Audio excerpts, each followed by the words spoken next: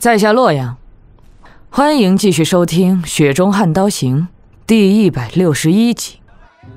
徐凤年端着一碗酒离开长凳，蹲在连摊子都称不上的棉布前，微笑问老人：“这几本卖多少钱？”“呵呵呵，公子看着办，随便几文钱都成，反正都是假的。”徐凤年从钱囊掏出最后六七颗铜钱，递给缺门牙老头。后者也不嫌卖贱了，笑着接过，叠好四五本秘籍，双手交给眼前这名公子哥。徐凤年坐回酒桌，打开书箱，把几本秘籍放入，一阵捣鼓，似乎开心于捡到了宝贝，朝酒肆老板招了招手：“哎，老板，有没有好些的黄酒？价钱贵些没关系。”来两碗，哎，有的有的，这就跟公子来两碗。徐凤年稍等片刻，从掌柜的手中接过两碗黄酒，重新蹲回缺门牙老头眼前，递出去一碗，用地道的东岳口音笑问：“哎，听口音，老哥以前也是东岳那边的人？”老人原本不敢接过酒碗，听到熟悉口音，这才接过去。呵呵，可不是。徐凤年放下酒碗，去书箱拿过一本悄悄加了一张五十两银票的秘籍，与老人面对面盘膝而坐。哎，老哥留一本好了。那我就不客气了。哎呀，这位俊逸公子哥还真是个好人呐。人来人往，熙熙攘攘，一年迈，一年轻，相对而坐。也不如何说话，只是缓缓捧碗饮酒。喝完了酒，徐凤年给掌柜的付过了酒钱，背起书箱离开。卖书老头心情大好，闲来无事，沾了沾口水，哼着小曲儿翻书，蓦然瞪大眼睛，银票。缺门牙老头张大嘴巴，怔怔望着那个卑贱富极的年轻人背影，赶紧合上那本一点都不隐秘的秘籍。震惊之余，只觉得莫名其妙。这一日，徐凤年临近吴家剑士墓地，只剩咫尺之遥，却不入。有老黄和羊皮球老头两位剑士珠玉在前，吴家遗址看与不看都没什么关系了。徐凤年过吴家遗址而不入，走上北面山坡，发现背阳面半腰有一片非驴非马的建筑物，半寺庙半道观，青白袍道士和红衣喇嘛夹杂而处，各自招来香客。徐凤年啃着青果干枣，绕过朱漆斑驳的外墙，在后院门口停脚，悬有道门鲜红桃符，楹联由中原文字写就。难得的铁画银钩颇见功底，却是佛教腔调。任凭你无法无天，见此明镜高悬，自问还有胆否？须知我能宽能恕，且把屠刀放下，速速回转头来。徐凤年跨过门槛正值黄昏时分，一群斜披红袍的喇嘛做完了晚课，在殿外走廊席地而坐，说法辩经。年迈者早已古稀花甲，年幼者不过七八幼龄，俱是毛绒红色袍子。徐凤年没有走近，安静站在远处，有些吃力地听完那些北莽寄语相结。暮色余晖洒落，徐凤年沿墙绕行。期间有中年僧人托木盆迎面而来，表情平静，单手轻轻施礼。徐凤年还了一礼，去主殿外焚香三炷，敬佛、敬法、敬僧。没来由想起即将到来的两朝灭法浩劫，以及龙树僧人的“可无佛像佛经，不可无佛心”的说法，有些感慨。山雨欲来，陆地起龙卷。一个两禅寺老和尚，能挡得下来？徐凤年抖了抖肩膀，系紧绳带，稍稍挂起那只书箱，准备找路去正门离开。看到前方有一对熟悉男女绕殿而出，正是酒摊上同桌而坐的食客。男子绸缎长衫，面如冠玉，风度翩翩，腰间挂有一串南朝世子间十分风靡的金郎当；女子秀气娴淑，金钗不摇。小家碧玉的中人之姿，却拥有大家闺秀的气态。年轻英俊男子正在给结伴女子讲述佛门三十二相，顺势解释了佛门金身相和一品五夫里金刚镜的不同，言辞深入浅出，显然熟谙释教典故。女子温雅点头，徐凤年不想加快步子超过两人，停下脚步等他们走远，才再行向前。耳力所致，听到那名男子愤愤然说道：“我朝佛法已然漠视，本该彻底抵挡。就说这些寺庙，如果有人阻碍出家，哪怕你是住持和尚，也要被诅咒生生世世得瞎眼报。如此一来，大半寺庙和尚都是依附佛门的外道骗子。”不是做那些欺财骗色的勾当，就是浑然不懂佛法为何物。佛门清净地，何来清净二字？竟是一些该杀的混账东西！那些汴京的喇嘛都挺好呀，不像是坏人。你故意递出金银，他们都不愿手出银钱，反而送了你一本经书。哼，大势所趋，一两个好和尚做不得准。男子手指弹了一下腰间玉郎当，叮咚轻荡，神情轻蔑。女子一笑置之，虽有质疑，仍是没有与他争执。徐凤年远远见到他们在一座顶炉前烧香拜天，为了不徒惹人厌，就干脆坐在台阶上，摘下书香当做是休憩片刻。因为贩卖秘籍的穷酸老头缺门牙，让他没来由想起西蜀老黄。记得游历返回北凉途中，凑巧远远见识到一桩秘籍争夺引起的命案。秘籍很普通，三流都称不上，不过还是交代了五六条鲜活人命。老黄，感情秘籍在江湖上这般吃香啊！我家听朝廷好几万本，要不啥时候都贱卖了出去，就当做好事，行不行？那整座江湖还不得都对我感恩戴德啊？得有多少青春貌美的女侠对我暗送秋波，想想就舒坦。哎，公子，可不能啷个做哟！别个不晓得，要是老黄我年轻时候听说有秘籍送，也得荒废了手上的功夫。到头来，江湖上就没得几个人肯用心练武喽。哎，老黄，你除了养马有屁的功夫？再说你也不识几个字儿，给你多少本秘籍都是白搭。你认不得字，字认不得你，打铁呀！公子，你真不要说，二十岁出头那会儿，嘿，门牙还在。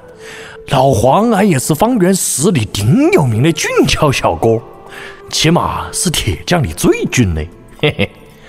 还有小娘子给俺偷偷送个黄酒嘞，长得不咋地，不过屁股可翘了，嘿。哎呀！俺离家时都没舍得喝，埋到后院里头，想到啥时候回老家再挖出来，肯定香。就只有一坛子，她也只算是一般殷实人家的闺女，就算当年使劲惦记我的英俊相貌，也送不得多噻。嗯，就你这模样，年轻时候也英俊过，那我不得是英俊到天上去了？那是，我跟公子没得比。公子若是在，那坛子酒就没得俺老黄啥子事情了。嘿，哎，得了，别提酒，咱俩走路都喉咙冒火了，渴死了。哎，俺晓得了。啊，对了，老黄，你都离家多少年了？那坛黄酒还能在？嗯，记不到离家好多年了，应该还在嘞。是黄酒就熬得住。跟公子以前装在琉璃杯里喝的那些葡萄酒不一样。要是公子有机会全家保管有一顿好喝的，哎，又提酒了，愁的不行。哎，前头有炊烟，咱俩去讨口水喝。老规矩啊，开门的是大老爷们儿，你开口讨要；是女人，我来。走。对了，老黄，你全身家当就只剩那坛子酒了。真舍得分我一半喝？咋个就不舍得了呢？公子觉得好喝，都给公子就是了。嗯，换成我呀，肯定不舍得，顶多分你一半。公子是实诚人，我中意。啊，去去去！你要是个俏小娘，我也中意你。唉，可惜我也没讨上过媳妇儿，要是能有个闺女就好了。随你样子，我也看不上眼。老黄，你甭想这一茬了啊！呃，嗯，别用那种眼神看着我。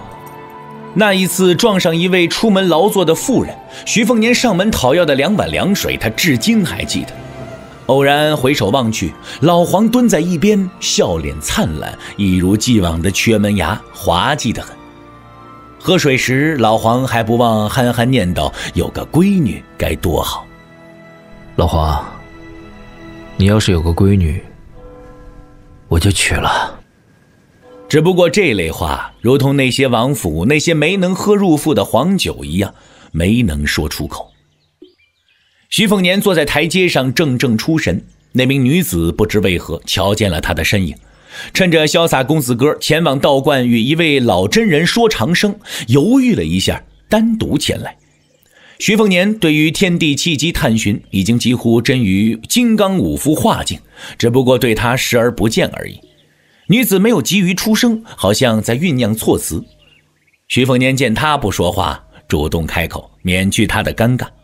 哦，敢问小姐芳名？陆晨。女子微微羞恼，仍是轻声回答。徐凤年心中了然，看来是春秋遗民无误。当年黎阳王朝一统天下，被中原世子痛心疾首，称作神州陆沉。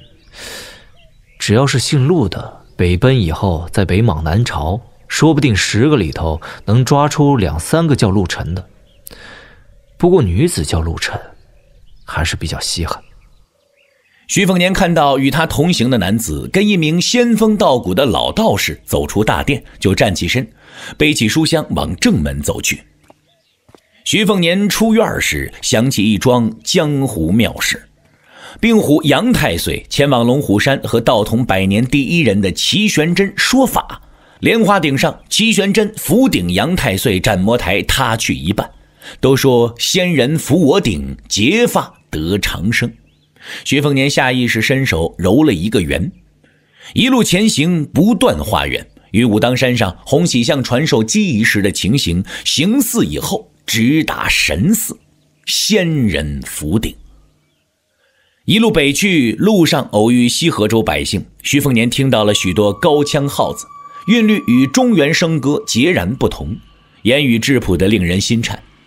一般这个时候，徐凤年都会停下脚步，远远聆听这类不登台面的蓝羊嗓子回牛声，直至声乐尾声，才重新动身北行。走得不急，因为他只需要掐着时间点儿到达宝平州大鹅城即可。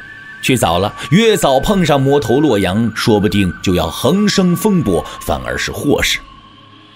这一路，徐凤年走的是一条粗糙驿道。半旬后，有一次还遇上了骑马而游的那对年轻男女。离开吴家遗址后，他们换了身爽利劲装，佩刀男子愈发风流倜傥，跨剑女子也平添几分英武气态。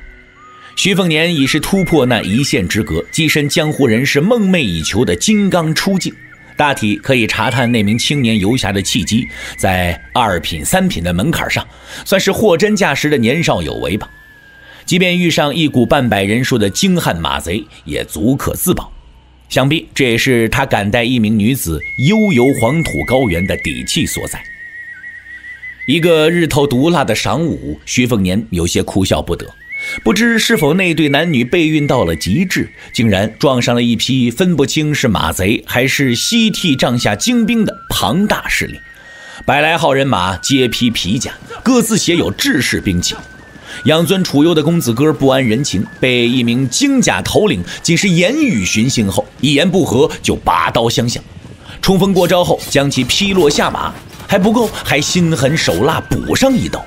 若非鱼鳞甲优于寻常软皮甲，就要给他一刀砍死，这就惹了众怒了。那群人一拥而上，剑势如雨，刀出矛刺，对那个自恃武艺的士族子弟展开了十几波车轮战。那公子哥既要自保杀敌，还要分心累赘女子的安危，被软刀子割肉般的戏弄。招架不住潮水攻势，激起了血性，再度被他砍杀，劈死了十几名软甲骑士，终于给一剑透入肩膀。不等他抽出羽箭，就给十几个马套娴熟丢来，连人带马一起被拖拽倒地。女子也被一名精壮头领拿长枪拍落马背。马道工程的头领猖狂大笑，耍了一记精湛马术，策马弯腰探臂，搂起岔气后无力挣扎的纤弱女子。一手提枪，一手掐住她脖子，贴在胸前，勒了勒缰绳，故意停下马，转悠一圈，朝地面上那个面红眼赤的公子哥示威。西河州多黄沙漫天，也多沟壑起伏。徐凤年蹲在斜坡上，嚼着一颗青果枣干从头到尾看着人数悬殊的厮杀，替那名相貌俊逸的南朝公子哥不值。哼。想必是个不经常经历杀伐的厨。原本以他的技击技巧和厚实战力，大可以护着女子远遁。就算脱不开追击，只要不完全陷入包围圈，回旋余地就要多出太多了。估计这名高门公孙十有八九是听多了荡气回肠的前辈传奇，成了一根筋，想要一步不退，硬抗铁甲。才被那百人骑兵用不算如何高明的法子给折腾得精疲力竭。徐凤年如今眼力不俗，瞧得出那人招式套路都极为出彩，机巧百出，可见此人要么是有个名师指点，要么是根骨出奇。徐凤年弓腰如豹，尽量隐匿前行，在百步以外一座小土包附近停下。见到鱼鳞甲首领将怀中女子丢下马，跳下马背，一脚踹在他心口。习武只是当做养生手段的女子几乎当场晕厥过去，蜷缩起来大口喘。鱼鳞甲汉子蹲下去，扯住女子一大缕青丝，晃了晃，望向那名不知好歹的服饰华美的外乡公子哥。后者已经被马套绳索。裹得如同一颗粽子，更有几条铁链系在四肢上，被四批人分别拉直，悬在空中。一些个性子急躁的骑士下马后，除了吐口水，就是拿刀鞘拍打这个俊俏公子哥的脸颊。这批骑士是典型的北莽人士，剃发秃顶，后脑勺结发成辫。鱼鳞甲壮汉撇了撇头，也不废话，四匹拉住铁链的下马骑兵也就心领神会，狞笑着。开始拔河，四个方向，四条铁链，总计二十多人一起倾力拉伸。亏得那名身陷死地的年轻男子身负上乘武学，只是无形中受苦更多。一名马匪头领嫌不够酣畅，让麾下喽啰翻身上马，又加了一条铁链环住男子脖子，下定决心来一场鲜血淋漓的五马分尸。公子哥双眼通红，手腕和脚踝摩擦出血，更别提脆弱的脖颈，发出一阵濒死野兽的凄厉嘶吼，浑身仅剩气机勃发，铁链如水纹颤动，竟然使得五马倒退几步。骤然换气，铁链刹那笔直如枪矛，牵链马匹顿时裂毙。榆林甲首领迁怒在女子身上，将头发被抓住的女子往地上一摔，就有手下看管亲自上马，再喊上四名体魄雄健的心腹，对付这头不容小觑的垂死困兽。战马马蹄艰难前踏，男子四肢和脖子鲜血涌出，痛不欲生。就在男子即将被扯裂时，马上五人几乎是一瞬横死，都不见明显伤痕，只是直直坠马，立即死绝。几名有资格穿鳞甲的马贼头领壮胆凑近了一瞧，只见头颅眉心处有细微通透，好似被锋锐小物件刺出了窟窿。一名心思细腻的鱼鳞甲头领想要偷偷拿刀砍死男子和女人，不留后患，当下就被一物刺过眉心，溅出一丝不易察觉的血线。如此一来，再无马匪敢动手了，瞬间跑了一干二净。叫陆晨的南朝女子不知缘故，恍惚片刻才知道劫后余生啊！哭着起身，跑去那名世交的年轻公子哥身边，艰难解开铁链，尤其是脖子间血肉模糊，触目惊心。他压抑下哭声，盘腿坐在他身边，撕下袖口，包扎几处露骨伤口。侥幸从鬼门关上走回阳间的公子哥，缓缓吸了一口气，吐出大口浊气后，扯出一个笑脸。死不了的。收回了飞剑招路，徐凤年本想就此离开，不过望见远处有一骑，不死心的做出瞭望姿态，只得耐住性子待在原地，再度御剑出鞘，刺杀了那名倒霉的马贼后，贴地而听，那些马贼终于认命的逃窜散去。徐凤年悄悄站起身，背着书箱就要走开，他掏出最后几颗枣子，一股脑丢入嘴里。看到那名再也潇洒不起的剑士，在女子搀扶下，仍是跌坐地上，血流如注。可女子不精于治疗外伤，束手无策，只是哽咽抽泣。前程锦绣的男子自然也不想死在荒郊野岭，只不过叫天天不应，叫地地不灵啊！哭坐当场，面容狰狞如恶鬼。徐凤年见到那名巨傲男子被打入尘埃后，精气神都重新开始涣散，露出没有及时救治就要死去的颓败迹象，皱了皱眉头，只得走出小土包，身形现世，还得假扮路见不平的模样，小步奔跑向那对男女，挤出一脸无懈可击的惶恐和紧张。公子哥眼神本已浑浊不堪，看到徐凤年后，露出一抹金光。一只手轻轻搭在铁链上，徐凤年蹲在他们身前，摘下书箱，从书箱拿出一瓶敦煌城带来的瓷瓶，装有漆黑如墨的软膏，可以接筋续骨生肉的药膏，并无名号。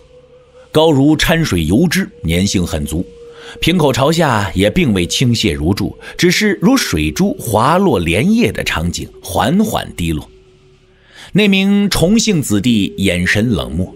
看着双手双脚伤口被滴上黑色药膏，清凉入骨，说不出的惬意。因为识货，他心中才愈发震撼。眼前这个只能掏几文钱买假秘籍的陌生人，如何得来这瓶一两百斤的药膏？徐凤年卷袖擦了擦额头汗水，一脸心疼表情，像是天人交战后才下定决心把瓷瓶交给叫陆晨的女子。嗯，药膏是。祖传秘法，一瓶能卖好些银子。早中晚一日三次涂抹，不出半旬，这位公子就可痊愈了。哦，对了，在吴家建营遗址那边没来得及自报名号，在下徐朗也是南朝人士，家住红叶城狮子巷。不说药膏啊，这只手工地道的天球瓷瓶也值些银子。陆晨好像听到一个不小的笑话，如释重负。破涕为笑，擦拭去两颊泪水。我和崇公子回去以后，一定去红叶城寻访徐公子。崇贵脸上闪过一抹阴霾，不过隐藏很深。原本松开铁链的那只手，复而握紧，一手扶过止住血迹的脖子。自当如此感谢徐公子救命大恩。徐凤年依然扮演着一个精明市侩的、并不聪明的寻常游学士子。呃 呃，不敢当，不敢当。对于高于大姓的氏族子女，就像他和重贵，尊贵到能够成为西河州持节令的座上宾，平时何须在意寻常人的图谋不轨啊？只不过今日遭遇横祸，才让他格外念恩感激。徐凤年看了两人一眼，要不要在下护送二位？陆晨本想点头答应，重贵摇了摇头，不用了。豪伐世子的清高风范在这一刻尽显无疑。陆晨不知其中门道，只以为是重贵拉不下脸面。见他眼神坚毅，执着己见，他也不好再说什么。徐凤年难言一笑，恋恋不舍，瞥了一眼陆晨手上的瓷瓶，这才起身告辞。陆晨倒是有些好感这名陌路人的浅白作态。比起往日见着那些摇尾乞怜还要假装道学的南朝世子，可要顺眼许多。他蓦然瞪大眼睛，只见腹肌男子才站起转身，就给如一条被拉直身躯毒蛇的铁链击中后背，向前飞出去，扑地后再无动弹，多半是气绝身亡。他转头痴痴望向重贵，满眼惊骇。你可以看到本公子的落魄，至于他，没这份福气。陆晨捂住嘴巴，渲然欲泣。重贵似乎感到自己的语气太过僵硬生冷，稍微换了一种柔软腔调。这个徐朗，早不出现，晚不出现，偏偏在你我落难时出现，十有八九是与那些马贼串通一气的匪人，存了放长线钓大鱼的企图。陆姑娘，你涉世不深，不知江湖凶险，这类亡命之徒大多极为弯弯肠子，手法高明，不输官场狐狸。退一步说，我们宁肯错杀。也不可错放。我若死在这里，你怎么办？我不舍得死，要死也要送你回家才行。陆晨泪水猛然流淌出眼眶，扑入重贵怀中。对于那名徐朗的死活，就再不如初见惊变时那般沉重。生死之间，患难与共。过惯了富态闲暇生活的女子，兴许不喜好那些风淡风轻的相濡以沫，可有几人经得起、敌得过重贵这种场景、这一类言语的篆刻在心呢？重贵抱住她的娇躯，则是嘴角冷笑，眼神淡漠。不过，这幅温情画面给几声咳嗽打断。重贵在遇见徐朗后，头一回。流露出惊惧。在下洛阳，欢迎继续收听《雪中悍刀行》第一百六十二集。徐凤年站起身，拍了拍衣袖：“哎，做好人真累啊，难怪北莽多魔头。”见到背箱负剑的男子面无表情走来，重贵笑脸牵强，气势全无，唯一愧疚。徐公子不要见怪，是崇某人行事唐突了。只不过崇贵身份敏感，出行在外，万万不敢掉以轻心。崇贵看那人一脸平静，连讥讽表情都没有，心知不妙，赶紧亡羊补牢。我叫崇贵，是南朝崇家子孙，我可以弥补给徐公子一份大富贵。公子你身手卓绝，有我崇家扶持帮衬，一定可以飞黄腾达。说话间，崇贵一只手又握住铁链。不见棺材不掉泪，来，再试试看能否杀了我。这一刻，重贵出手也不是，松手也不是。重贵侥幸由阴间回阳间，而陆晨则是从阳间堕入阴间，呆然坐在一旁，心冷如坠冰窖。徐凤年一手化圆，不见拍在重贵头顶，重贵整个人就陷入地面。头颅和四肢一同炸裂，好似给人用大锤砸成了一块肉饼，比起五马分尸还要凄惨。仙人福鼎，可不只是解法受长生一个用处啊！鲜血溅了陆晨一身，可他只是痴然发呆，无动于衷。他单纯却不是蠢货，见微知著几乎是大族子女的天赋。徐凤年才要再画一圆，让陆晨和重贵做一对亡命鸳鸯，共赴黄泉。他突然抬头问徐凤年：“我想知道你到底跟马贼是不是一伙的？求求你，别骗我。”徐凤年摇了摇头，他终于心死如灰烬，平静等待。徐凤年也不怜香惜玉，依旧是仙人福鼎的起手式，不过又一次被打搅。他冷不丁撕心裂肺哭出声：“我不想死！”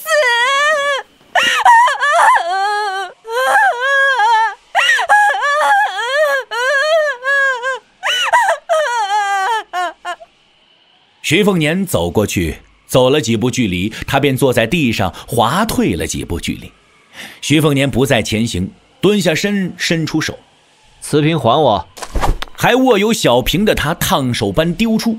他情急之下丢掷的没有准头，徐凤年探手一抓就御物在手，放回书箱。陆晨好像积攒了二十年的心机城府都在一瞬间爆发出来。徐公子，你要如何才能不杀我？我是南朝甲子陆家的嫡孙女，我和重贵不同，没有任何抱负可言，只想好好活着，出家以后相夫教子。只要公子不杀我，只要不玷污我的身子，我便是给你做牛做马半年时间也心甘情愿。而且我许诺回到洛家绝不提今日事情半句，只说重贵是死于百人马贼。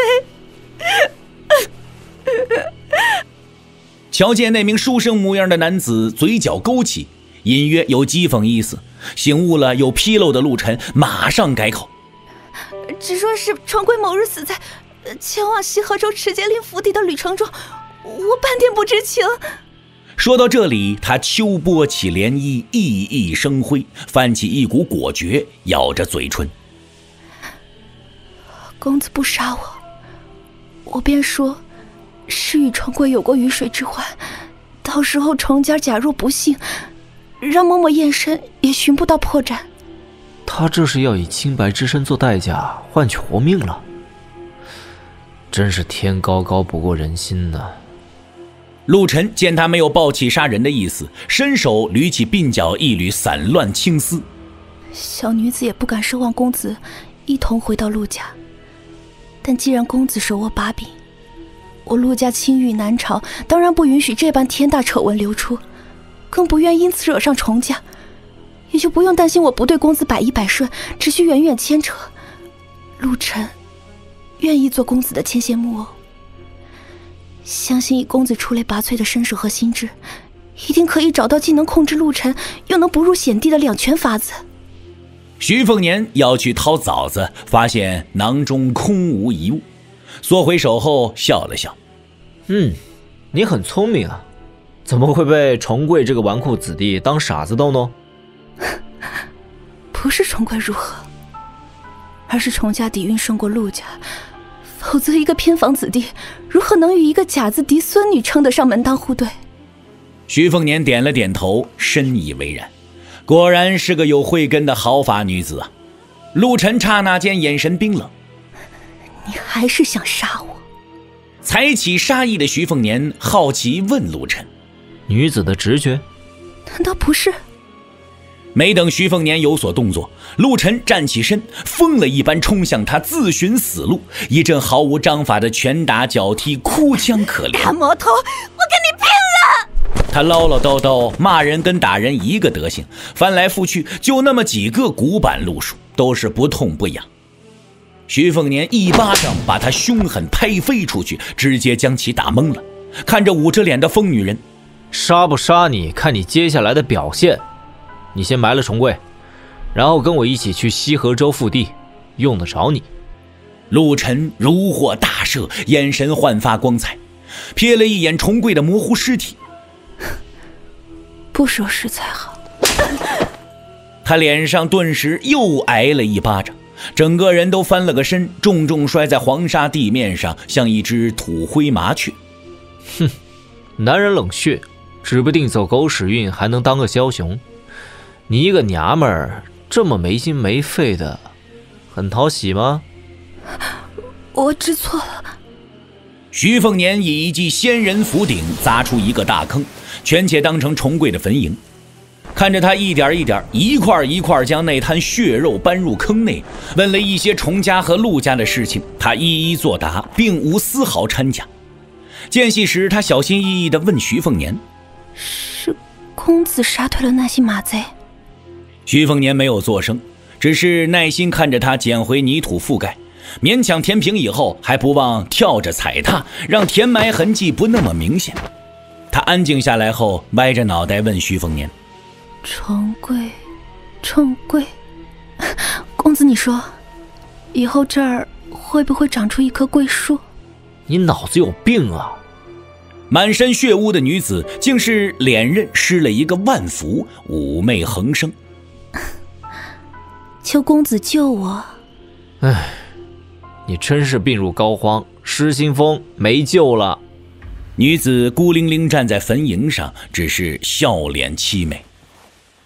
埋过了那个初出茅庐就躺坟的崇家王孙，徐凤年把玩着从尸体上扒下来的那串金铃铛，风起敲叮咚，带着莫名其妙就成了丫鬟的陆晨往西河州腹地走去。才走了没多久，就又遇上了一队马贼，三十几号人。比较前边悍匪的兵强马壮，这些马贼家当就要寒碜许多，没几样制式兵器。更别提鱼鳞甲这类军武校尉的专属甲胄了。唯一的亮点是为首一名马贼持有一杆马槊，槊首金刚，槊转红铜，槊身涂抹朱漆，关键是还系有一丛紫貂绣团子。在战场上，这种持槊子弟往往沦为围殴搏杀的靶子，比那些身穿鲜亮铠甲的将军还要吸引兴趣。因为喜好马槊的大族子孙多半是出场战事的雏。搏杀起来，比起深谙自保的老油子校尉们，远远易于割去头颅。徐凤年二话不说，就迎面前奔，将其擒拿。稍微敲打，就炸出真相。果然，这匹马贼是重贵聘请来演苦肉计的货色，想要以此来博取陆晨的倾心。哼，真是辛苦到头，为谁忙啊？接下来，陆晨就看到这些马贼被宰杀干净，他眼中有一种古怪的神采。徐凤年挑了两匹坐骑，快马加鞭，走出三十里路都不见一处人烟，稍作停顿，拿囊中清水刷洗马鼻，裹了头巾的陆晨揭开一角，露出略显干涩的樱桃小嘴。你真叫徐朗？你该有小宗师境界了吧？徐凤年没有应声。你是要拿我的身份做文章吗？先前已经和你说过，我与重贵只是离开大队伍绕道而行。如今只剩我一人去西河州持节令府邸，一旦被发现行踪，你该怎么解释？见这名负极挂剑的年轻男人仍是练习闭口禅，陆晨也不气馁，刨根问底：骑马出行三十里一停，你难道是北凉人？徐凤年正在给他的马匹刷洗，也不抬头，离去，放好水囊，翻身上马，继续前行。性子执拗起来的陆晨艰辛跟上，并驾齐驱，侧头凝视这个满身云遮雾绕的年轻人。徐凤年终于开口：“改了主意，将你送到安全地方，我就离开。前一刻还要死要活，恨不得跟重贵同葬一穴，怎么转眼间就连收尸都乐意了？是你如此，还是你们大姓女子都如此啊？你这样的呀？”就算收了做通房丫鬟，说不定哪天晚上就给你勒死了，睡不安稳。我这辈子最恨别人骗我。我曾经对自己说过，以后嫁了谁，这个男人花心也无妨，睡了别家女子，但一定要跟我招呼一声，而且不领进家门恶心我，我都不会介意。我会继续持家有道。但我若是最后一个知晓他和女子苟合，成了笑话，肯定恨不得拿剪刀剪了他子孙根，再去画了那婆娘的整张脸，让她一辈子都勾引不了男人。哼，你长得不像这种女人，在吴家遗址初次见你，误以为你挺好相处的，是那种受了委屈也不敢回娘家诉苦的小女子。可我就是这种女人。我是不是应该直接一巴掌拍烂你的头颅？公子，可不许如此绝情。徐凤年一笑置之，跟他说话，见他做事很有意思，跟文章喜不平一个道理，总是让人出乎意料。陆晨察觉到这位徐公子弹性不错，就顺杆子往上爬。我猜公子一定出自武林世家，而不是重贵这类将门子孙，因为公子杀人会愧疚。你知道个卵？难道我猜错了？少跟我装模作样啊！我见过的漂亮娘子多到数不过来，你的姿色不到七十分，不值一提。我本来就不是好看的女子。你说这次重陆两家联手前往西河州府，你们陆家有你父亲陆龟领头，图谋什么？我向来不关心这些，也接触不到内幕。不敢相信啊！那个被称作通身彩胆的重贵，说死就死了，而且死法一点儿都不壮烈。徐凤年随手丢了那串金铃铛，原本是打算借陆晨的身份去西河州腹地乱杀一通，杀几个赚几个。只不过这趟出行，崇家几位高手都一个不漏，尤其是那个高居魔头排行第七的崇良。甚至连北莽十二位大将军的重神通也乔装打扮隐匿其中，想必麻烦的很，可别误了跟那魔头的约定才好。一番权衡过后，念头作罢。陆晨看到这个动作，笑着从袖中抽出一柄匕首。本想着找机会一下刺死你的，现在匕首是交给你，还是丢掉？留着吧。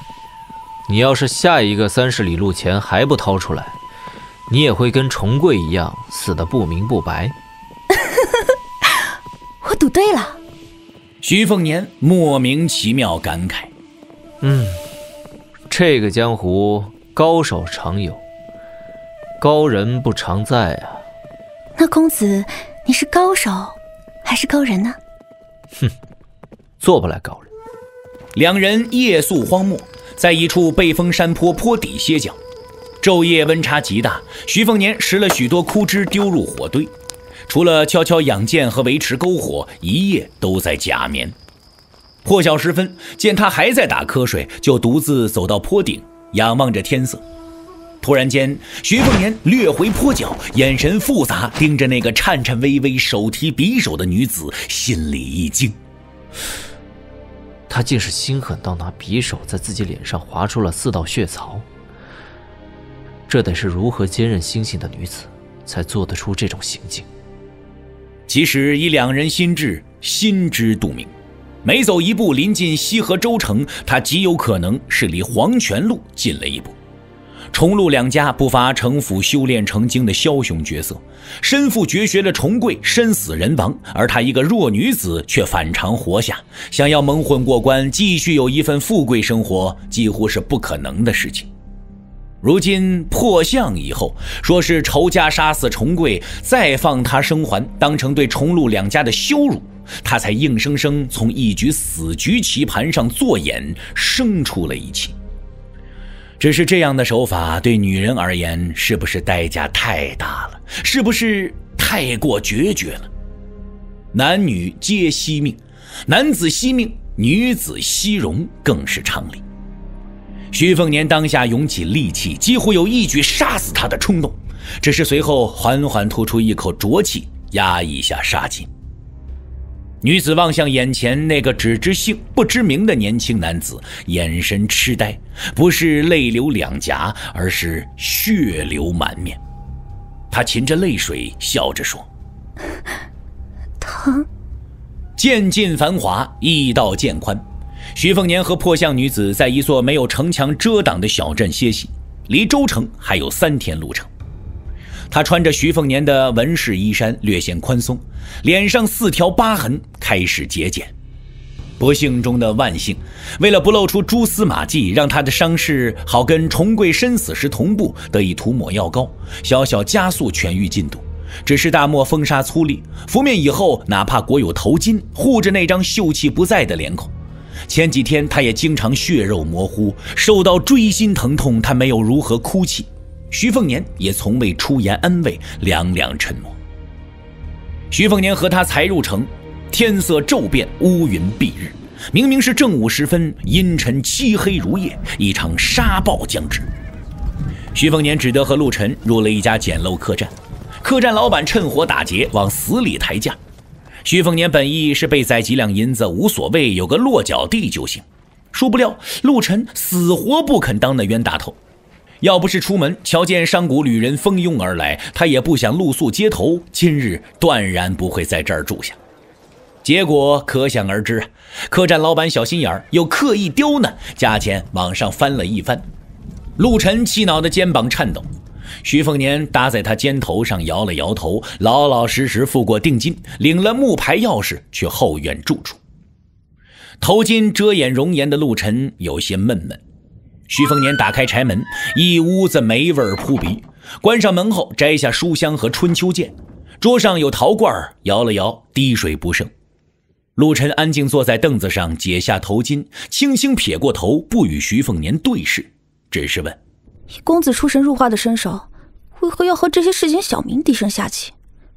都不需剑出鞘，就能吓破他们的胆子。”徐凤年关严氏那两扇漏风窗户，坐在桌前。你是不是以为高手都得是一双眼光射寒芒那种？要不就是生得虎背熊腰，恨不得在背后挂两片虎豹尸体；要么在身上悬满刀枪棍棒矛，出门闯荡才显得气派。陆晨嘴角有些勾起，听出言语中的调侃，他的心情好转了几分。徐凤年弯腰从书箱里翻出几本秘籍，放在他眼前，盘膝而坐在凳上，意态闲适。我这些天闲来无事的时候就翻一翻，还照着里头的把式练了练，才发现很好玩。耍耍看。那不行，天崩地裂了咋办？别笑。陆晨果真板住脸。徐凤年拿起茶水陶罐，嗯，我去弄些水和吃食来，等着。陆晨点了点头，拿起一本伪劣秘籍，信手翻阅。徐凤年没多久反身拎着装满凉水的茶罐子，陆晨抬头问：“又花钱了？”“嗨，没法子，小鬼难缠。一壶水半两银子，等会儿咱们当琼浆玉液来喝就是了。对了，饭食还得等一会儿啊。”“等得起。”没有敲门，一个客栈伙计就大大咧咧推门而入。陆晨连忙抓起头巾，转过头去，慌乱果尘。伙计一手端着大木盘，盛放有几样马虎粗糙的伙食。他无意间瞅见陆晨的脸庞，吓了一跳，火急火燎放下食物，跑出去，才跨过门槛就大声嚷嚷：“ 快来看，快来看，屋里有个丑八怪，老子满天见鬼了！”陆晨扯住徐凤年袖口，但徐凤年轻轻一抖，大步出门，把那个口无遮拦的倒霉虫一脚踢得陷入院墙，生死不知。回屋后，陆晨脸色黯然。我本来就很丑，对，是不好看，脸上画花了，好看才怪。但谁敢说出口入了我耳朵，我就让他去死。哪能？我又不是魔头。向来喜欢以貌服人，实在不行才会以德服人。陆晨盯着这个说不清是好人还是坏人的书生，抿紧嘴角，似笑非笑，摇了摇头，一点都不好笑。徐凤年一笑置之，分发了碗碟餐食，然后埋头狼吞虎咽。陆晨一手掩面，细嚼慢咽，一副食不言的疏远风范。跟徐凤年同时放下筷子，他犹豫了一下。刚才以为你会说些漂亮的言辞来安慰我。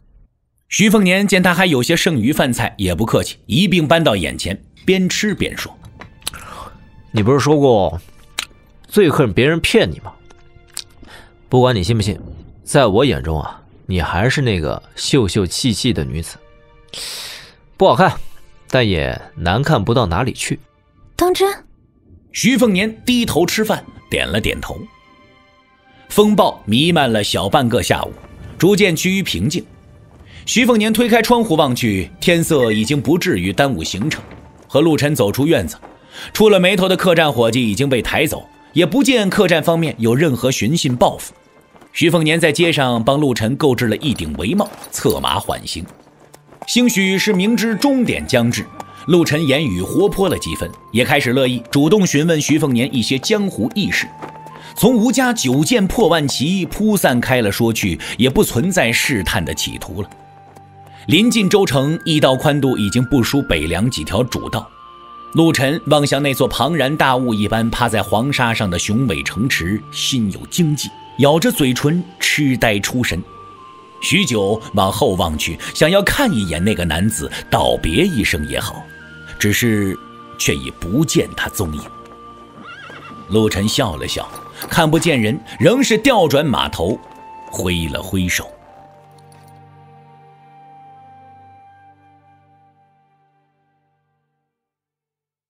在下洛阳，欢迎继续收听《雪中悍刀行》第一百六十三集。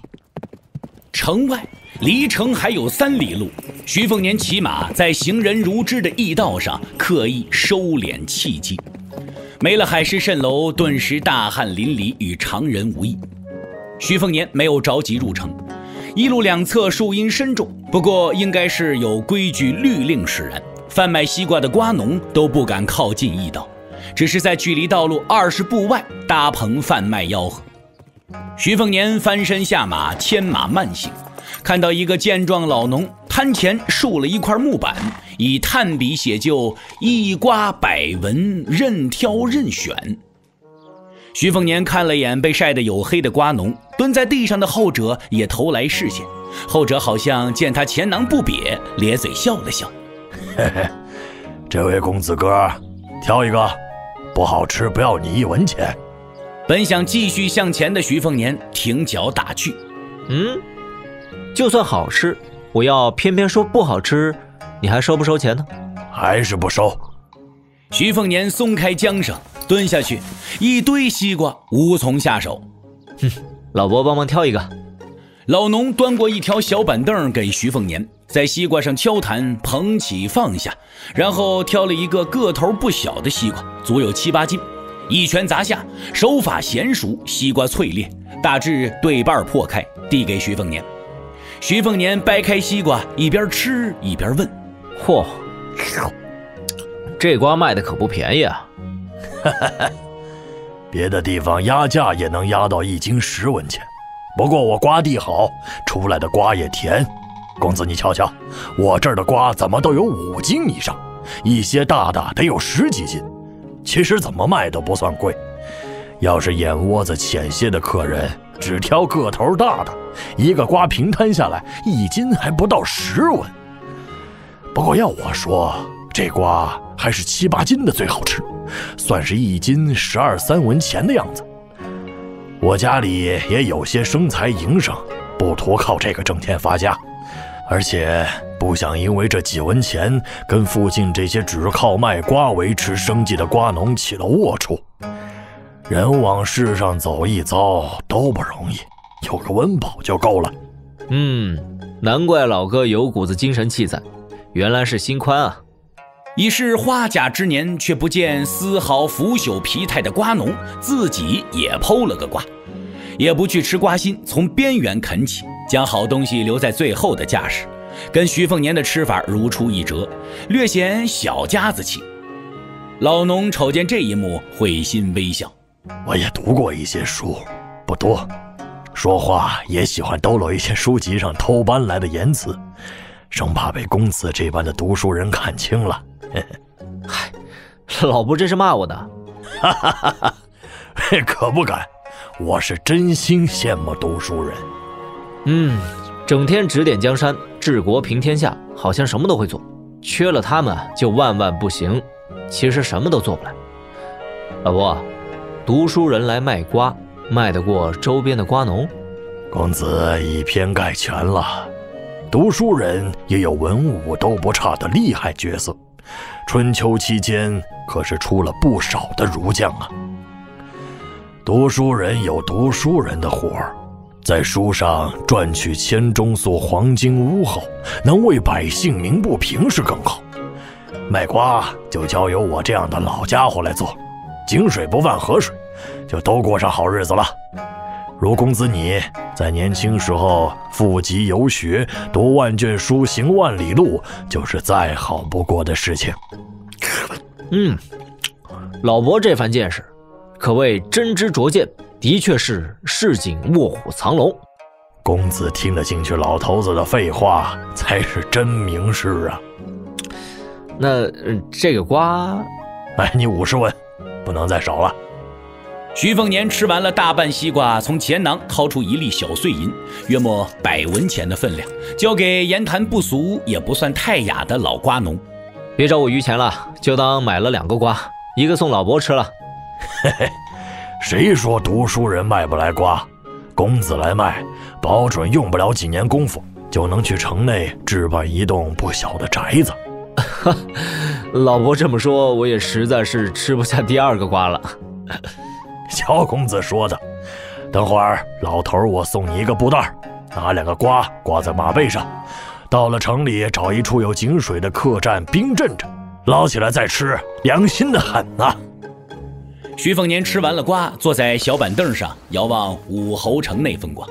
兴许是身处绿洲的缘故，沿着驿道满目眺望而去，云层厚重，层层铺叠，直直下坠，好似就要压在了城中，即有九天之云下垂的气魄。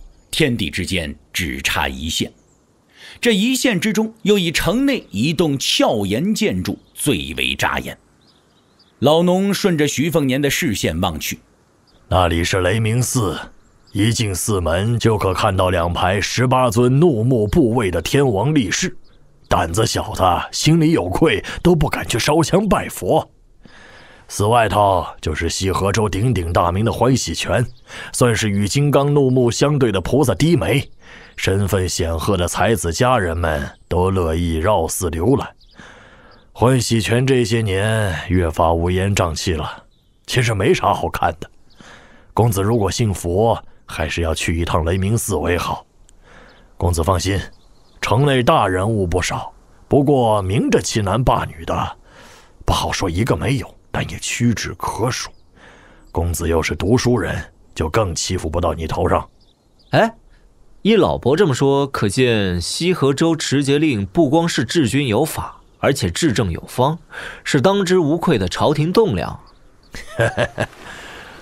我说了，做不得准。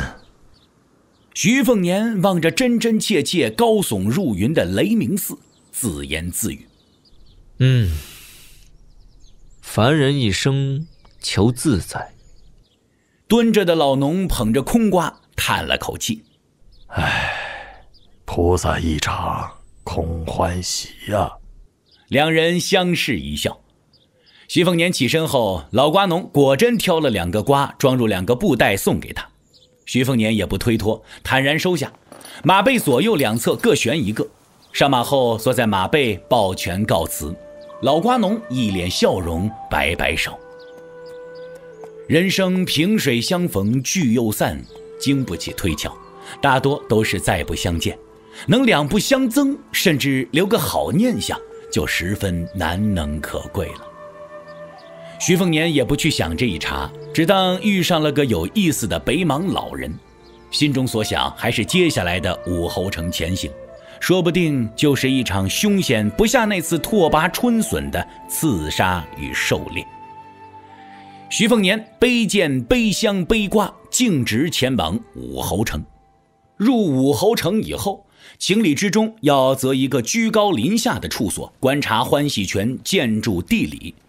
不过久病成医，徐凤年对于刺杀潜伏一事烂熟于心，于是只是拣选了一座离欢喜泉较远的低矮客栈入住，跟伙计看似随口问过了武侯城内几个游览景点。两天后就是十五，雷鸣寺香火鼎盛，外乡士族旅人和手头宽裕的富贾都喜欢在初一和十五这两日去雷鸣寺供养一尊菩萨，或点燃或添油一盏长命青莲灯。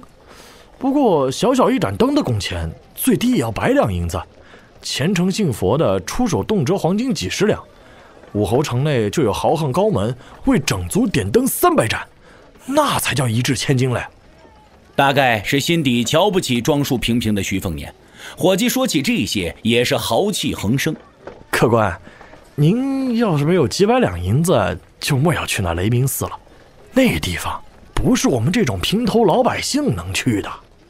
他就差说：“客官呐，您别打肿脸充胖子了。”徐凤年一笑置之，也说是会掂量着烧香，顺嘴夸了一番武侯城的富裕，说他这个外地人长了见识，这才让伙计脸色好转，当下言语腔调也热络几分。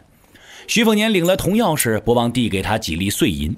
老板将西瓜吊在竹篮，放入后院的井水中，回头热了好解渴。伙计道了一声“好嘞”，提着两只瓜开怀离去，对这名书生愈发顺眼。徐凤年放下了书箱，摘下春秋剑，都放在桌上。出门前，在窗户和房门缝隙都粘有两根丝线，不易察觉，推开即断。再将剑胎圆满的飞剑朝露钉入屋梁之上。进城后，徐凤年敛去一身十之八九的气机，不过百步以内仍可与朝露有所牵挂。放心下楼去吃午饭，客栈生意惨淡，也没有几桌食客。徐凤年要了一壶烧酒，独饮独酌，一台闲事，颇有几分世子的风发意气。武侯城是北莽内附，风俗开明，对待中原移民也算厚道，比较等级严苛的橘子州要宽松许多。北莽八大持节令和十二位大将军中，西河州的赫连武威声名相对不显，只知是北莽勋贵出身，年少风流多情。不过家世颓败后，竟然不是破罐子破摔，反而浪子回头，戎马二十年，战功卓著，得以光耀门庭。妻子病逝后也未再娶，导致膝下无子。不过此人除了带兵不俗以外，庙堂经纬只能算是个倒浆糊的角色。女帝历年的春搜冬狩也罕见他的身影，因此八位持节令中，使得这位封疆大吏最为与世不争。徐凤年返回房间，丝线未断，除了进食饮水，就只是独处翻阅秘籍刀谱。他此时仍是停顿在结青丝这个瓶颈上。敦煌城门一战，即将出海访仙山的邓太阿和天赋假江湖的洛阳可谓棋逢对手，打得天翻地覆。徐凤年闭眼感触，事后抚摸剑痕千百道，只觉得一股神意盈满心胸，却摸不着头脑。徐凤年也不急躁，仍是告诫自己循序渐进。第二天，负笈背剑游行武侯城，边吃边走，城内军容肃整，可见端倪。北莽东线边境上，东锦、橘子二州显然不如有空避军打底子的西河州。徐凤年对于这种孰优孰劣不好断言的布置，也不清楚是刻意人为布局，还是只与几位持节令心性和能力有关的无心之举。正月十五，徐凤年并未追随大刘在清晨拂晓时前去雷鸣寺，而是在正午时分，日头炽烈时，不悲春秋不复乡的离开客栈。雷鸣寺坐落于欢喜泉南北交汇处，依山而建。主体是一栋九层重檐楼阁，楼内有比敦煌佛窟还要巨大的一尊大佛，属于典型的西域硬山一面坡式，香客稀疏。连起气机的徐凤年一身汗水，缓缓入寺。徐凤年入寺前便得知，欲燃长命灯要向雷鸣寺点灯僧人告知名讳祖籍等，只得遗憾作罢。楼内空旷无人，偶有一阵清风入楼。四楼数千盏青莲长命灯由低到高依次微微扶摇，香客不得登楼看佛，寺内僧侣也要在四楼止步。雷鸣寺建寺八百年，得道高僧大多停留在第六、第七层，唯有帝王可登至八楼。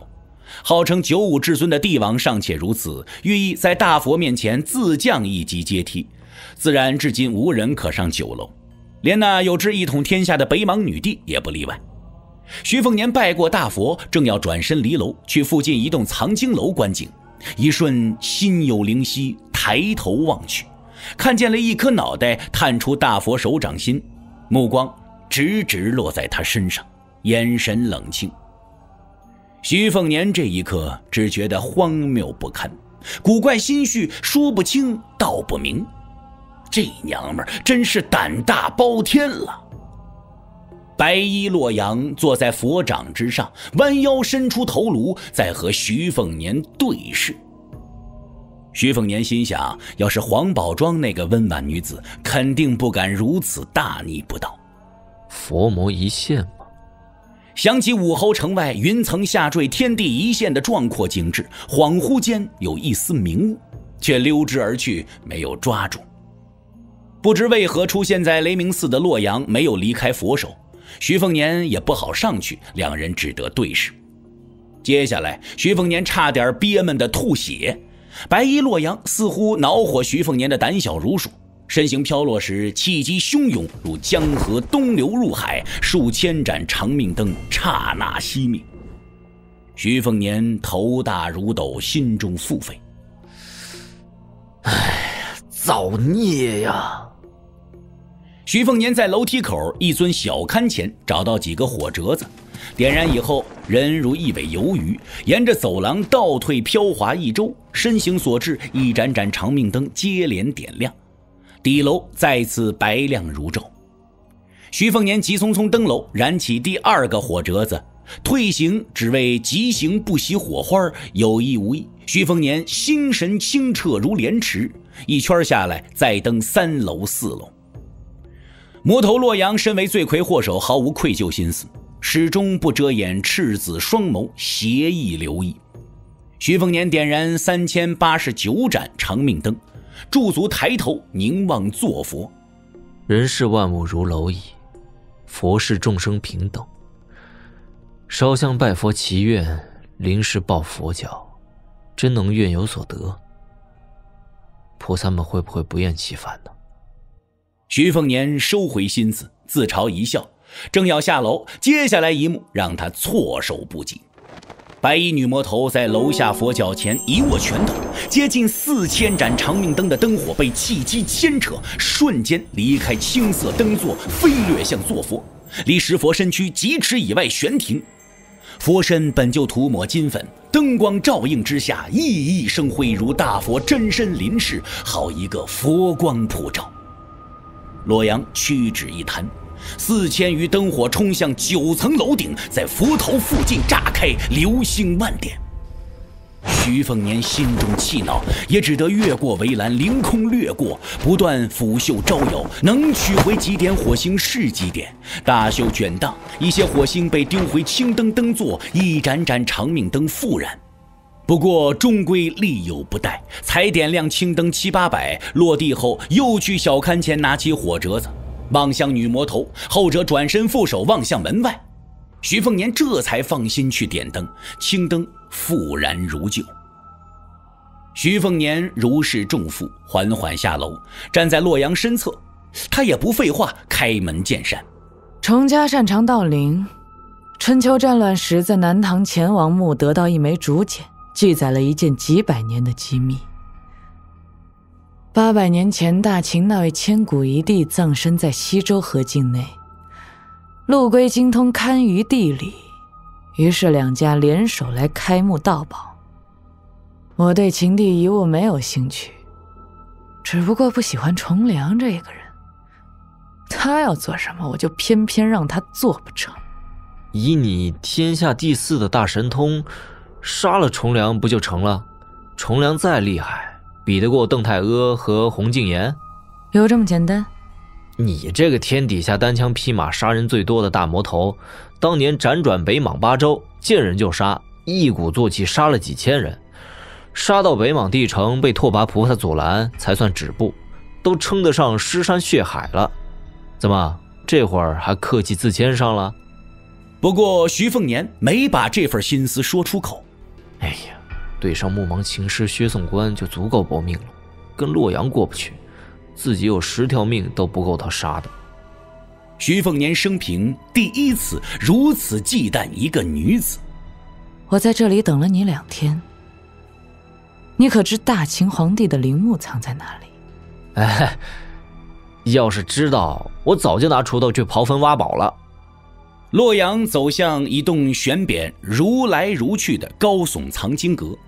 徐凤年问洛阳：“哎，为何不见雷鸣寺僧侣？”“哦，你进寺前，我躺在佛像手掌休息，嫌他们诵经木鱼功课聒噪，都打刷干净了。”徐凤年出楼外，收敛的气机倾泻而出。大皇庭的海市蜃楼气象巍峨，长山袖口扶摇，只可惜应了那句俗语：“道高一尺，魔高一丈。”在洛阳的压制下，憋得徐凤年不仅收回气机，还有一口鲜血涌到喉咙。这时候，徐凤年看到大雄宝殿那边有僧人鱼贯而出，黄色袈裟的披挂方式与中原略有不同，神色安详。遥遥看到自己和洛阳，也仅是当做寻常富贵人家的香客。一些修为稍浅的和尚，不过是多看了几眼白衣洛阳，并未伤心。徐凤年这才知道。女魔头开了个玩笑，拿他当猴子耍，哭笑不得。咽下那口鲜血，洛阳的言语雪上加霜。你这种心智根骨，怎么进入的金刚境界？我看不过是靠着北凉世子的身世和因身份结下的机缘。小家子气，半点格局都无，白费了邓太阿的馈赠。嗯，好男不跟女斗。你肯定拿李淳刚跟我做对比，以为我取笑你根骨不行，只是五十步笑百步。但事实上，我不光在一品前三境，金刚指玄天象都比李淳罡更早踏足，哪怕陆地神仙境界，也一样不例外。对对对，你武功盖世，明天就打得拓跋菩萨抱头鼠窜，后天就能让王仙芝打成缩头王八，第三天就可以视天劫如无物，正道飞升，跟玩似的。然后徐凤年就飞入藏经阁，是被洛阳打入，一掌拍在后心，海市蜃楼溃散七八分。一则徐凤年不敢躲，二来也是想揣度洛阳的实力。苦头之大，只有坐在阁内石板地面上的徐凤年自己清楚。抹掉渗出嘴角的猩红鲜血，苦中作乐的仰剑一柄。喜怒无常的洛阳进阁后，看也不看徐凤年一眼，径直登楼。藏经阁实则是一座六层碑塔，木质阶梯旋转递升。洛阳来到顶楼，举目眺望欢喜泉。塔顶墙壁上篆刻有许多文人骚客的赏景诗文。因为后来者不讲规矩，刻字重重叠叠，面目全非。徐凤年百无聊赖，四下浏览，也没瞧见几首神韵俱佳的诗词。哼，都是些无病呻吟之流。不过一些小曲残句还算趣味上乘。来日见着二姐啊，也好剽窃去献宝了。无意间见到半句依稀可见的诗词，徐凤年拿手掌抹去。徐凤年站在窗口，略微放开气机，视线逐渐清明，开始去记忆欢喜泉府邸格式地形。随着移民北移，带来一股南风北进的风潮，庭院建筑沾染春秋风格，无疑是最为直观的现象。曲曲折折，若是不熟地形闯进去，只怕是被宰了都不知道为何。在下洛阳，欢迎继续收听《雪中悍刀行》。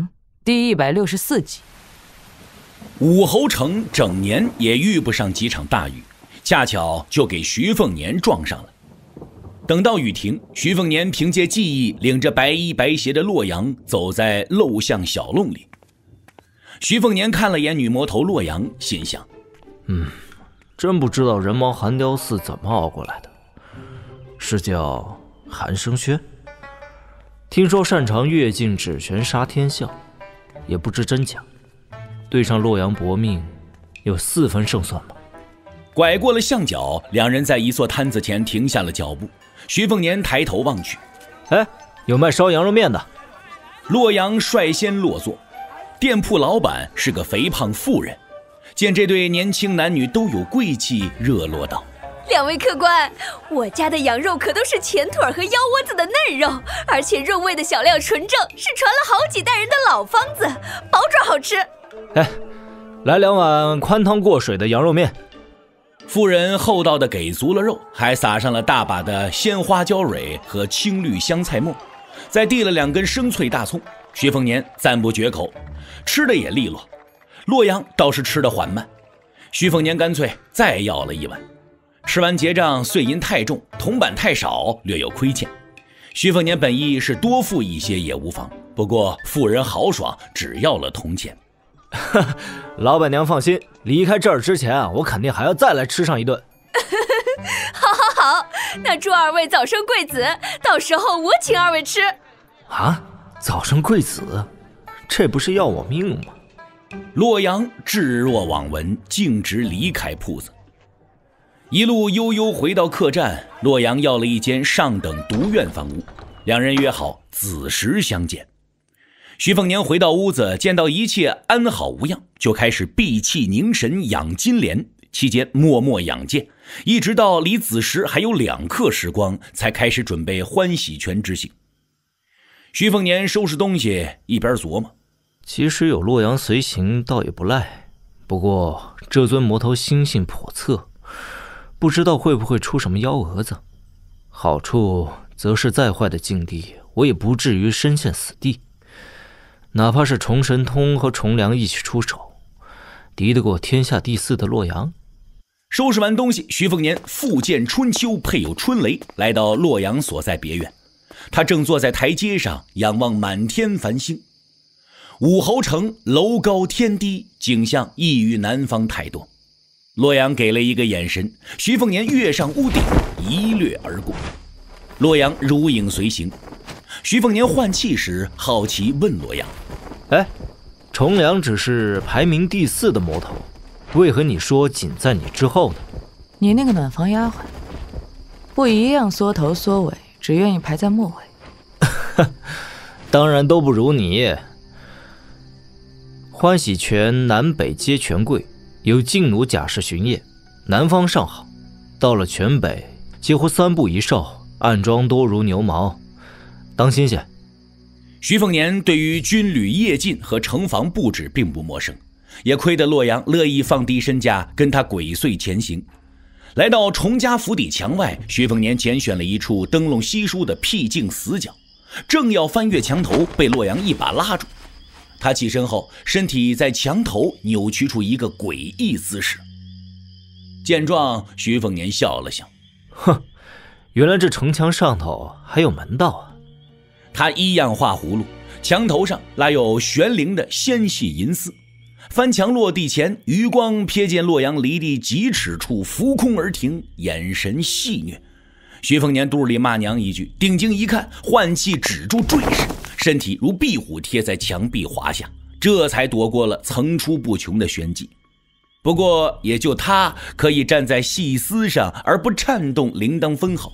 徐凤年自认尚未有这份能耐呀。唉，比起北凉王府外宗内紧关门打狗的做派，重府还真是谨小慎微啊。这不明摆着拒敌在先，让人知难而退。恐怕这也是崇家这位过江龙在别人地盘上刻意摆出的一种低姿态吧。崇府在欢喜泉算是一等一的气派，可比起占山为王的北凉府，还是不值一提。徐凤年走得十分轻松惬意，带着白衣魔头绕梁过洞穿廊。不过起先还能感受到洛阳的气息，一刻钟后就感知全无。来到贵客陆龟的清雅院子。于是，临近几座主要院落，戒严程度愈是松懈，这也是崇家的自负。徐凤年挂在不应身影的檐下，屋内有明亮灯光，驾驭金缕刺出窗纸小孔，看到一名跟陆晨有六分形似的中年男子捧书夜读，眉宇阴霾；还有一名麻衣老者相对而坐，老者相貌清癯，食指交叉放在桌上。最为醒目处在于嘴唇发紫，分明是常年长吐任血导致。屋内麻衣老人手边有一盏精巧黄铜灯，他与陆龟都忧心忡忡，并未因有望开启地灵分一杯羹而欣喜。看来崇家西行的确是要借用陆家的堪舆术去探究秦地灵了。不过到了秦地灵墓这种人间千古一帝的可怕规格，机关术只是小事儿。气数沾染才是棘手的大事，阴气过重，别收入墓之人往往暂时得宝却暴毙，恐怕还要祸及子孙数代。那盏铜灯应该就是换气灯，盛放童子精血，点燃以后驱避阴晦用的。唉，三十六盏灯，到底还是少了，占卜也显示凶多吉少。唉，事出仓促，到哪里去凑足大周天数的阳灯？哼，崇家莽夫自恃武力，哪里知道这里头的学问？根本不是人力可以匹敌。隔墙有耳。切，家主，崇家兄弟这份胸襟还是有的。小心驶得万年船，大富贵面前，人人小肚鸡肠。话已至此，老人也就不再言语，食指轻柔抚摸雕刻佛像的黄铜灯。他虽出身贫寒，却大有一技之长，自幼跟一位不显声名的佛门大师学习造佛。老人虽非僧侣，但独具匠心，对佛法深谙于心，因此所造佛像极为灵验，广受王侯功臣的追捧。尤其是这盏黄铜灯，乃是他首创之物，虽然粗看不起眼。细看，眉如星月，神韵尽处，可算是蚂蚁老人此生最高的成就。如果不是有他有灯，陆龟恐怕不管如何精于风水，也不敢来西河州趟浑水呀。竹简上记载，秦帝当初发动数万民夫截断大江，在浮出水面的山壁上开凿陵墓，封死以后再开闸放江水。民夫和近亲监工将士则被御林铁卫全部坑杀，造学手法之妙，隐藏真相手段之狠，都是前无古人后无来者。身为帝王，当如此啊！我们要重开秦帝陵，就不得不和持节令赫连武威勾连，否则如何做得来断江的浩大工程？至于崇家如何说服这倔强老头我们就不得而知了。也好，少知。八百年前，秦帝陵，大秦皇后的离珠，土著的白衣洛阳，怎么感觉快要串成一线了？那洛阳是要坏崇家的好事，还是要去成就自己的好事？麻衣老人怀揣黄铜佛灯离开别院。陆龟挑灯夜读一套与西河州官府索要而来的旧版地理志。早已是深夜，仍有客人造访。徐凤年连起气机，没有动静。在那对年轻主仆敲门时，轻易辨识身份，是重贵的族兄重谈。这位重家的嫡长子身边，怎么跟着一个中人之资都称不上的贴身丫鬟？以重家子弟的底蕴财力。找这么个女子当婢女，嗯，想必事出无常。徐凤年就多瞧几眼，记住了诸多常人不会在意的细节，例如腰间那枚做熏衣去秽之用的小香囊，绣有半面琵琶装女子花纹。婢女似乎犹豫是否要跟随主子一同进入屋子，停顿了些许。另有两只壶的重坛，看似大大咧咧，其实心细如发。嘴上嚷嚷着：“陆师伯，叨扰了。知道你是老饕，来尝尝小侄舔着脸跟隔壁求来的醉蟹。酒是当地土法酿造的黄河蜜子酒。这黄蟹跟中原那边的风味不同，到了八九月可就老的无法下嘴喽。这会儿啊，才是酒熏下嘴的最佳时间。咱们呀，来的早不如来巧，有口福了。”说话间，拉了一把婢女。也不管别号敬称陆慈部的陆家家主是否允诺跟他携手进入幽静屋子，一壶酒，一坛醉蟹，重坛进入屋子献宝一般，火急火燎掀开了泥封油纸壶盖，连徐凤年都闻到扑鼻的诱人香味了。哼，这位重家嫡长子真是个会享受的主啊！陆龟笑着起身，跨过门槛迎接。重陆两家是世交，他虽是长辈，只不过陆家在南朝一直被视作依附重家大树的枝桠。陆龟更是大将军重神通的应声虫，被取笑是一名御用文人。不过重谈素来八面玲珑，陆龟给面子，他也不一味端着高华门第嫡子的架子。入了书房，从婢女手上接过碗碟和酱醋，做起下人的活计。陆龟随手推去桌上书籍，笑语打趣。老饕，老饕，贤侄是取笑叔叔上了岁数啊。老饕这个说法实在讨打。陆叔叔是南朝首屈一指的食客，曾作素篇，连皇帝陛下都笑言陆慈不是我朝当之无愧的清蝉。比起老饕这个名头，清蝉可要雅致很多呀。陆龟不急于下筷，低头弯腰闻了闻盘间醉蟹香气，陶醉其中。又抬头望向女子腰间，啧啧称奇。稻谷姑娘香囊里新换的乙沉香，成了极好佐料，酒香、蟹香、沉香三香相宜，让陆某人大开眼界。原来稻谷姑娘才算真正清禅之士。不敢当，是刘稻谷贻笑大方了。这女子是重谈的软肋。不用重谈开口，陆龟就邀请女子一起品尝异乡风情的醉蟹。果真如重谈所说呀，黄河打捞起的夏蟹，滋味半点不逊于中原属于贵子秋风的湖蟹。一手酒杯，一手吃蟹脚，陆龟吃得慢而津津有味。刘道谷倒酒时，有倒洒在桌面，那纤手缓缓抹去。重谈也不介意这类无伤大雅的细枝末节，望向陆龟笑了笑。陆叔叔，小侄儿这趟冒昧拜访，也有给鹤林五威捎话的意思。这位持节令肯交出这坛子醉蟹，归功于他慕名叔叔你那一手写完亦不自食的狂草。这不才给你带了酒，想让叔叔借着酒劲儿写幅字，直接令说随便写斗法。他还要猜猜到底是写了啥。你呀，俗人一个，哪里比得清气入骨的道骨姑娘？不否认，不否认。吃过蟹，喝过酒，陆龟也写了一幅字，潦草无边，将近二十个字一气呵成，锋芒毕露。重谈性子无赖，认不得一个字，但是问过了，所写内容是“利民之功一二，远胜道德文章八九，几近圣人”。这句话显然有吃人嘴短的阿谀之嫌。不过陆慈不书法，功底和清贵身份到底是都摆在那里。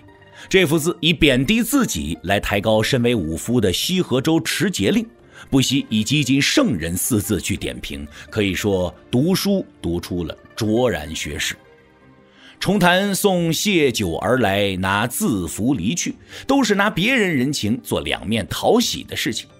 他和女子跨过房门，走向院子。徐凤年没有去打量这对男女的背影，而是直直盯住窗孔内陆龟的神色变化。当看到陆慈步望向窗口，流露出一抹紧张时，徐凤年便心知不妙。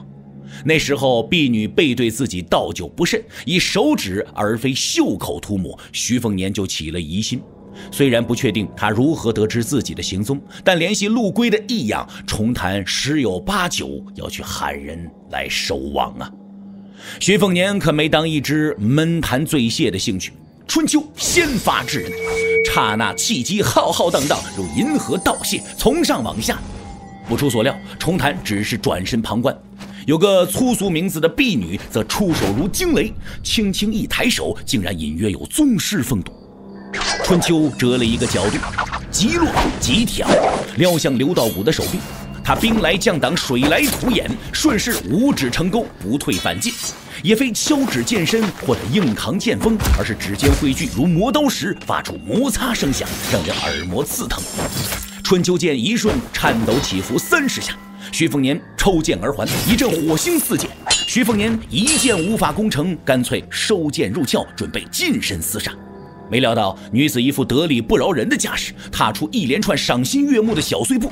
小院无风袖飘摇，双手十指令人心寒。徐凤年大约认出女子这几招形意龙爪的手法，当下也不好追究。既然他舍不得春秋剑，徐凤年就遂了他心愿。春秋离手以气驾驭，气焰暴涨，小院顿时剑气纵横，寸寸杀机。婢女落了下风，重谈犹有兴致的笑了笑：“你这人挺有意思啊，跟我一个德行，不看脸啊就都是英俊潇洒的公子哥，一看脸，哎呦，喜好小白脸的婆娘们就都要失望了。难道你是我失落多年的兄弟？”哎呀，这位好汉，你姓啥名甚？哎，要不说来听听？等会儿不小心死了，可就不明不白，太冤枉了。徐凤年出客栈前换上一张面皮，成了个面目狰狞的虬须大汉，跟上一张面皮的儒雅书生形象大相径庭啊。女子虽说不占优势，却也不是毫无招架之力。女子招式不减，改为挠人脸面。徐凤年懒得恋战，一剑扶摇式，气势如虹。重谈终于脸色微变，踏出一脚，地面被他踩得一大片皲裂。徐凤年一剑半出复还，身形扶摇而退，越过院落墙头，随后几个吐气葫芦消失于夜幕，继续娴熟前行。这也符合刺客的行事风格，一击不成，当退则退。重谈摇头阻止刘道古的追杀，吹了一声尖锐口哨，整座府邸顿时灯火通明。仆役点灯挂龙，士卒披甲持矛，死士择地蛰伏，一切毫无慌乱。可见冲家习惯用治军之法来治家。这家伙呀，估计就是杀重贵的那个，确实厉害。你脱胎于公主坟独有书艺的血杯手啊，也没占到便宜。重贵不死才怪呢。他瞥了眼屋内，嘴角冷笑：“哼，看来陆龟。”是去当缩头乌龟了，出来做官的读书人哪有不怕死的？此人实力近乎一品，天塌下来有高个的扛着，你当我爹和叔叔都是摆设呀？咱们就别操这个心了。他要还敢乱窜，迟早一个死字。别说进一品，就是货真价实的纸玄，那也得照死不误。那这幅陆龟的草书，重谈抖了抖墨迹未干的字画，算了，鸡飞狗跳，就不给持节令大人添堵了。明天再说。重谈嬉皮笑脸离开院子，仍有大好心情。嘿嘿，黄蟹六只，洗净沥水，好盐一斤二，金椒一两，下锅入壶，凉透喽。刘道古安静跟在身后，笑而不语。南朝首推名士，然后重农轻商。不过陆龟这些个文林自臣，说到底还不是生意人，不过是贩卖肚子里的货物，哼，就能装清高了。我呸！像他这样饱读诗书，并且琴棋书画样样精通的渊博大儒，我一个能打几百个。公子别忘了，自己是差点成为状元郎的读书人。呃，呃，说得起劲，给忘了。徐凤年没有拖大，继续在崇府逗留。在崇家厚薄有分的势力收网前一刻，两害相权取其轻，翻过墙头，到了隔壁府邸。定睛一看，徐凤年无语。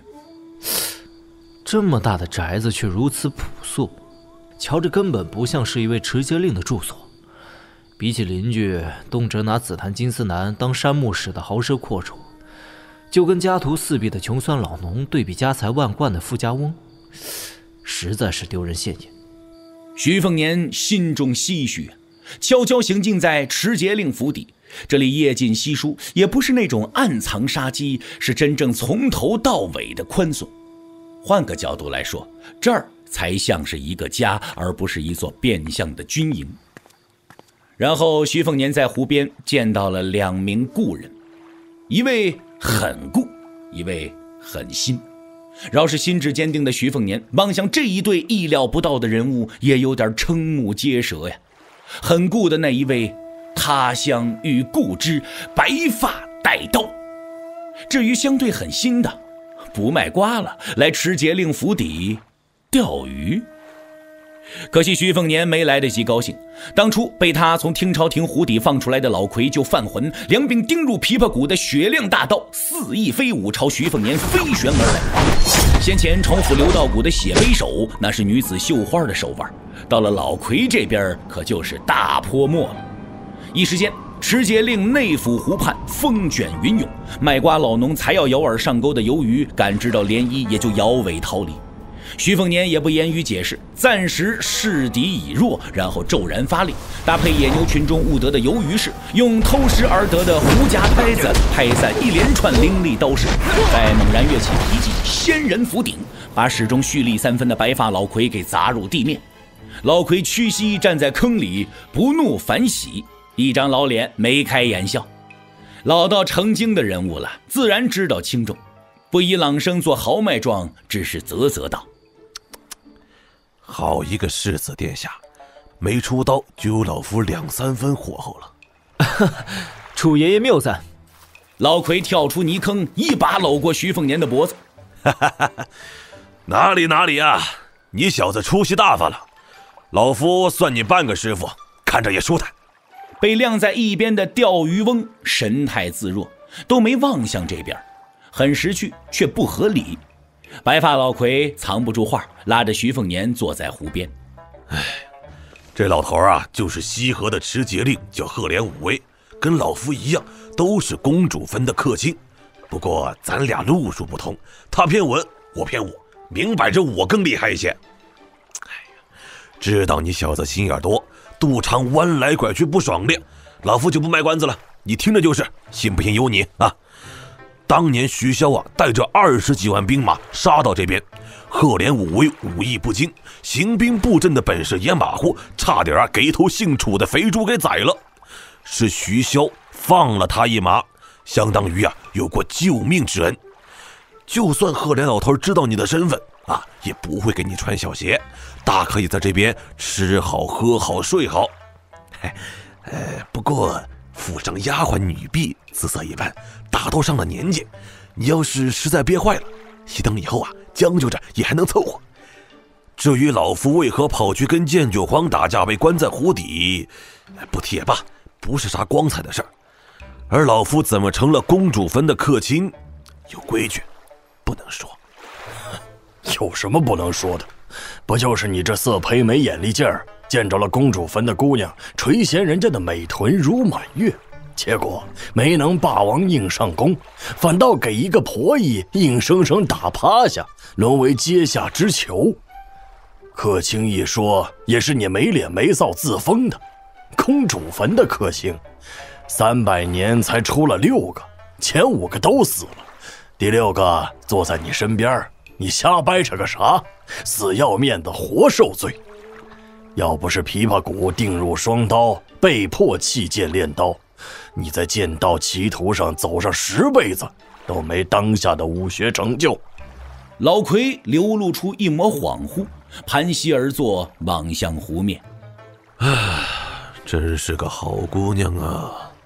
呵呵，现在你再去看上她一眼，要是还能说这种话，我就服气。哈哈哈哈哈！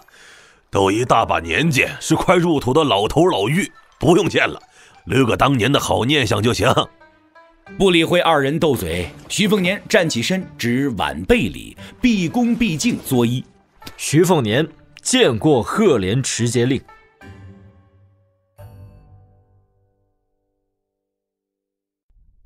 在下洛阳，欢迎继续收听《雪中悍刀行》第一百六十五集。赫连武威将鱼竿搁在一边，不用客套，城外相逢，你我言语投机，脾气相近，能做忘年交才好。你若仍然放不开，你我叔侄相称即可。贺连头，以前没见过你对谁家后生这般好说话呀？咋的？因为这小子是徐骁的长子，你要为投敌叛国铺路啊！放你娘的臭屁！有白衣踏湖而来，徐凤年头大如斗。不过，当他看到身边两位老人的做派，就直坠云雾，完全摸不着头脑。仅在几人之下的堂堂北莽西河州持节令拍了拍衣袖，从小竹凳上站起，双手叠腹，摆出恭迎贵客的模样。老奎虽说有些不情不愿，仍是屈膝跪地，双手撑地。公主坟罪奴参见大念头。公主坟是位列北莽前五的顶尖宗门，神秘异常，八百年传承，与外界几乎从不沾染因果。徐凤年在听朝阁密卷上也只知道，公主坟内有大念头、小念头之别，各有势力划分。红薯亲手调教出来的敦煌飞仙舞，便起始于公主坟的彩衣飞升图，是典型小念头一脉的沉淀硕果。徐凤年打死都没想到，魔头洛阳竟然是公主坟大念头。洛阳驾临以后，气氛诡谲。他弯腰捡起赫连武威的钓鱼竿，换了鱼饵，挥竿入湖。身为公主坟客卿的卖瓜老农恭敬却也不畏惧，坐回凳子，转头笑了笑：“凤年，我问你，公主坟何为公主坟呢？”徐凤年摇头不知。公主坟乃是当年大秦开国皇帝心爱幼女的坟茔，父女同葬，同龄不同穴。后世公主坟女子都是守陵人。大秦皇后陵墓却是在龙妖州。赫连武威扭头望了一眼洛阳，这才轻笑出声：“唉，这就是一些上不得桌面的帝王宫闱秘闻了。你想听？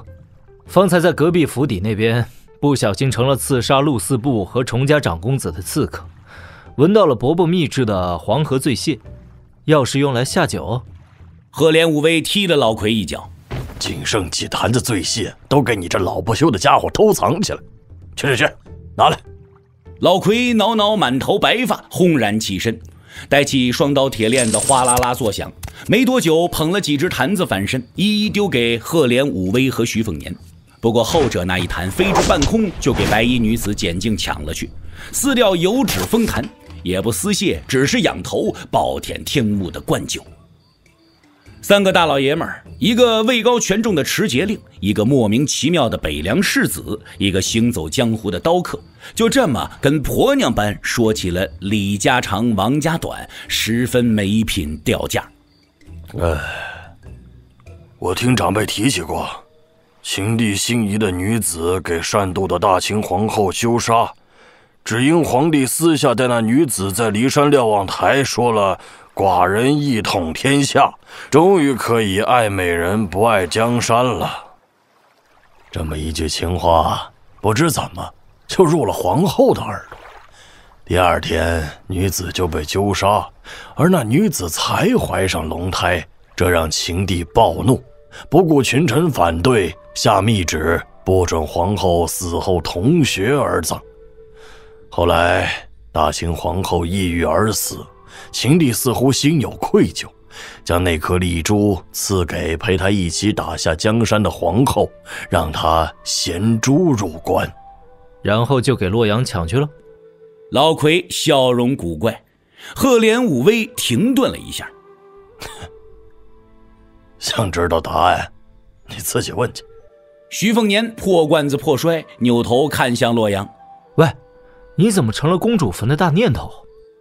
洛阳直视湖面，静等鱼儿上钩，冷冷清清答复：“你找死。”徐凤年尴尬笑了笑，老奎一脸幸灾乐祸，落井下石：“小子，你真给男人丢脸！”洛阳甩竿而起，鱼钩上无鱼，他钓起的是一整座湖水，好大一汪水呀！如此一来，连老奎都噤若寒蝉。洛阳抛竿入湖，起身离去，依旧是神龙见首不见尾的高人风范。哈 哈这位大念头什么都好，就是脾气。老持节令也为继续说明，当做留白余味，他换了一个话题。崇家几年前就在离黄河稍远，购有千里土地，这次借口改换河道。表面意思是要让崇家平田做良田，我若不是公主坟的客卿，也就被他蒙蔽了去。崇神通许诺五年内有二十万斤铁器运入西河州，廉价卖给控壁军，这对我来说，实在是不得不去死死咬住的鱼饵。家丑也不怕外扬，魔头重梁是公主坟小念头的姘头。不光如此。这次结合道陵也藏有洪敬言的身影，此人心机深沉，野心之大，整个北莽江湖估计都填不满他的胃口。大念头当初能够吞猪，便是他存了让大念头养猪的凶恶心思。好在天底下就没有算无一策的人。洪敬言算漏了大念头的境界攀升，朱术士。非但没有取走大念头的境界，反而落败，差点就走火入魔。嗯，怎么听上去洪敬言比拓跋菩萨还要可怕？哼，可不是，拓跋菩萨跟徐骁是一路人，就算输给他们也心服口服。洪敬言则不同，性子很是阴鸷，不可不防。此人前段时日与捧盘同人一同去了趟两莽边境，明面上是跟陈之豹战了一场，内里如何，天晓得。徐凤年望向渐渐平静如镜的湖面，感到一种风雨欲来的窒息。小子，你可知道两禅寺龙树僧人到了道德宗，在那座天门前坐了三日三夜？真是可怜呐，被麒麟真人打了三天。啊，老朱师死了，还没。佛陀金刚身确实了得，不过估计也扛不下多久时分了。这场到手对阵佛头，我看老和尚比较悬。徐凤年心知肚明，看似到手杀佛头，其实就是道教灭佛门了。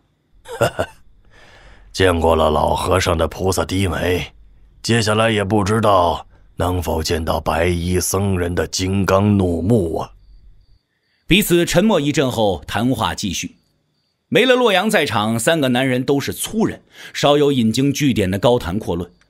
经过交谈，徐凤年才知道，在老持节令心里，对徐骁六名义子原来还有这样的评价：老持节令竟认为陈之豹是当之无愧的帅才。稍逊的两位将才中，楚留山竟然还要在元左宗之前。说起这个带给老人兵败被俘耻辱的死胖子，这位持有一州全名的老人非但没有记恨，反而毫不掩饰其欣赏，说楚留山治军严酷。尤其是擅长率领一支孤军深入必死腹地，是真正意义上沙场百战九死一生的福将和猛将，智勇兼备。唉，也怪我当初年幼，错过了春秋时期那些举国大战。对于楚胖子，只记得他那张笑眯眯、白嫩嫩的肥脸，臃肿到几乎见不到眼睛和脖子，实在难以想象他领兵陷阵杀敌的画面。不过，今日听赫连武威的赞誉，想必楚庐山要真反了，似乎比元左宗暗中拉拢陈之豹。还要来的后患无穷啊！赫连武威喝了口酒，满脸红光，肌肤褶皱如松纹，愈发像个老农。听说过一些个得天独厚的门阀公子练武，最终练成高手，还真没听过有藩王嫡子成就大气候。哼，这小子运气好啊，有剑九皇和李淳罡这样的领路师傅。老夫要是打小就有一座听朝阁，保准十八岁之前就入一品，再有高人指点，三十岁之前绝对达到指权境界。你要是来做北凉世子，早投胎十八回了。哈，是运气好。道教有说，人自受胎时算起，男子的先天禀赋以八为准，七八五十六岁之后就已经生气全无了。只留后天余气强撑，所以富贵老者年迈再幸黄老，去求修道长生，往往成为奢望，也仅是稍微延年益寿。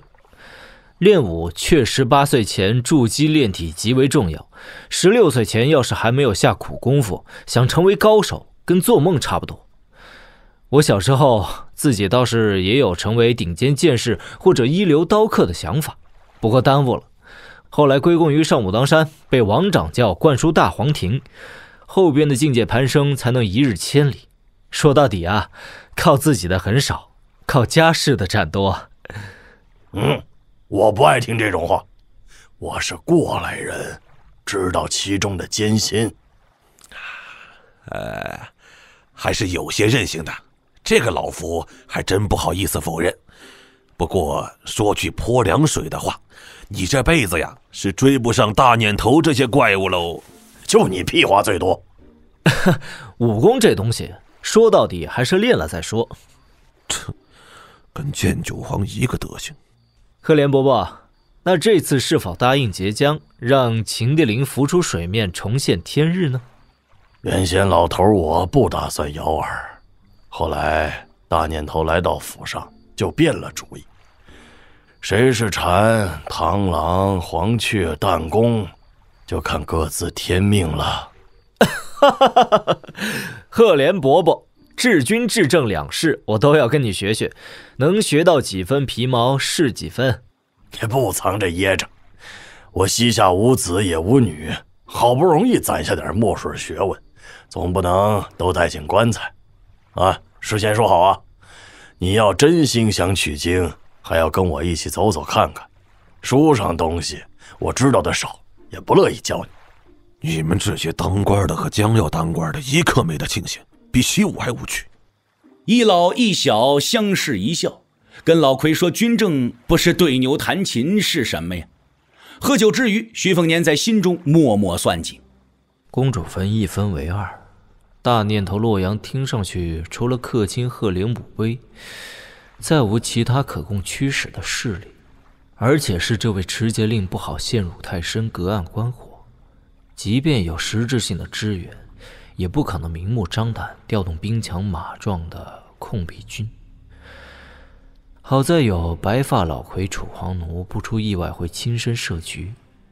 小念头那边与重良有所勾结，应该对开启地灵一事，起码会是睁一只眼闭一只眼，甚至极有可能就是想摆脱八百年守灵人身份的枷锁。重陆两家不用多说，连跟赫连武威一个级数上的权臣重神通都亲临西河州，清朝出动的门阀势力注定惊人。这之外，会不会有趋利而至、闻心而来的杂乱山头，尚未明了，但板上钉钉会有，而且不容小觑。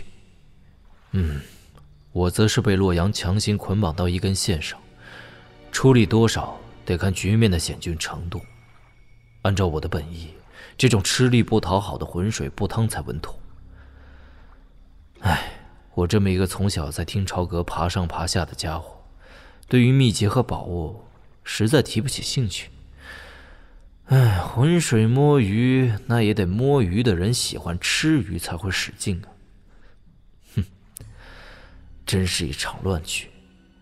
徐凤年皱着眉头慢慢喝酒，赫连武威瞥了一眼，笑意老辣而完美。相逢故人，徐凤年便在持节令府上住下。这些天，他也跟赫连武威走了很多地方，除了军机大事没有掺和，其他不管是涉及民生的大事，还是鸡毛蒜皮的小事，都有旁观，甚至一些军政批文，老持节令都不介意徐凤年翻阅。五天奔波下来，徐凤年对西河州轮廓有了个粗略认知。这日，两人总算忙中偷闲，去驿道附近两人初见的地方卖西瓜。徐凤年坐在小板凳上等顾客。从伯伯这边到手有关龙树僧人在道德宗的消息传递速度，看得出北莽对于驿站驿道的重视，不输给在春秋中一手打造驿路系统的徐骁。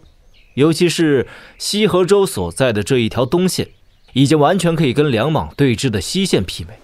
嗯，我这一路走来，看到很多不起眼的小事，其实都是北莽在慢慢堆积军力。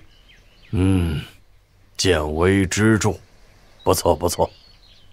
别板着个脸嘛。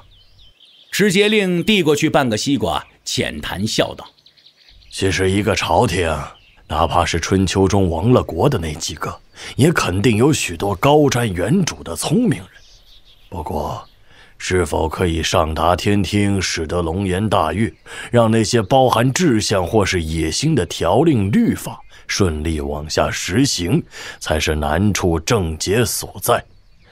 你们黎阳王朝栋梁辈出，尤其是有张巨鹿居中调度，妙算先天就高人一筹。说心里话，我这个军武出身的西河州持节令。每次想起，都跟你现在这个样子忧心忡忡。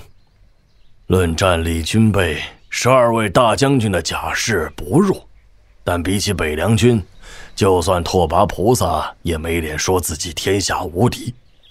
好在北莽知耻而后勇，吃过大苦头，才知道南边的汉子也不都是手无缚鸡之力的读书人。会有徐骁和顾献堂这般杀人不眨眼的徒子。这些年，北莽终归是在慢慢变强。咱们这边啊，我这老头思来想去，就有一点觉得很遗憾。凤年，你猜得到吗？哈 很多逃亡北莽的春秋士子有资格为持节令或是大将军出谋划策，但还是少了一位可做帝师的。超一流谋士，你小子别忙着笑，北莽不是没有，只是还没走到台前而已。嗯，编织蛛网的李密弼，切，这条老狗害人本是天下第一，治国差了十万八千里。也就是李老头自知之明，没瞎鼓的朝政，否则我非要跟他拼命。不是他，能是谁呀？是齐建乐府的府主，消失快二年了。中年时被女帝陛下轻视，一气之下就彻底消失。我猜去了你们黎阳，至于做什么，可就无从得知了。估计连咱们陛下都不清楚。我不信，这种人会悄无声息死在南边。哦。听我师傅李一山说过，这家伙下棋很有实力，差一点就算是能跟黄龙氏旗鼓相当。哎呀，我这辈子见多了志大才疏的人物，唯独这个旗舰乐府的当家，心大财大。其富有一生落子百万次的修行法门，你可知那家伙落子多少？总不可能到千万吧？那还不得生下来就守在棋盘前下棋呀？这种棋师也不会有大出息吧？我师傅就常说，棋盘上下棋只是死棋，下棋下成一流国手也没什么了不起，跟做人是两码事。哈哈哈哈哈！你小子聪明反被聪明误了。那家伙下棋盘数极少，屈指可数。估摸着落子怎么都不到七八千。嗯，满打满算不到一百盘。堂堂旗舰乐府的旗府府主，怎么跟下一盘棋就跟赌命一般？你可知这人最后一局棋是怎么个下法？他输给黄三甲后闭关钻研，棋艺大成时跟老府主对弈，一场生死局。谁输谁死。两任府主都是大狠人呐。你就求着这种人没能活着回到北莽吧，否则，到时候你万一世袭罔替成为北凉王，这家伙如果还活着，哼，有的你受罪。嗯，明儿就去雷鸣寺，咒死这老头。哈哈哈哈。那记得连我一块咒死，有我在西河州，徐骁也得怕上几分。赫连伯伯，你这脸皮比我还厚啊！哼，那又如何？人呐，只要上了年纪，就跟我骂李密弼是鸡贼一样，其实也在骂自己。都皮糙肉厚，怕死还贪生，对于生死。反而不如血气方刚的年轻时候那样看得开呀。徐凤年咬了口西瓜，想到了比起赫连武威还要年轻一些的徐骁和师傅李义山。待你见过了本州政事，有些话也好跟你直说了。别的将军和持节令我不好说，就我赫连武威而言，我从不奢望麾下将领、治下官吏个个是圣人。贪钱无妨，别太多。自传声望的迂腐清官，在我看来，不如中饱私囊之余却可以造福一方的能力。不越雷池，过底线，我自认很好说话。过了，那对不住。甭管你是老头，我的亲戚还是心腹，该杀的杀，该抄家的抄家，绝不手软。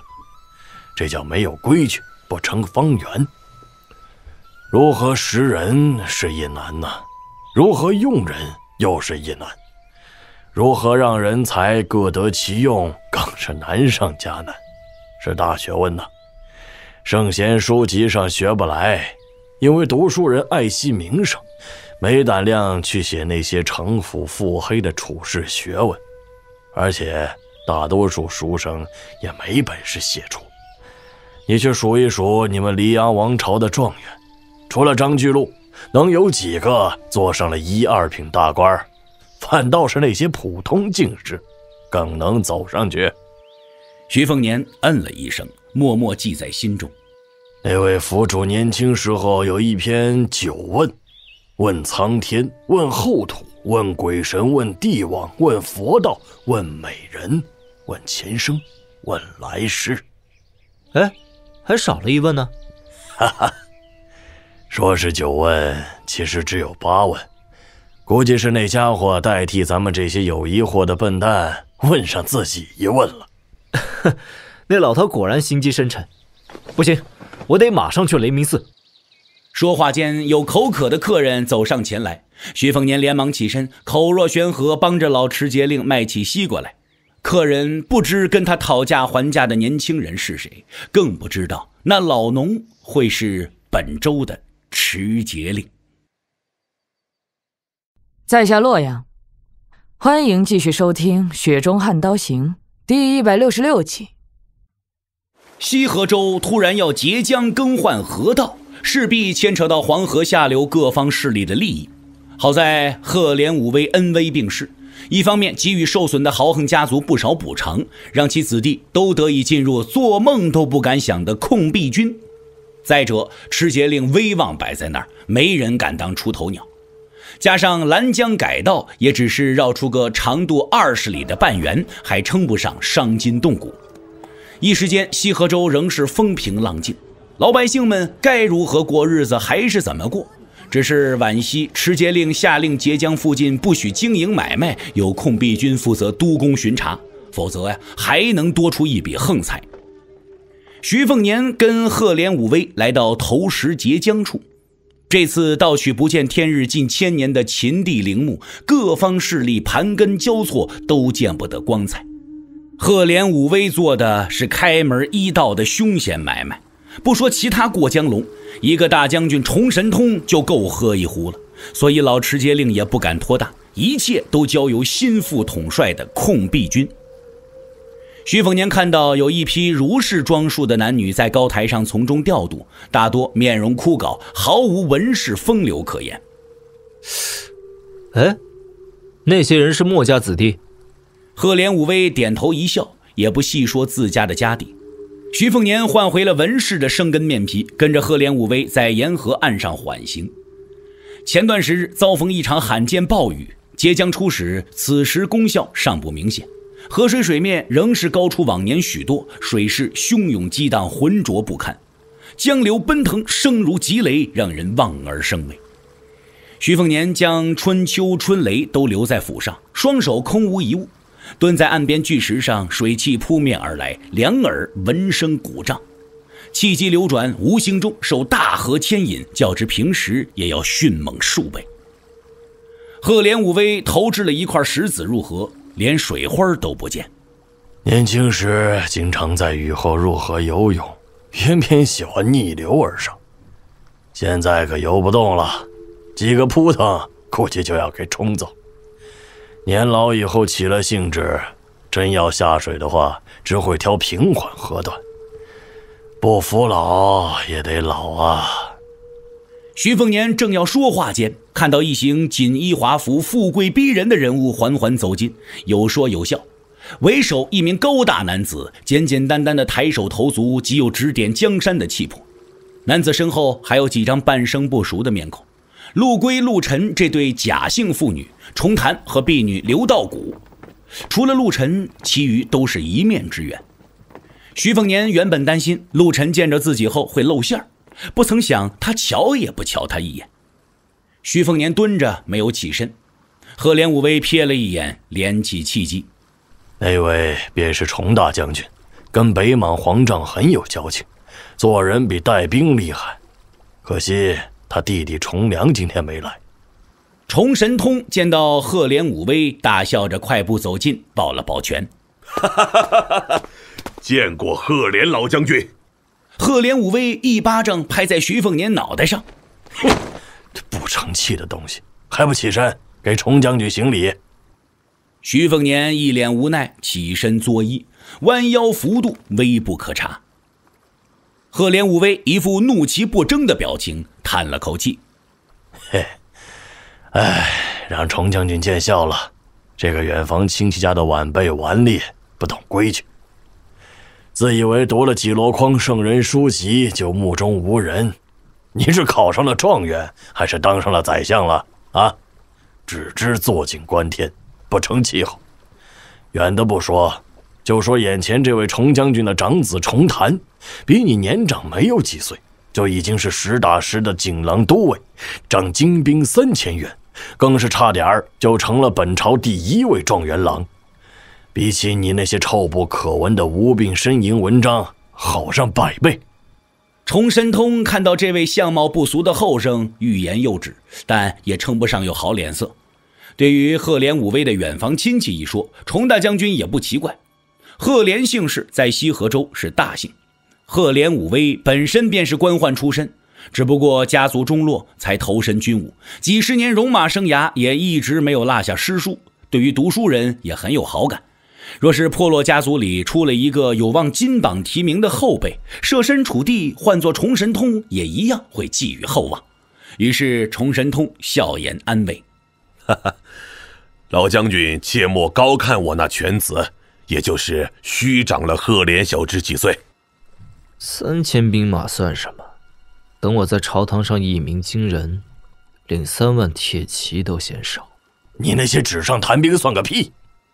徐凤年躲过软绵绵一脚，干脆眼不见耳不听，背对众人，像是在外人面前给长辈看清，有些撑不住颜面脸皮。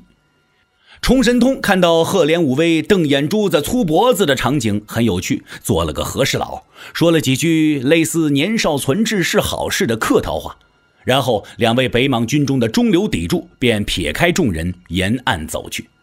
所说所图自然是截江断流以后接下来的凿山入墓。两人都是貌似爽快的老狐狸，少不得一番勾心斗角。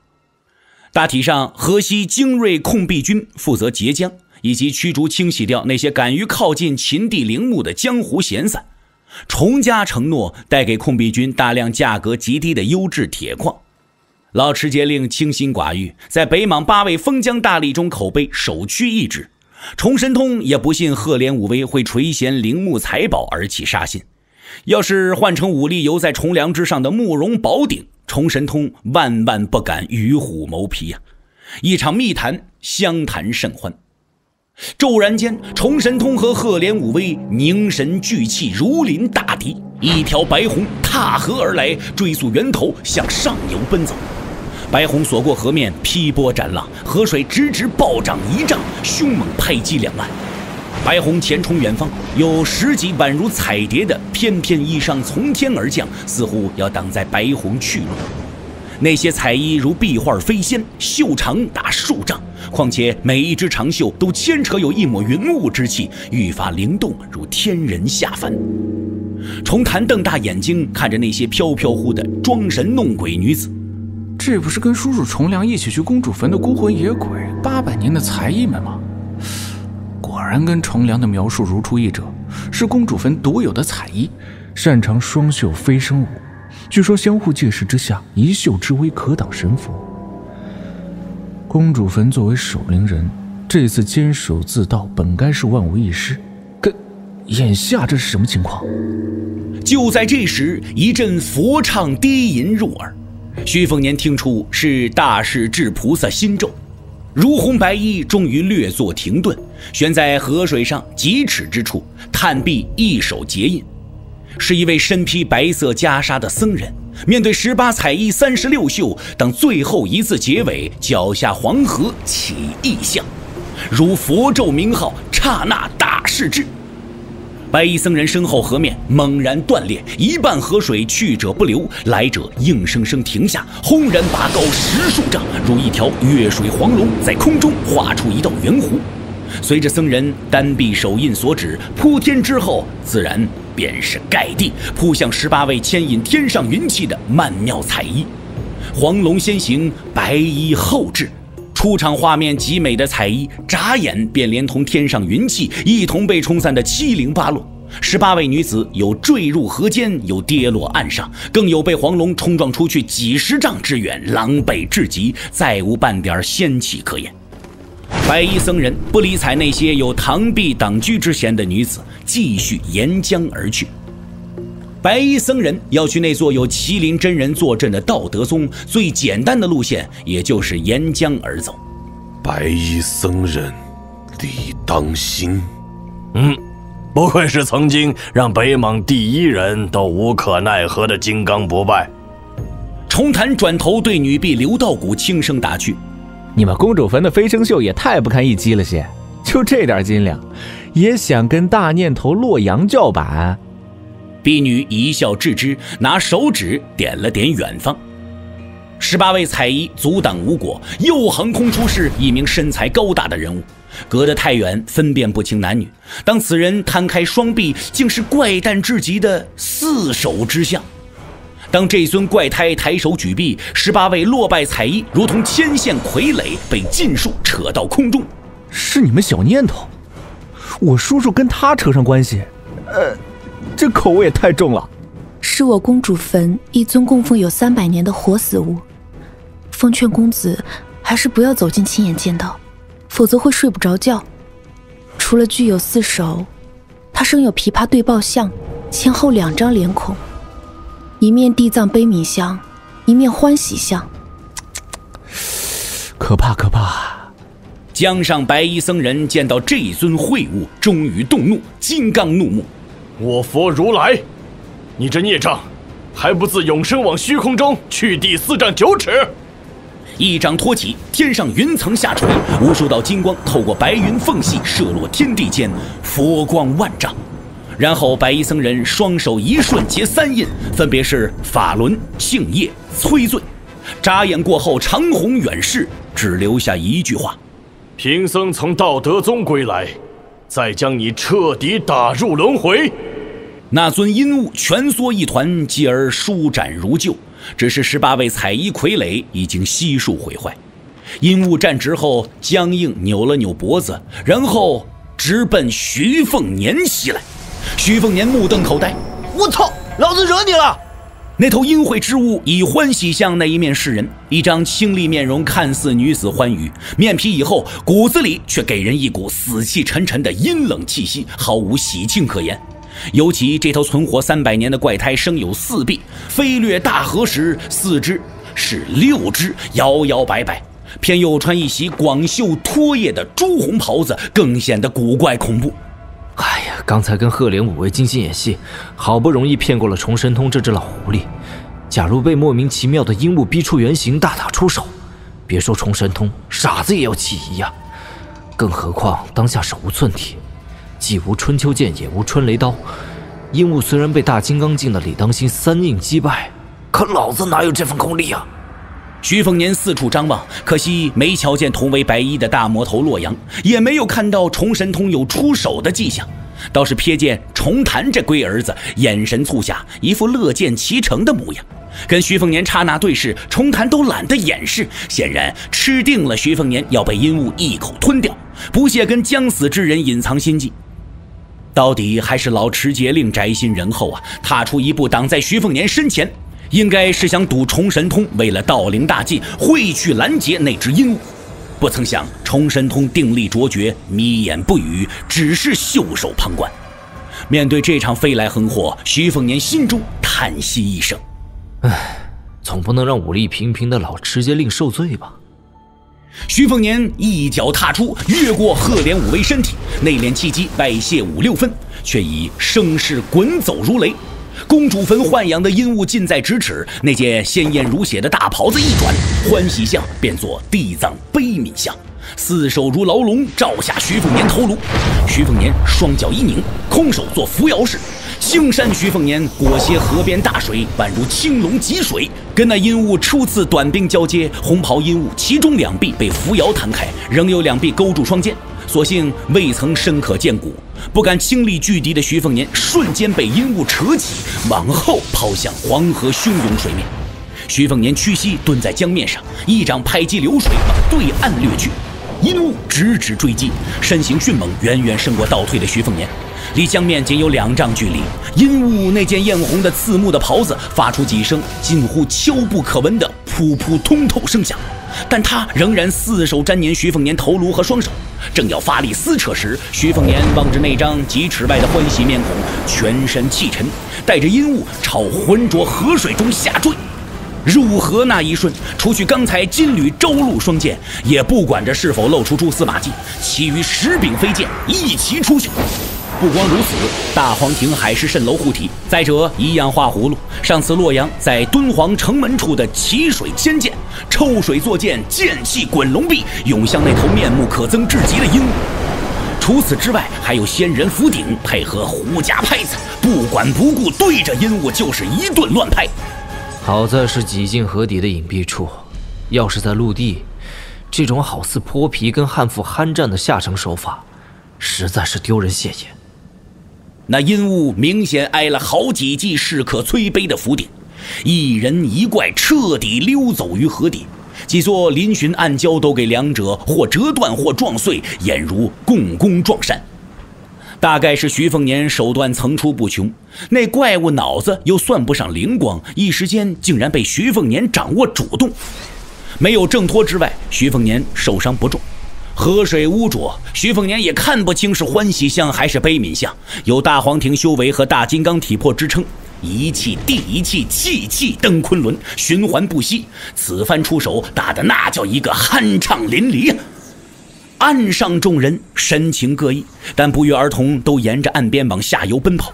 赫连武威脸色铁青，瞪了一眼重神通，心中琢磨着：这小子可别无缘无故的死在黄河里头了。想想还真有点舍不得，况且这小子身份敏感，一旦死在这儿，万一徐瘸子失心疯发作，当真以为北凉铁骑就没胆量一路踩踏到西河州了？虽说将军马上得军功，也就要有将军死马背的觉悟。可要是有朝一日能跟顾建堂兵锋相向，倒是无妨；可跟有活命之恩的人杀成敌对，算是怎么回事？赫连武威本就是偏向大念头的公主坟客卿，也不怕跟小念头那一脉撕破脸皮。敢在老子眼前行凶，真当控壁军形同虚设！远处有十几持节令亲卫锐骑游夜待命，当阴雾骤然出手伤人，便疾驰向赫连武威。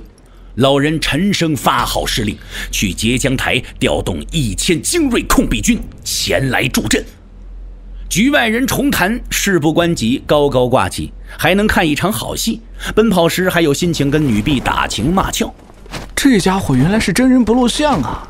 看上去柔柔弱弱的白面书生，竟然能硬碰硬扛下那秽物的袭杀。换成我的话，也轻松不了几分。哎，事先说好啊，你可不能对他一见钟情啊！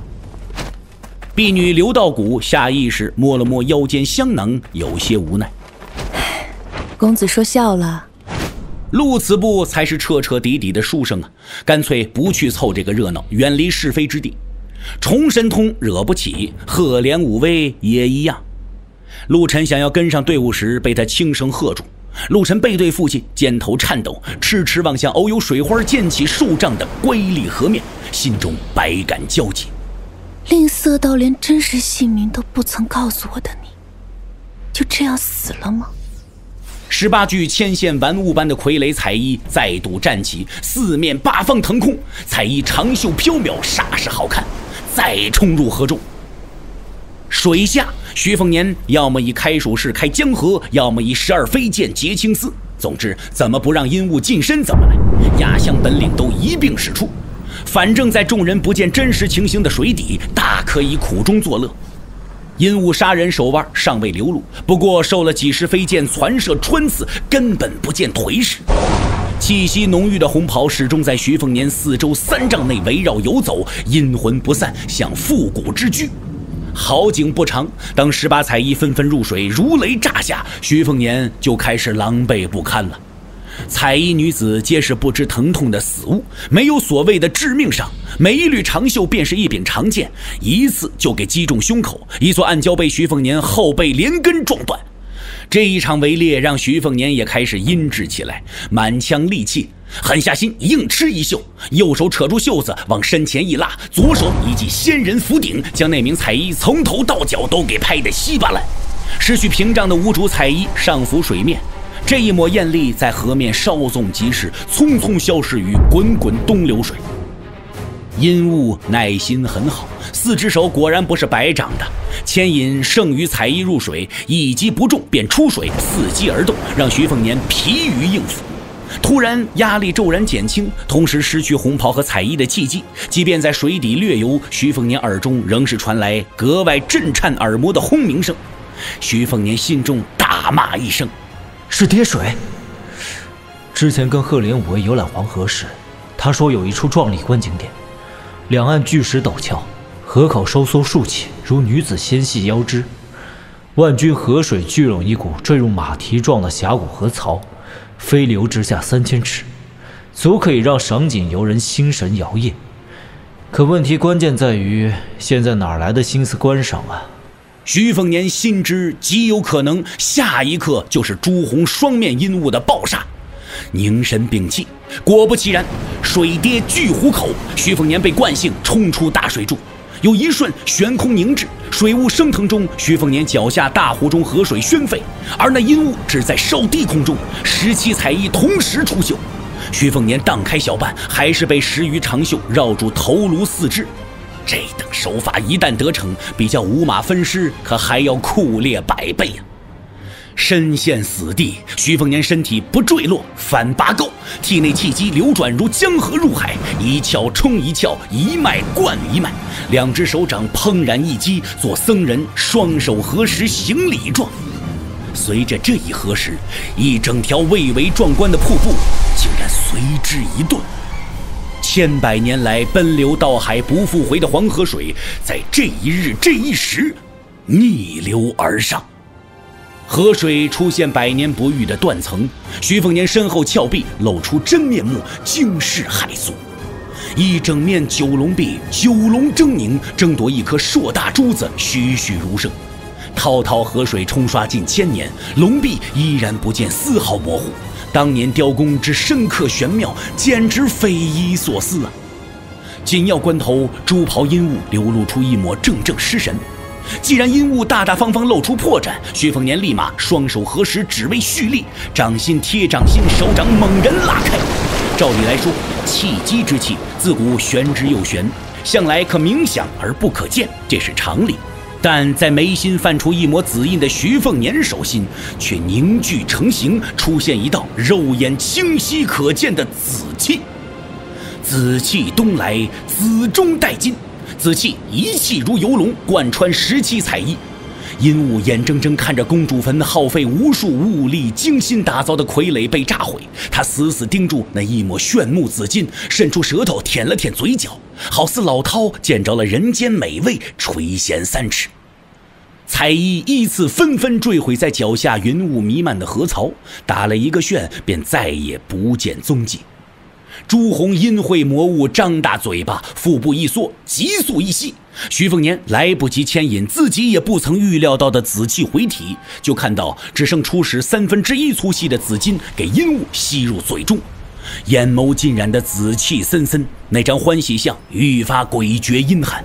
他腮帮鼓动，一番咀嚼，下一瞬便掠至强弩之末的徐凤年身前，四手同时砸在胸膛。徐凤年的海市蜃楼立即溃散，如大楼轰然倒塌。此时才明确知道阴雾的手段是如何辛辣沉重。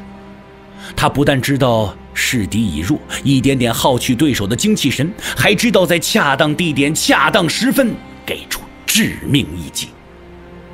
一击之威没有开膛破肚，却也让徐凤年断线风筝般飘向身后雕有九龙抢珠的巨幅石壁。头顶略作停顿的河水复而倾泻而下，徐凤年正要竭尽全力跟这头魔物一命换一命，眼角余光看到白衣飘来，一手按在阴雾悲悯向脸面上推向九龙石壁，跟徐凤年擦肩而过时，轻轻一掌推出，两人和朱红阴雾一起掠向龙壁。白衣一掌摁住那颗雕刻作离珠模样的珠子，将其陷入龙壁几寸。一扇大山壁哗啦一下迅猛倒转，三人被旋转墙壁砸入壁内。壁外江河依旧奔流不息，壁内别有洞天。在下洛阳，欢迎继续收听《雪中悍刀行》第一百六十七集。龙壁翻转，便是另外一个天地了。不过，却不是那珠宝遍地的琳琅满目，而是满目漆黑。徐凤年一个踉跄过后，定睛望去，大致看出是一条丈余宽廊道。帝陵自有皇家气派该有的规格，离墓穴仪门还有一段距离。这段行程注定危机四伏，没有阴阳家或是机关大师保驾护航，莽撞闯入跟自杀无异，谁打头阵谁找死。哼，反正我不走前头。徐凤年正想着跟白衣魔头商量商量，是不是将那双面四手的魔物丢进廊道探路，殊不料，这欠男人调教的婆娘二话不说，一脚将朱袍鹦鹉踢入其中，一手拎住徐凤年一并丢入。既能看到两虎相斗，还能试探机密，真是一举两得呀！徐凤年才腹诽骂娘一句，那头智慧之物就探壁搏杀而来，丈余宽度，施展不开灵活身形，徐凤年只得一边提防狼道隐秘，一边跟他贴身肉搏。大概是他也没了藏拙的欲望，出手远较河底来的迅猛狠辣，一记抬膝就撞向徐凤年的命根子。徐凤年一手按下鹦鹉膝盖，由着这头孽障，双手左右拍在耳廓附近，加上他剩余双手推在胸口，徐凤年只能是悲命一拳轰在他心脏处。双方几乎同时狠狠撞向墙壁，不忘各自踹上一脚，又不约而同借反弹势头给予对方更毒辣的一击。徐凤年一指弹中阴雾眉心，继而又是沉闷的撞击墙壁，两者如同皮球反复弹跃，在尺寸之地杀机尽显。阴雾朱袍翻滚如一只红符，专门朝徐凤年裆部下手，撩阴上了瘾头。徐凤年一身湿漉漉青衫已被气机蒸发干燥，赏赐了他几次弹指，都击在眉心上。你来我往，前一刻徐凤年被他近身，双手握住脖子，立马还以颜色，抬肘砸中他下巴。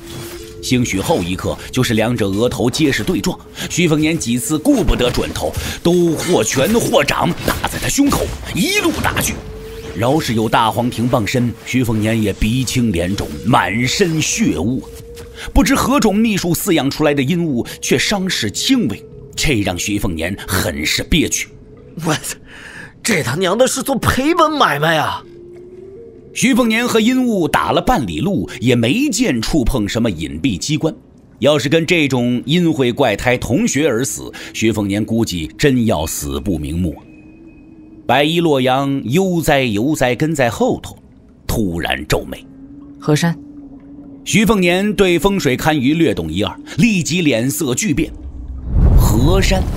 就是简单的字面意思，两山合并，注定要架死其中活物啊。洛阳才说完二字，没有徐凤年意料中羽箭出孔的狼道，眨眼间并拢，他和阴雾不得不同仇敌忾，手臂摊开挡住一臂。以秦地灵铸造者的缜密心机，一定是入狼以后就已然出发。但避免给盗灵者反身的机会，直到狼道中断为止，才开始合山，进不得，退不得，合拢之势，迅雷不及掩耳。徐凤年气机勃发，阴雾也是知晓轻重，两位仇家都没敢在这种时候互穿小鞋，卯足了劲儿往外推去。一座陵墓建于地面，河山尚且简单呐。如秦帝陵这样凿壁建于河底，所牵涉到的学问实在是超乎想象。不幸中的万幸，河山没有河死，被徐凤年和殷卧联手巨力支撑出缝隙，便缩回原处。徐凤年松了口气，闲庭信步的洛阳冷冷出声：“不想死就赶紧向前滚！不，站着说话不腰疼。”徐凤年刚嘀咕完，河山又至。徐凤年伸臂咬牙坚持。危机过后，阴雾一脚踩在地面，狼道地板不知是什么实质，一踏而下，竟然只踩出一个几寸深的小坑。徐凤年见他无功而返，僵硬扭了扭脖子，不知是在懊恼还是迷惑。徐凤年想笑，却笑不出来。我，这鹦鹉的脑袋瓜真他娘的灵光啊！竟然想出了挖坑躲藏的法子。若是地势硬度寻常，他们三人大可以在地下开道向前啊！但是秦帝陵都师显然已经料到这一点，这让徐凤年把那个八百年前的王八蛋祖宗十八代都骂了一遍呢。河山间隔越来越短，徐凤年的换气机会也就越来越小，但仍不见有临近尽头的迹象。双臂逐渐酸麻，墓内本就空气浑浊，阴气深重。徐凤年不知挡下了几次河山，出现了练刀有成以后久违的两眼发花。比阴雾还要冷血的魔头洛阳，总算说了句良心话：“你安心前冲，御剑探底，换我来。”徐凤年咬牙长奔，同时那柄唯剑胎圆满的朝露急掠出鞘。这一段路程度日如年呐。当徐凤年来到开阔处，眼界豁然开朗，大片白光刺目。徐凤年抬起手臂遮掩，眯起眼，终于见到一扇古朴铜门，篆刻有密密麻麻的铭文。愣神儿以后，等阴雾也掠出廊道，徐凤年才记起洛阳还在里头，肯定是在举步维艰。瞥了一眼虎视眈眈的阴雾，骂了一句：“滚开！”徐凤年反身进入廊道，撑开两扇，千钧重力一次次撞钟般撞在手臂上。正当徐凤年两眼发红，支撑不住时，一袭白衣行至眼前，一手将他踢出廊道。精疲力竭的徐凤年坐在地上，洛阳神情平静，但嘴角渗出血丝，轻轻擦拭，举目望向洞内亮如白昼中的那一扇铜门。身后河山合得彻底。徐凤年起身后，拿一柄飞剑试了试，竟然插入不得分毫。唉，八百年前的大秦帝国，难怪可以一统天下。李一山曾说，当今堪称锻炼极致的北凉刀，正是脱胎于一种大秦制式配刀，连大多数杀伤力惊人的良弩也不例外。只不过大秦帝国如彗星崛起，又如彗星陨落。史学家都好似故作无事，史料稀缺，只知道秦帝暴毙后，竟是整座帝国随之殉葬，天下四分五裂，如鹿逃散出笼。徐凤年靠着石壁，不禁感慨万千。唉，如果能活下去，那么困扰后人近千年的谜团，兴许就要揭开一些石破天惊的隐秘。阴雾站在明暗交界处，一线之隔。他犹豫了一下，还是踏出一步。光线所及，他的脚面顿时剧烈灼烧，臭味刺鼻。他似乎丧失痛觉，不去理睬将近烧灼成炭的可怜脚背，又陷入沉思。啊，河山之后是雷池吗？徐凤年苦笑一声，蹲在阴阳界线上，抬头张望。穹顶镶嵌绵延如璀璨星空的珠子，熠熠生辉。左右两面石壁和地面上贴满琉璃打磨而成的小镜面，交织出一洞辉光。细一看，那些珠子竟然隐隐流动，如同四季星象斗转星移。徐凤年内心震撼：这些珠子如何能保存数百年之久？须知有人老珠黄一说。珍珠之流过了年数，就会理所当然的泛黄变质才对啊！洛阳站在徐凤年身边，安静不语。洛阳伸出一只手，在空中迅速转折勾画，就如同在抽丝剥茧。他皱了皱眉头，应该是没有得出想要的答案，冷淡地问徐凤年：“你懂星象运转？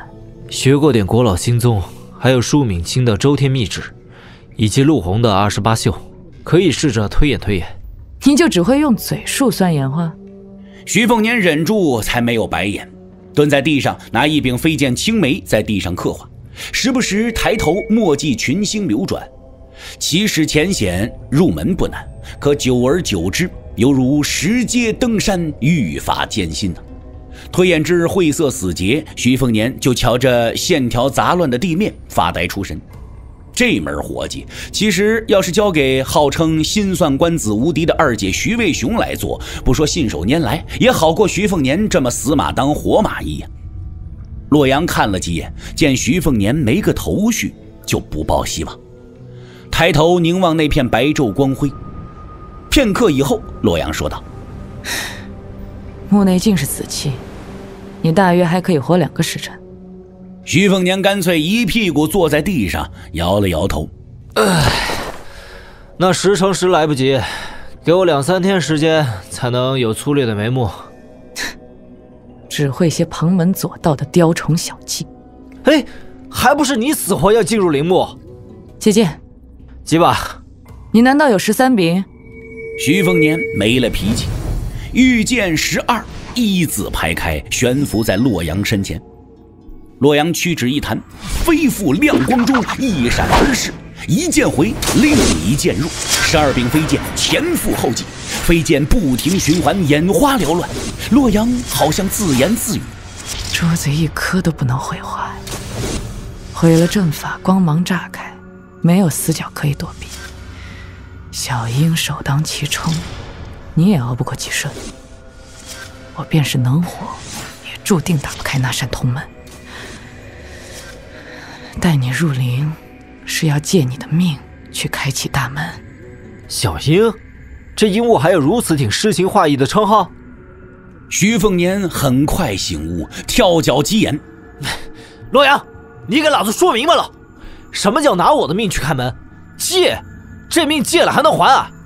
你身具紫金之气，既是小鹰最好的补品，也是钥匙。如果是重神通一伙人来到陵墓，死的就是一名南唐宗亲遗孤。这样的话，我们一起死在雷池里好了。要是崇家没能进来，千百年以后啊，后人看到你我两具尸骨，指不定会被当做殉情的男女。啊！洛阳置若罔闻，弹剑如弹琴呢。徐凤年看着他聚精会神、御剑往返的模样，是黄宝庄，是魔头洛阳，这一刻混淆不清。懒得计较这些的徐凤年叹气一声，转头看到阴雾那张悲悯相脸孔，无可奈何道：“嗯，都快死了，来，给爷换张喜庆的。”本以为会是牛头不对马嘴，不曾想阴雾红袍一旋，果真拿欢喜相面朝徐凤年。徐凤年嘿了一声：“嘿，再换。”悲悯换欢喜。嗯，再换。朱红大袍子旋转，如同绕花蝶。徐凤年玩的不亦乐乎，好像阴雾也很开心。洛阳没有理睬一活人一阴雾的嬉戏，孜孜不倦，弹剑百千。当太阿一剑以一个诡谲姿势倾斜悬停，洞内光芒骤然黯然。徐凤年心中大惊，原来满是星辉竟是一线造就，经过琉璃镜面次次折射。才让洞内亮如白昼。哎，洛阳的抽丝剥茧，眼界真是天象范畴，手法则无疑是指玄境的巅峰啊！果然是个魔头。徐凤年心头浮现一抹阴霾，阴雾也停下动静。洛阳一挥袖，除去太阿剑，其余十一柄飞剑都还给徐凤年。他来到篆刻无数古体小篆的铜门前，阴文阳文两阴各占一半。徐凤年走到门前，伸手触及，自言自语：“是大秦帝国左庶长的两封书，一封王书，一封霸书，各自阐述王霸之道。只不过后世只存有一些残篇断章，听朝阁就只存有三百余字，字字珠玑。你认得两书内容？嗨，我被李一山逼着学过大秦小篆。”回北凉以后，师傅若是知道我背诵下完整的王霸双书，还不得开心坏了？保管会跟我多要半斤绿蚁酒。哼！洛阳沉默不语。那头四壁阴雾没了雷池禁锢，摇摇晃晃在门外悠游逛荡。徐凤年虽然几乎过目不忘，但为了加深记忆，边读边背双书，事后闭上眼睛默念一遍，牢记于心。做完这一切，回头看了一眼白衣魔头，见他毫无动静，呲牙问洛阳：“你还不动手？不是要借命开门吗？记得还我啊！”我只知道要黄青宗是遗孤血液做钥匙，具体如何开启铜门，并不清楚。我，你什么都不知道就敢闯进秦帝陵？天命恩赐之物，不取反罪。徐凤年知道靠不住他，独自摸索同门之秘。半晌过后，洛阳轻描淡写丢下一句话：“你的那柄飞剑还能挡下一炷香时间。洞顶星空已经全部逆转，机关已经触发。到时候我就杀了你，泼洒鲜血在同门上。哎，我真是倒了八辈子霉才遇上你。彼此彼此。哎，我这人说话不过脑子，你呢，千万别上心啊！死到临头还不肯说几句真心话。”你这辈子活得也太遭罪了！你们黎阳王朝的藩王世子都这么个凄惨活法啊？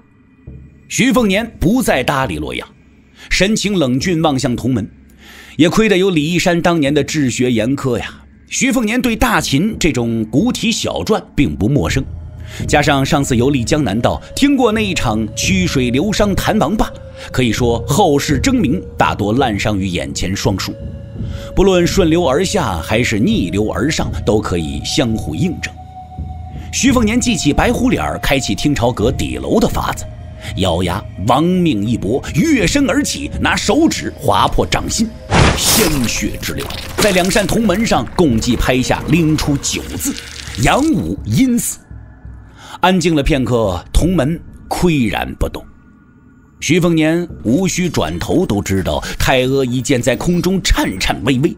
这九字属于他推测出来不合文章大意的错字，要是有一字错误，就得把小命交代在这儿了。洛阳显而易见心情不佳，不过仍不忘耻笑这位北凉世子。再多放几斤血试试看，别小气。徐凤年二话不说，划开另一面掌心，正要放血入槽，两扇铜门吱呀作响，在两人震惊视线中，缓缓露出异象。左手王叔阳字印铜门，洪亮如旭日东升；右边霸树阴文铜门，清慧如无星无月夜幕。两书六千字开始推移转换位置。如水串流，两扇三人高的铜门最终变换缩小成等人高的两件物品。以洛阳的心性和见闻，都是一脸完美惊讶，足可见呈现在他们眼前的物件是何等诡异珍惜。一件鲜红龙甲，一件藏青色蟒袍。红叶落火龙退甲，青松枯怪蟒张牙。左龙右蛇对峙了整整八百年啊！红甲归我，念你没有功劳也有苦劳，青甲归你。没问题，回头我送徐骁去。这套将军甲威风大了。洛阳平白无故得了火龙甲，不拿也不穿上，让阴雾穿上。绰号小鹰的他，似乎忌惮公主坟大念头的手腕，无需发话，只是一个凌冽眼神，就主动披上这套古怪甲胄。说是披甲，其实阴雾一臂才触及龙甲，红甲便如灵犀活物，水涌上阴雾身躯，继而好似凝结成冰，将其笼罩甲内。只不过龙甲散发至阳气息，与阴雾天生相克，火焰缭绕，灼烧的厉害。连不知疼痛的阴物都发出一阵尖锐怪叫，四壁拼命去试图撕下红甲。洛阳冷眼旁观，还是徐凤年生怕这阴物跟珍贵龙甲同归于尽，小心翼翼伸手一探，大概是龙甲本身受他鲜血恩惠，阳火猛然一吸，阴物这才安静下来。徐凤年才试探性缩回手指，火焰便剧烈燃烧，就像一座火炉。徐凤年搭上火甲，火炉才停下。如此反复验证了几次，徐凤年确定这一具火甲果真听命于自己。犹豫了一下，没有让阴雾活活烧死在甲内，先替他剥下红甲。徐凤年这才穿上那件青蟒袍，甲胄看似厚重，穿上身才知轻盈如雨，冰凉沁人心脾舒泰。闭上眼睛，便能清晰感受到一股玄妙气机流转。只听说过滴血验亲，还真没听说过滴血认假的。洛阳伸手触及火龙甲，他披上以后，火焰比较阴雾披甲还来得旺盛，火焰如红龙，长达丈余，盘旋飞舞，热浪扑面。徐凤年看着就觉得疼，不过洛阳神情平静。徐凤年不得不佩服这女魔头的雄浑内力呀。铜门消失以后，眼界自然大开，一条道路露出在他们眼前。永人家道，兵戈相向，一眼望去，道路没有尽头。洛阳先行，徐凤年跟阴雾随后，仅就道路两旁的兵马俑数到三百多个后，才见尽头。九级台阶之上摆有一张龙椅，坐有一具枯柏尸骸。这位便是历史上唯一一位一统天下的大秦皇帝。台阶九级，每一级上都有双手主剑武士，下七级皆是实质勇人，唯独第八级上左右两具青铜甲内是真人尸骨。徐凤年对皇帝没有什么好感，不过面对这位大秦皇帝，徐凤年还是有些说不清道不明的感触。一声声叹息回神后，见到红甲洛阳步步登上台阶，走到龙椅附近，一袖将那具极有可能是大秦皇帝的尸骸给拍飞头骨，看得徐凤年一阵毛骨悚然呢。哇，你就算是天下第一魔头，好歹对古人也有点敬畏之心呐。被你鞭尸的那一位可是大秦天子啊！背对徐凤年和阴雾的白衣女子，眼神阴沉。盯住膝盖上的一枚镇国虎符，可见大秦皇帝便是死，也要在阴间手掌天下权。洛阳弯腰抓起虎符，掏出早就准备好的一缕金丝，穿孔而进，挂在腰间。随着他做出这个动作，两具披甲将军尸骨动作僵硬地拔出巨剑，转身跪。八百年前的机关傀儡与河山雷池一样，至今仍有功用。墨家的本事委实是鬼斧神工啊！徐凤年望向洛阳腰间悬挂的虎符，巴掌大小，有些眼红。洛阳居高临下，看穿心思，冷笑出声：“只要沾染一点紫金气，就可以开铜门，不算稀罕。”可这枚镇国，八百年来还真就只有我一人可以碰而不死。你要不信，你拿去试试看。嗯，大可不必。洛阳低头看了眼气运犹存的镇国虎符，又看了眼失去头颅的大秦皇帝，哈哈大笑，既像高兴又像悲痛。怎么有种历经千辛万苦后阴谋得逞的杜甫的感觉？你他娘的又不是当初不得同学而葬的大秦皇后！高兴个屁呀！洛阳拎住尸骨，丢下台阶，在徐凤年脚下摔成粉碎。他坐在龙椅上，深呼吸一口，双色眼眸熠熠生辉，一手握住镇国虎符，缓缓吐出两个字：“天下。”洛阳闭上眼睛，嘴角翘起。徐凤年看着高坐龙椅的白衣女子，比起初见洛阳入敦煌城。还要陌生。在下洛阳，欢迎继续收听《雪中悍刀行》第一百六十八集。陵墓里头虽然阴气森森，却也不至于有窒息感，阴雾自然而然如鱼得水。大口吸气，吐气极少，欢喜相愈发欢喜，悲悯相更加庄严。而洛阳坐在龙椅上，双手扣龙椅，闭目养神。徐凤年左右观望，秦帝陵内的宝物肯定不会只有两件龙甲蟒袍，加上一枚镇国虎符和两具不同于符甲的乌甲，相信还有一些上规模的玩意才是。徐凤年穿过人俑阵型，是一个庞大的车骑方阵，跨门踏入左室，一座冰库映入眼帘。青铜器锈迹斑斑，徐凤年握住一柄戟头，擦去锈斑，凝神注视。哼，果然，大秦将兵器成制，工艺水平已经高到了一个匪夷所思的境界。徐凤年放下戟头，抓起一枚剑足，几乎与北凉如出一辙。相对窄瘦，足锋已经有穿透力极强的菱形和三棱形式。说来可笑啊！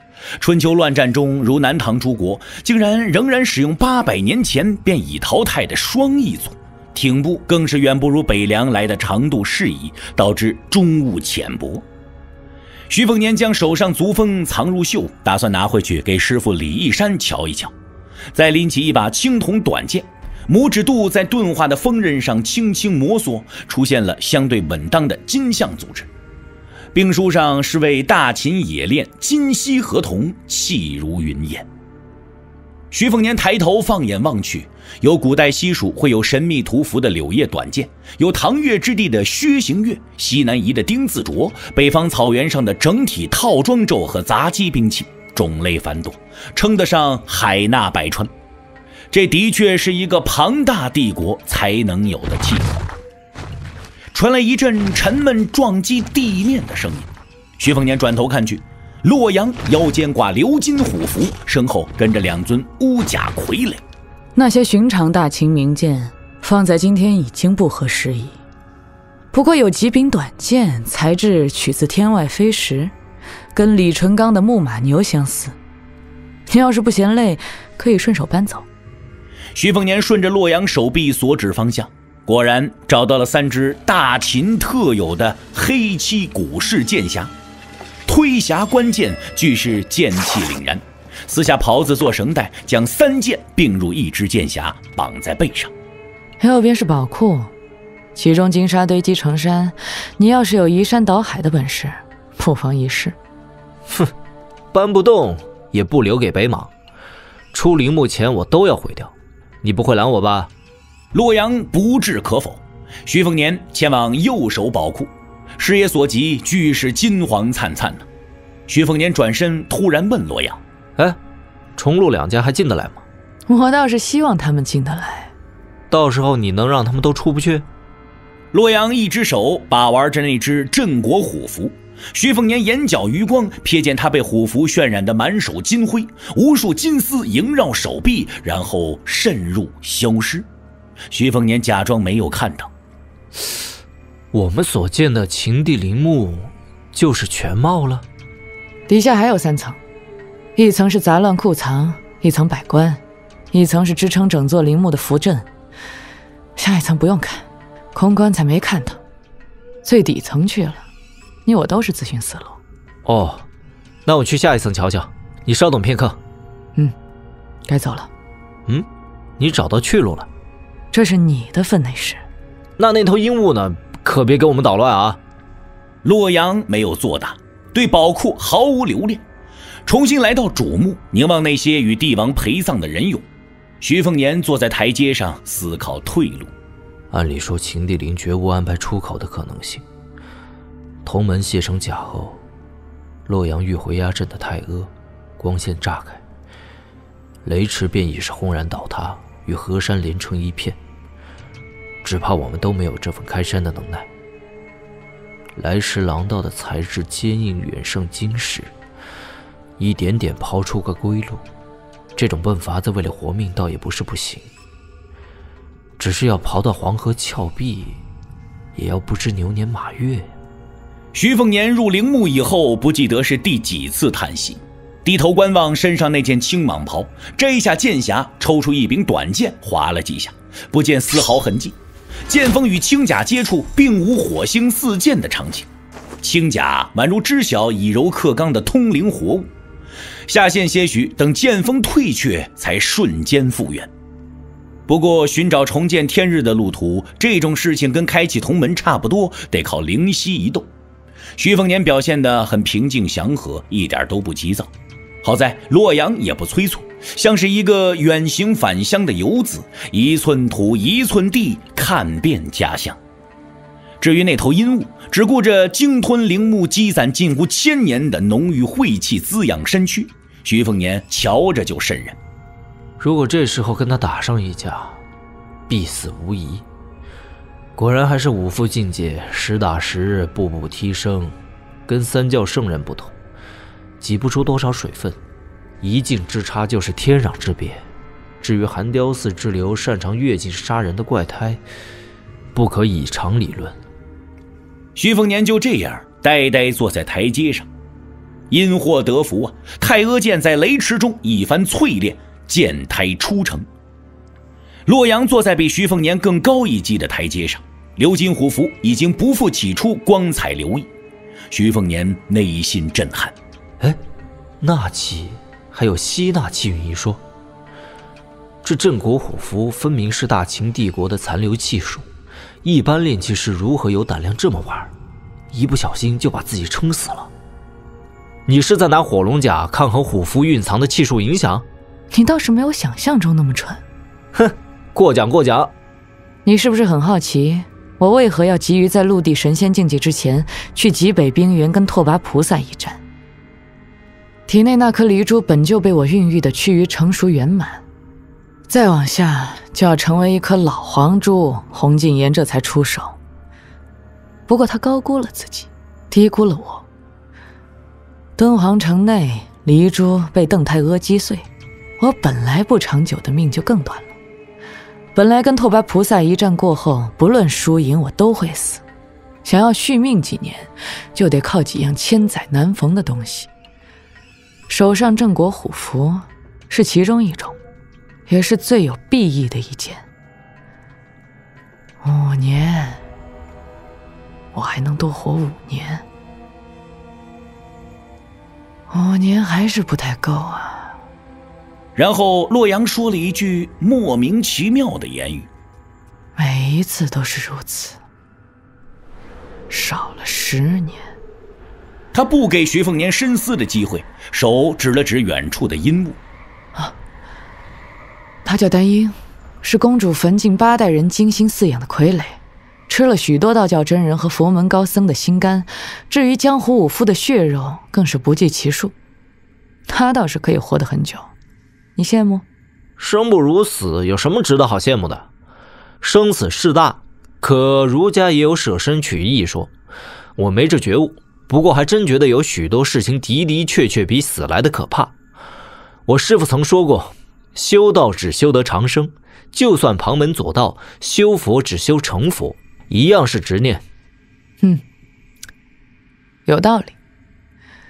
你总提及这个李义山。在我看来，比那个李淳罡更像高人。我师傅和羊皮球老头本来就不是一路人，不好对比的。你也就是没见过李老剑神，才会对他这么大意见。真见识过了，我觉得你会跟那邋遢老头相见恨晚呢。不说这个了，我问你，你就不想当皇帝？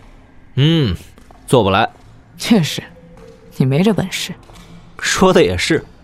哦，对了，我想起一个朋友说过女子划分，独乐乐不如众乐乐，说出来给你听听。那家伙，吃过很多苦头，虽说大多是自作多情，不过说出来的道理很有意思。他说最讨厌三种娘们儿，一种是兰花婊，那是相当的空谷幽兰啊。往往是大宗高门里飘出来的仙子女侠，走路都不带烟火气，搞得世人都以为他们不用拉屎放屁。第二种叫做白花婊，出身小门小户，杀手锏是梨花带雨，楚楚可怜，往往姿色中等，看似性情婉约，可一旦耍起心计啊，都能让男人几年几十年回不过神。第三种称作女壮士婊，大大咧咧，一副老娘就是出口成脏，就喜欢打人，就是不喜欢身材苗条，就是喜欢跟男人做兄弟，琴棋书画女红胭脂都滚一边去的豪迈气概。我算第一种，还是单独算第四种，魔头婊？严重了。洛阳一笑置之。他站起身，哼，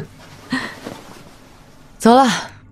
徐凤年一头雾水，女魔头扯了扯嘴角。我记起了归路。哎，出去了还得和你去跟拓跋菩萨较劲呢。得了便宜还卖乖。要不是你还有些用处，早就死的不能再死。徐凤年笑了笑，帮好剑侠，还有心情用北凉腔唱惹一句。哼。哎呀，世间最远途是那愈行愈远离乡路哦。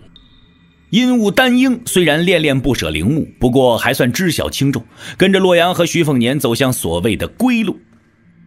黄河倒流时，水面向后层叠褶皱，水势格外凶悍，所有人都看在眼中，连赫连武威都不相信是徐凤年的作为。只当是阴雾在河底为非作歹，凶相毕露。老池节令急奔至那座蛮腰虎口，默默站在石崖边，眼神黯然。大水猛跌谷口，涛声炸响，以至于一千尾随而来的控壁军马蹄声都被掩盖。水雾打湿衣衫，没过多久，赫连武威就衣襟湿透。为首十几骑将来到老将军身边，下马后也不敢言语。赫连武威收回视线，转头看了一眼重神通，两只俱是在官场沙场熏陶几十年的狐狸相视一笑，一切尽在不言中啊！赫连武威是气极而笑，哼，这个见死不救的老狐狸，阴雾出手毫无征兆，控壁君要怪罪也要怪到公主坟那边，与重家无关。宫门修行，谁不是笑面相向、袖里藏刀？不落井下石就是天大的厚道。你赫连老头要是敢迁怒于崇禄两家，我兄弟二人也不是软柿子可以任你拿捏。两人各怀心思，赫连武威苦等不及，只得带领控壁军返回。崇神通等了更久时分，遇上神出鬼没的弟弟崇良，也一同返回。山合拢，竟然再有机关术去开山。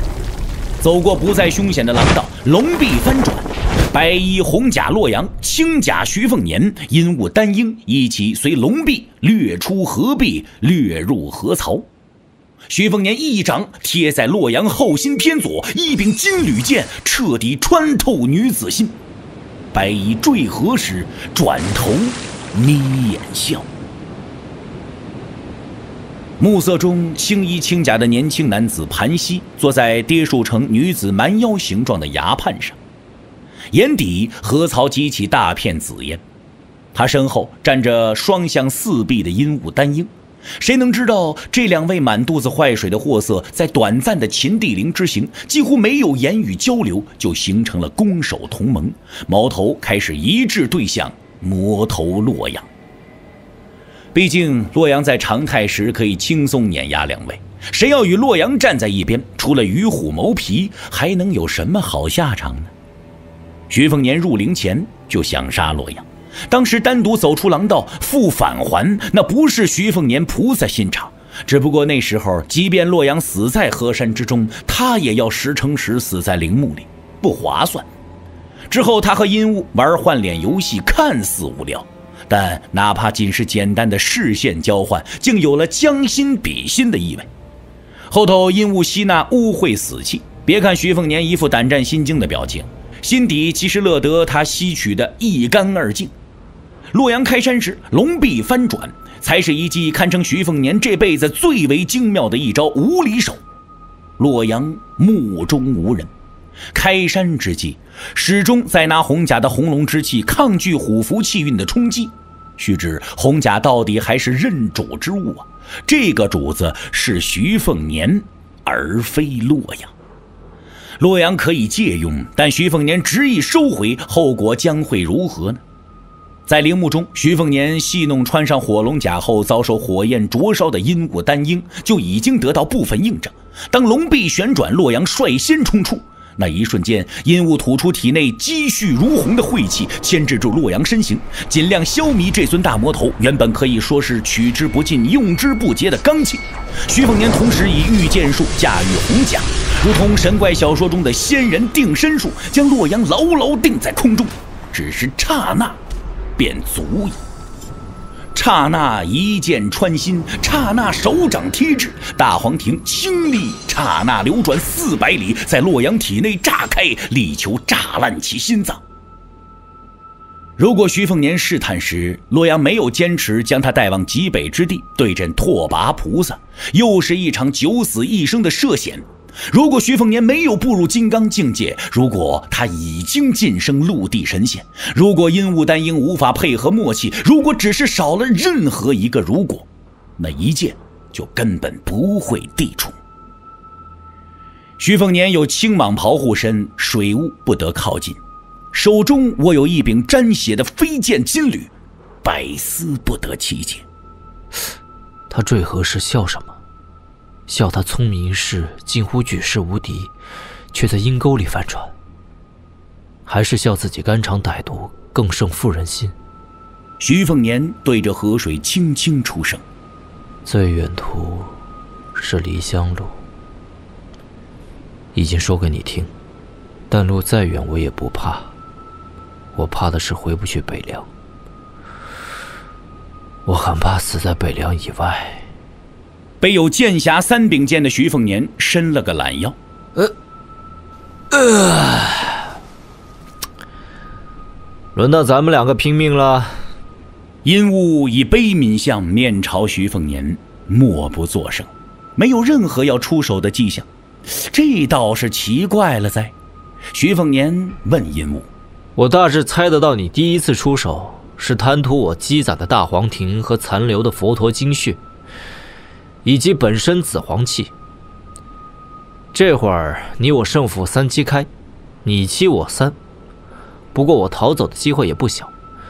但是以你的贪嘴，不想生吞了我吗？万一得逞，修为暴涨，大念头洛阳已死，小念头估计也很难再去禁锢你。天高地远，你就以小长生之身逍遥天地间。换做我啊，早做这笔稳赚不赔的买卖喽。阴雾模仿徐凤年坐在崖畔，双手托腮凝望远方，剩余双手十指交叉叠在腹部，悲悯如地藏菩萨怜众生。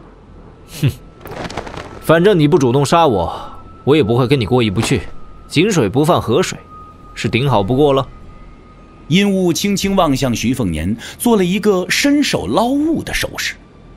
徐凤年擦拭金缕飞剑上的鲜血。对于阴雾略带嘲讽的临摹动作，有些出神。怔怔出神的徐凤年和一直发呆的阴雾丹英不约而同蓦然转头，只见白发老魁出现在身后，丢过一支书香，瞥了眼公主坟头号阴雾，面无表情。东西给你带来了，其他事情爷爷我也懒得问，总觉得你小子不该死在这里。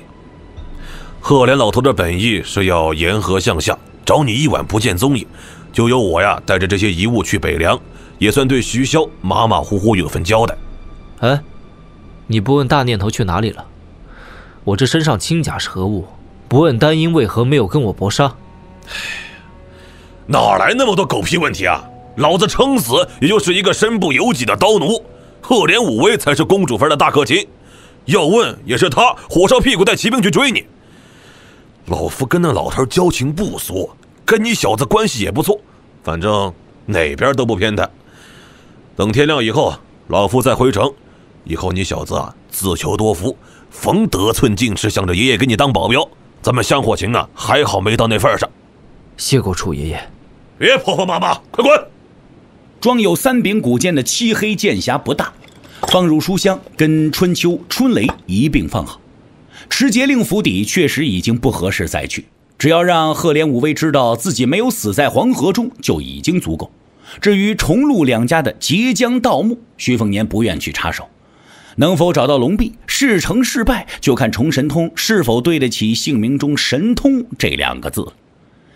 秦帝陵中火龙甲和镇国虎符已经随洛阳流逝沉底，那黄金兵甲堆积如山，也在洛阳开山之后彻底倒塌封死。这项浩大工程比起截江可要艰辛百倍。徐凤年一掠去黄河对岸，身形在空中，曾低头望了一眼。老魁爽朗声音遥遥传来：“嘿嘿，要是有机会，就替老夫给老黄上坟敬酒，捎一句话给那榆木疙瘩，这辈子跟他比拼，输的最服气。”徐凤年略出几里路，察觉阴雾一直吊尾跟随。停下，皱眉问：“你要做什么？”红袍丹鹰伸出猩红舌头，舔了舔嘴角，僵硬抬手指了指徐凤年身上轻甲。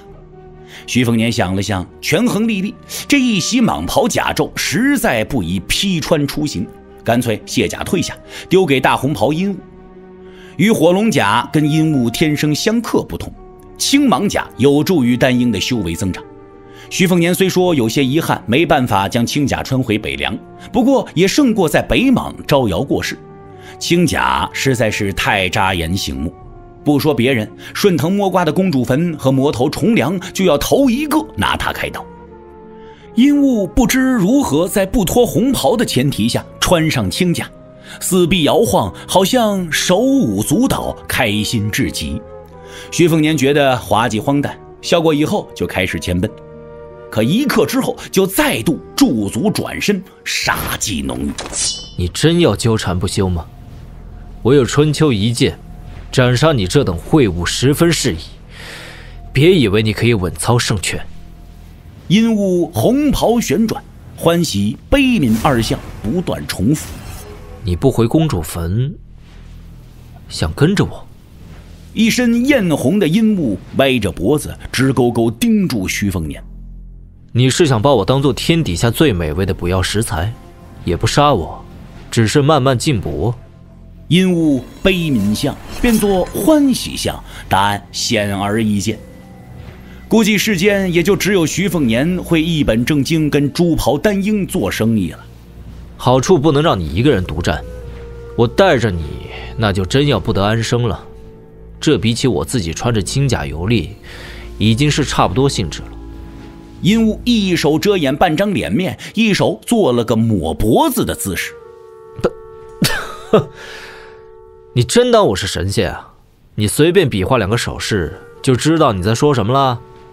阴雾指了指黄河龙壁方向，画了一个大圆，再重复一遍演半面抹脖子的动作，画了一个小圆。薛凤年一阵思索，半信半疑的问阴雾：“你是说，洛阳是大念头，还有个半面小念头会杀我？所以你只要被喂饱，就会护着我？”阴雾转为欢喜想。唉，一波未平，一波又起，真是不消停。徐凤年问了一个至关重要的问题：“那你说说看，大念头和小念头谁更厉害？”阴雾犹豫了片刻，先画大圆，再画小圆，在自己脖子上一抹。徐凤年顿时了然，才略微松口气。他便画小圆，然后指了指徐凤年，再抹脖子。徐凤年倒抽一口冷气。我在一名崇家婢女香囊上见识过犹抱琵琶半遮面的绣花，你家那位小念头是个半面女子。阴雾刻板点头，转为一张悲悯相。徐凤年转身大手一挥，得，咱俩大不了为各自前程再并肩作战一次。风景扯货，走一个。河槽那边，白发老魁在原地站立许久。这都没遭殃，你小子可以呀！老夫当年不过调笑了公主坟婆娘几句，就给锁住了琵琶骨，一辈子做奴。这么看来，你小子确实有些道行。啊，当年那个前湖初见的俊逸少年，真是长大了呀！黄河在湖口瀑布处跌水入大草，一抹青丝，一抹白，浮出水面。如莲出水，他仍在笑。在下洛阳，欢迎继续收听《雪中悍刀行》第一百六十九集。徐凤年万万没想到。那红袍阴雾竟然是一位反追踪的大宗师，消除那些连徐凤年都意想不到的残留气息，极为精湛内行。有这么一张护身符，甚至有可能是救命符傍身，徐凤年心安许多。于是带上它，拣选那些荒僻野径，往北而去。到了一望无垠的戈壁滩，徐凤年站在一块暴晒的毒辣日头下的枯木上，自言自语。唉，按照你我脚力，再往西北走上小半旬就到宝平洲。我要见的人就在那里，在弱水河边隐居。我呢，之所以会拿命去拼死洛阳，是因为去晚了，一切就是徒劳。那老家伙委实难伺候，不过设身处地想一想，也不好怪他。本就是享受过位极人臣滋味的大人物。凭什么要冒着晚节不保的巨大危险，还捞不着太多实惠，去跟我一个嘴上无毛的年轻人谈事情啊？说到这里，徐凤年下意识摸了摸下巴，骂骂咧咧：“嗨，原来已经都是胡渣子了。”拿黄铜飞剑刮去有些扎手的硬青胡渣子，趁这个空档掂量了一下目前家底，如今已然步入金刚出境，毋庸置疑了。十二柄飞剑。朝露、金缕、太阿三剑已成气候，还扛了一对春秋春雷，外加三柄小号木马牛。这身行头，怕能让那些一辈子也没摸过名气的大侠女侠活活眼馋死。虽然刀谱结清寺一事停滞不前，不过好在开手扶摇和仙人扶顶这些招式，越发烂熟于心，熟稔于手，还能喊上樱木单音过招热手呢。这么一琢磨，徐凤年心里又平衡了。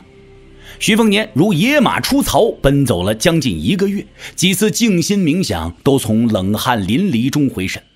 嗯，黄河跌水的那一场豪赌，回头再来一遍，哪怕依旧占尽天时地利人和，但真还有勇气去袭杀洛阳吗？思及此，徐凤年头也不回，问阴木。公主坟在哪里？大小念头分别是个啥念头？女子半脸妆，半张脸再漂亮，也跟女鬼一样。重良的口味，可想而知啊。徐凤年正因为明知阴雾不会作答，反而更喜欢絮絮叨叨，又时不时消失于视野的阴雾结伴同行，这一路走的倒也不算太乏味。临近宝平州。宝平州边境有一条大河，叫做弱水。据说水弱不服卢毛。徐凤年终于到达弱水畔，居水洗脸。徐凤年敛起气机沿河行走，想要过境就要过河。然后看到一个渡口，有羊皮筏子靠近对岸。走进渡口，有一对衣着寒酸的爷孙。老人着一件破败道袍，背绣阴阳鱼，拿一截青竹竿做拐杖。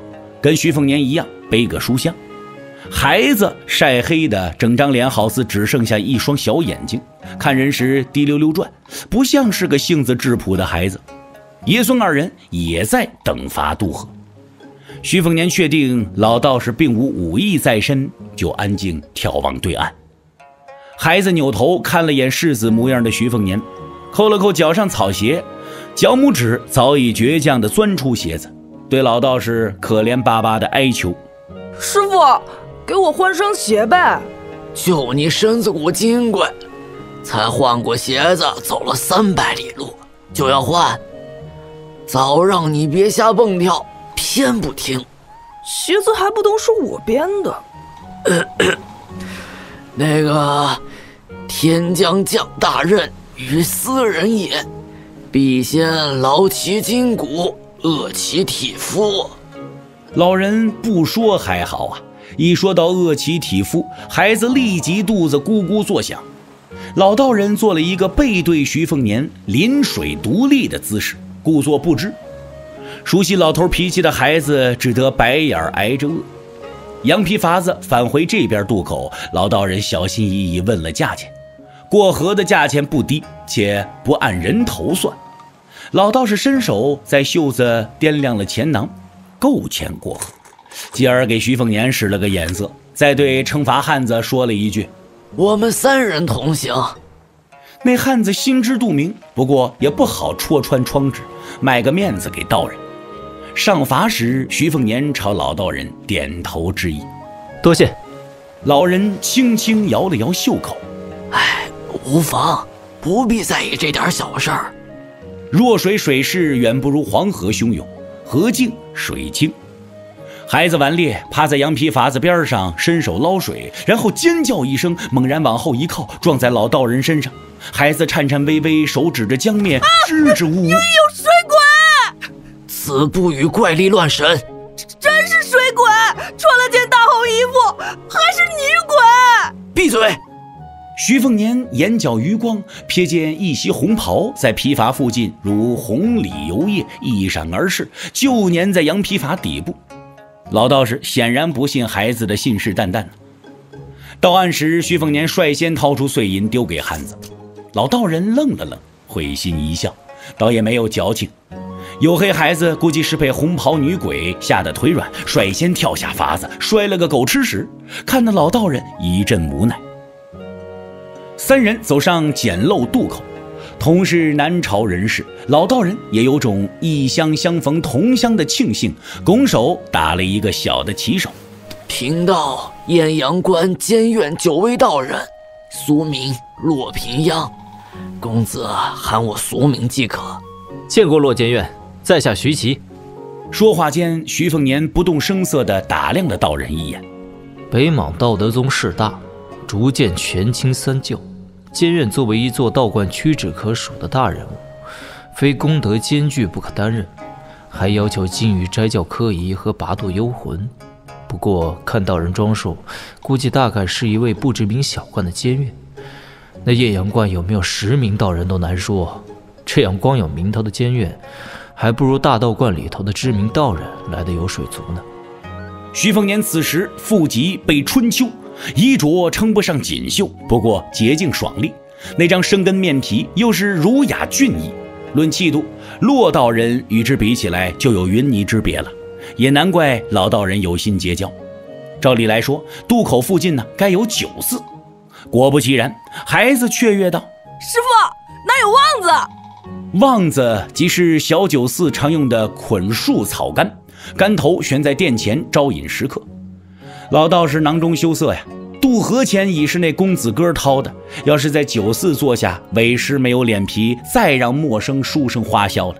可自己掏钱的话，恐怕几碗酒下来，就甭想去道德宗那边参加水陆道场了。徐凤年对于这点人情世故还是懂的，立即出声。走了半天，得有小一百里路了。前不着村，后不着店，实在饿得不行了。洛监院要是不嫌弃，就跟在下一起坐一坐。恰好徐某也信黄老学说，可惜大多一知半解，还希望洛监院能够帮忙解惑。徐公子有心向道，好事儿，好事儿。一路缓行，孩子偷偷打量这个人傻钱多的公子哥。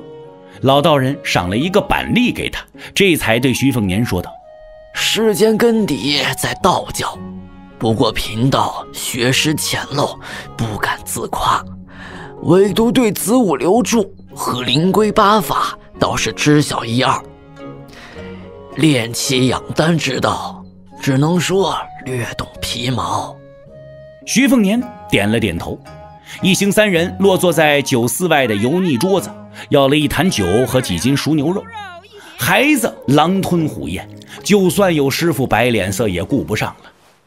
老道士心底还是心疼这个毛病很多的小徒弟，对徐凤年歉意一笑，自己呢则要矜持很多，小口酌酒，撕了块牛肉入嘴。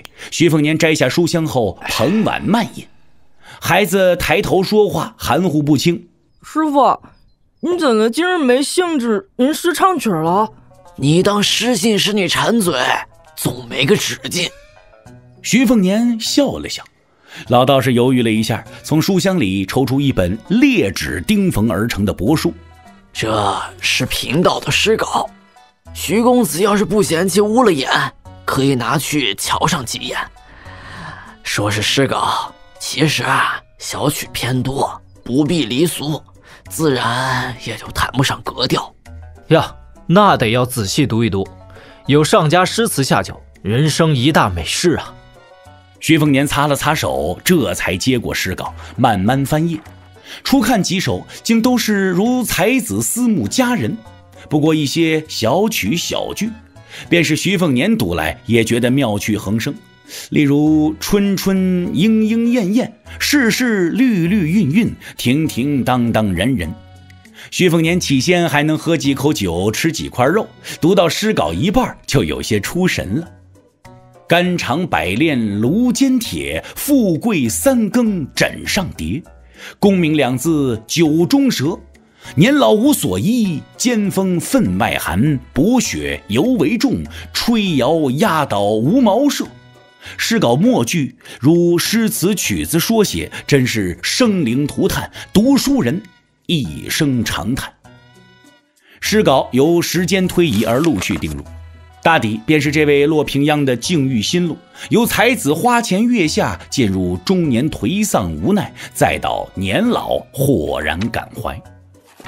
徐凤年合上诗稿，唉，这本稿子要是换成我二姐来看，该有多好啊！徐凤年默默递还诗稿，不再说话。搁在四五年前，这本稿子还不得让他出手几千两银子呀？这位一生怀才不遇、久违道人，估摸着处处碰壁，已经习惯成自然了。收回诗稿，也不觉得心灰意冷。天上掉下一顿不花钱的饱饭吃，就很知足了。洛监院可知两禅寺龙树僧人去了道德宗？并未听说。黎阳王朝那边倒是有佛道论辩的习俗，要是在北莽，道士跟和尚说法。可不就是鸡同鸭讲吗？可别搅黄了道德宗的水陆道场，白跑一趟的话，贫道可就遭了大罪喽。本来就是遭罪。老道士做事要打，孩子缩了缩脖子。酒足饭饱，得知徐凤年也要前往宝平州西北，三人便一同启程。走至暮色沉沉，依旧荒无人烟，没有落脚地，只得以天为被，以地为床了。燃起篝火，孩子走得困乏，早早睡去。老道士不忘摆弄一句：“唉，痴而不知荣枯事。”之后，徐凤年问过了几个道教粗浅的问题，也不敢深问，生怕让这位洛监院难堪。倒是骆平央犹豫不决，下了好大决心，才突然对徐凤年问道：“有一句话，不知当说不当说？” 洛监院尽管说：“贫道年少曾跟一位真人学习观气之法，看公子面相，家中似乎有亲近之人去了，不是姓宋，便是姓李。如果可以。”贫道劝公子，最好还是返乡。徐凤年呆滞不言语。唉，贫道其实也算的不得准。若是万一说晦气了，徐公子莫要怪罪啊。徐凤年点了点头。老道士看着这位性情颇为温良的公子，面对篝火，嘴皮子微微颤抖。老道人不忍再看，沉默许久，望着远方。风涛嫌我，我涛风涛；山鬼放声揶揄笑。风波远我，我远风波。星斗满天，人睡也。三人同行，一路风餐露宿，久而久之，一些小秘密就不再藏藏掖掖了。徐凤年逐渐知道，这位不知名小道观的监院在很用心的传道授业。一路上都在教他徒弟如何练气，约莫是几次住宿歇脚都是徐凤年掏腰包给银子，老道人也不介意他旁观旁听。今日小徒弟按照师傅的叮嘱，在弱水河畔的背石阴凉处盘膝而坐，双足盘起，做佛门金刚加夫状，放在道门里便是如意坐。老道人从书箱里小心翼翼捞出几本泛黄书籍，递给徐凤年，抚须笑了笑：“实不相瞒，贫道年幼时家境殷实，也读过许多诗书。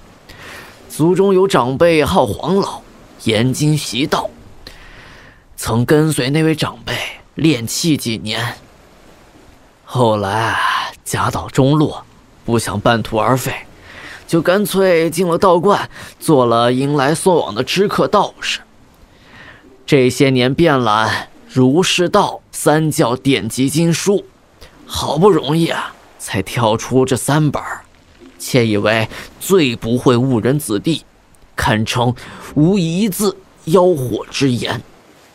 徐凤年接过一看，心中讶然：天台宗修炼止观的六妙门。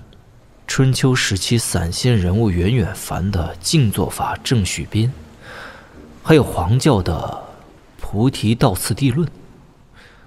这三本书对常人来说有些晦涩，只不过对三教中人而言入手不难。只是佛道两教典籍浩瀚如烟，能挑出这么三本，足以证明这老道人非是那种随便披件道袍的假道士。三书稳当妥实。讲述静坐禅定之法的十分循序渐进，不像很多经书，故作白头归佛一生心，我欲出离世间之语，只是故弄玄虚，在文字上玩花样。当然，要凭这三本谁都可以买回家照搬练气的书籍，修出一个长生法，肯定是痴人说梦。不过，如果修法得当，勤恳不懈，可以一定程度上祛病延年。收回视线，徐凤年继续听老道人说道。老道人难得碰上有人愿意听他显摆修道心得，神态十分悠然自得，指了指徒弟背脊：“徐公子，你看啊，贫道这徒儿计量之术，犹如算盘子的叠数，这可是有讲究的。”老道士卖了个关子，笑问徐凤年：“徐公子可曾见过人参？”“嗨，也就侥幸见过几次。”“那可是好东西。贫道年少跟随长辈习道修行，见识到几只老参，是地地道道从黎阳王朝两辽地区采摘而来，粗的跟手臂似的。哎，说偏了，不说这个啊，好汉不提当年勇。”总而言之啊，万物生而有灵，尤其是这人参，一株人参的枝杈必然卷曲成节，为的便是培养本源，不让精气外泄。我辈道人啊，静坐吐纳也是此理。还有静坐时啊，得舌头轻微舔底上颚，如未生长牙齿因而酣睡。说来说去，这些还仅是修道打底子，其实啊，未过门槛。想要登堂入室，难喽。贫道遍览群书，而且啊，手头一有闲钱，就去破落世家子那边采购书籍，书中自有颜如玉、钱钟素。贫道是方外之人。只想着在纸堆里寻长生，这么多年下来，也没敢说自个儿真修成了什么。道教吐纳运气，有十二重楼一说，可如今啊，贫道也只自觉修得五六楼。唉，故有修道登楼如入蜀，委实难如登天的说法。一些烧香百姓。夸我是真人，是神仙，实在是汗颜。这趟麒麟真人传言天下，道德宗要修缮道藏，总会天下道书。说出来不怕徐公子笑话，贫道并非冲着水陆道场而去，只是想着去道德宗其中任何一座道观内帮忙打杂，不说其他。能多瞧几眼孤本残卷就知足，住宿伙食这些琐事儿，贫道和徒儿对付着过就成。老道士的徒弟摇摇晃晃，体力不支，身心疲惫，垂垂欲睡。老道士紧张万分，小声对徐凤年说：“贫道徒儿天资不错，比贫道啊好上万分。你瞧他这是气海生福的征兆。”何时眼前无论开眼闭眼，都会出现或引火或勾炼的景象，就证明修道小成了。贫道当年修成耳通和眼通两大神通后，走这一关，可是吃了莫大苦头。起先妄用手艺上丹田，一时红光满面，自以为正道有成，后来才知。误入歧途。如今回头传授徒儿心法，就少走太多弯路。骆道士说的兴致高昂，不曾想那徒弟差点摔倒，有气无力。哎呀，师傅，我这是饿的。老道士颜面尽失啊，气得一记板栗砸在孩子头上。吃吃吃，就知道吃！你这不上进的吃货憨货！孩子当着外人面丢了面子，红了眼睛跟骆道人狠狠对视，结果掌心又挨了十几下。孩子经不住打，老人又卯足了劲儿拍，小手瞬间通红，又吃疼又委屈。瞥见那怎么看怎么不顺眼的世子，似笑非笑，起身就跑去弱水边上蹲着，捡起石子往河里丢。老道人眼不见为净。对徐凤年语重心长地说道：“道门修行，即便眼线引火勾炼，可要是不得正法，还是会被禅宗斥为光影门头。这一半是因为佛家从心性入手，不注重身体锤炼，更无道教内丹一说，因此啊，视作障道。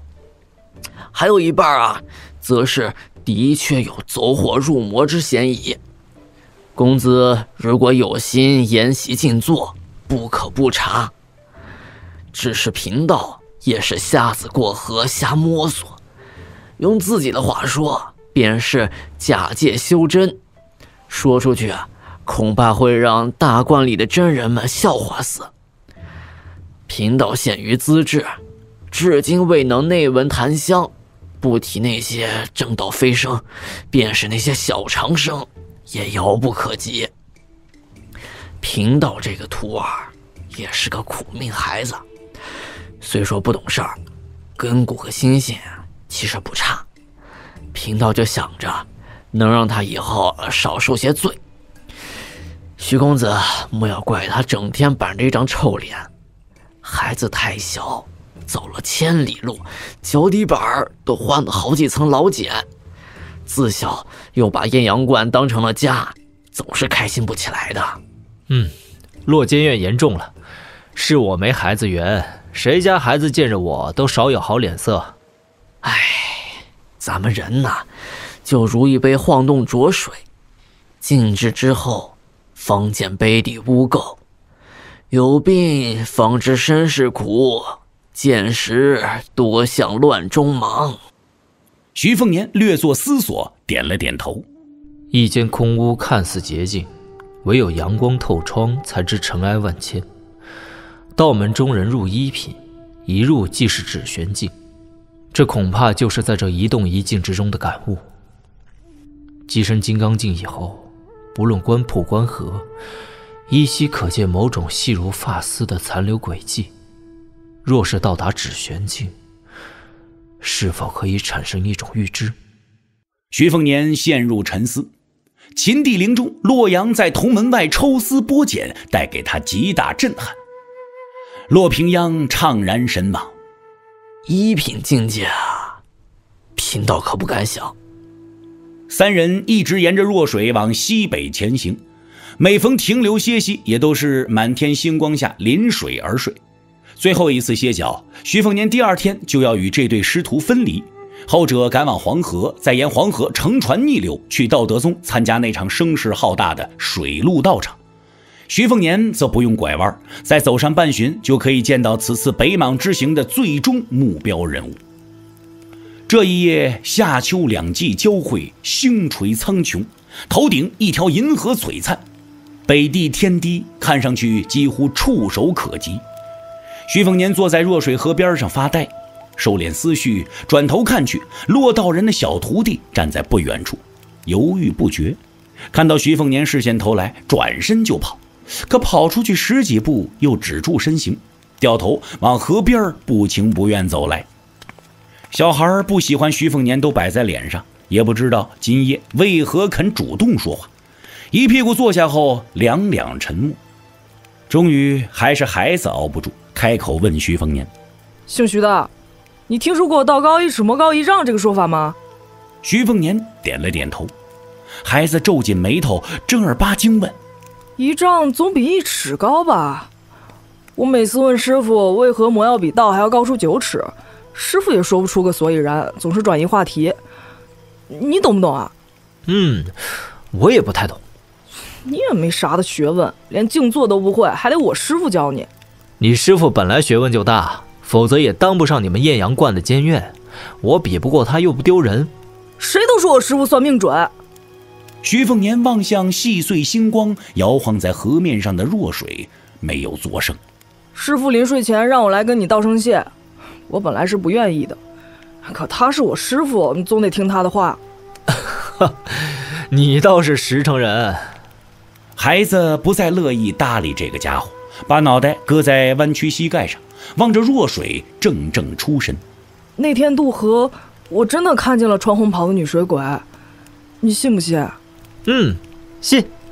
说话间，弱水中一抹鲜红游走而逝。徐凤年想了想，从书箱拿出一叠草鞋，有三双，抽出两双给孩子。本来只做了一双，后来见着你们又做了两双，你不嫌弃就当离别之礼。孩子惊讶啊了一声，犹豫了一片刻，还是接过两双草鞋。孩子抱着草鞋，好奇地问徐凤年：“哎，你也会编织草鞋啊？那你送谁？”徐凤年平静望向水面。你有师傅，我也有师傅呀。徐凤年凝望水面，一连串的画面映入眼帘。他想起了师傅李义山，又想起了缺门牙的老黄，更不禁想起了那个两万里借剑的独臂老头李淳刚。一甲子前的青山剑神，一甲子后解开心结的羊皮球老头，总是那么轻轻松松就成为了天下第一，天下无敌的头衔那么重，也只有李淳罡说放就放，想拿起就拿起。一剑风华，落的是乱世情伤。若心不藏绿袍儿，三万六千思念，遥遥百年，又何必独伤呢？大雪平一句剑来，重归剑仙之境；武帝城一战破王仙之使出九分力；广陵江一战一剑杀敌两千六，一气千里又百里，突破天人境界。行将就木前，万里借剑邓太阿，助其突破陆地神仙境，战平拓跋菩萨。唯愿世间心诚剑士，人人会两袖青蛇。愿天下经验后辈，人人可剑开天门。在下洛阳，欢迎继续收听《雪中悍刀行》第一百七十集。骆道人清晨时分睁眼，发现徒儿拎了一根树枝，在水畔胡乱摆架子。他负手走近，看到底子不薄的徒弟一只在手，每次稍作凝气，出手便是一气呵成，如提剑走龙蛇，尤其贵在有一两分剑术大家的神似。骆道人瞪大眼睛，感情这崽子真是天赋好到可以望水悟剑，无师自通。可我也没有教他剑术呀。骆道人没瞧见徐公子身影。等徒弟挥了一套，汗流浃背停下，这才见鬼一般疑惑地问徒儿：“怎地学会剑术了？”这块小黑炭哼了一声，拿枯枝抖了一个剑花，咧嘴笑了笑：“哎，徐公子夸我骨骼清奇，就教了我这一剑。我琢磨着，等回到艳阳观，青岩师兄就不是我的对手了。”那位徐公子还懂剑术？应该不会吧？昨晚教了我这一剑钱，说是偶然间从一本缺页古谱上看来的。我看他估计是觉得自己也学不来，干脆就教我了。以后等我练成了绝顶剑士，他也有面子。孩子记起什么，小跑到河边捡起两双草鞋。师傅，这是他送给咱们的。临行前让我捎话给师傅，说他喜欢你的诗稿，呃，说啥是人人之言，还说那句“剑移青山不太平”顶好顶好。最后他说三十二首诗词都背下了，回头读给他二姐听。反正那家伙唠唠叨叨的，可我就记下这么多。后来顾着练剑又给忘了些，反正也听不太懂。老道人做事要打，孩子倒提树枝如握剑，把草鞋往师傅怀里一推。我背书枪去，师傅，记得以后我就是一名剑客了，你就等着我以后剑移青山吧。兔崽子！记得人家的好，知道了。骆道人低头看着手中的草鞋，摇头叹气。上床时与仙侣相比，谁知何也再无逢？道人口中念叨着的徐凤年，此时独身走在弱水岸边，那穿青蟒袍的一袭红袍悠哉浮游。因物天性喜水厌火。因物丹鹰见水，则欢喜向更欢喜，时不时头颅浮出水面，嘴中都嚼着一尾河鱼。面朝岸上，徐凤年皆是满嘴鲜血淋漓。那对师徒自然不会知晓，摆渡过河时，若非他暗中阻拦，撑羊皮筏子的汉子就要被拖拽入水，给鹦鹉当成一餐肉食了。孩子将其视作水鬼，不冤枉。徐凤年晚上手把手教孩子那一件，是气势磅礴的开蜀式。不过，估计以师徒二人的身份家底，孩子就算日日练剑，到花甲之年，都抓不住那一剑的五分精髓。武道修习自古都是名师难求，名师更难求。入五夫四品是一条鸿沟，二品小宗师境界是一道天堑，一品高如巍巍天门。骆道人已算是有心人了，还是个道观监院，穷其一生孜孜不倦寻求长生术，可至今仍是连龙虎山天师府扫地道童都早已登顶的十二重楼都未完成一半。这便是真实的江湖，有人穷到一吊钱都摸不着，有人富到一座金山都不入眼。徐凤年突然停下脚步，蹲在地上，把书箱里头的物件都搬出来晒太阳，算是拿一个南诏去跟西蜀遗孤换来的春秋剑。剑气之足，徐凤年只能发挥十之五六，一把春雷，一部刀谱。身上那件后两次游历都睡不卸甲的软胄，十二柄飞剑，朝露金缕太阿都剑胎真满，一双还不知道能否送出的草鞋。徐凤年一件一件的放回书箱，阴雾丹鹰来到岸上，歪着脑袋用悲悯相望向这个家伙。徐凤年也不多说，带上阴雾继续上路。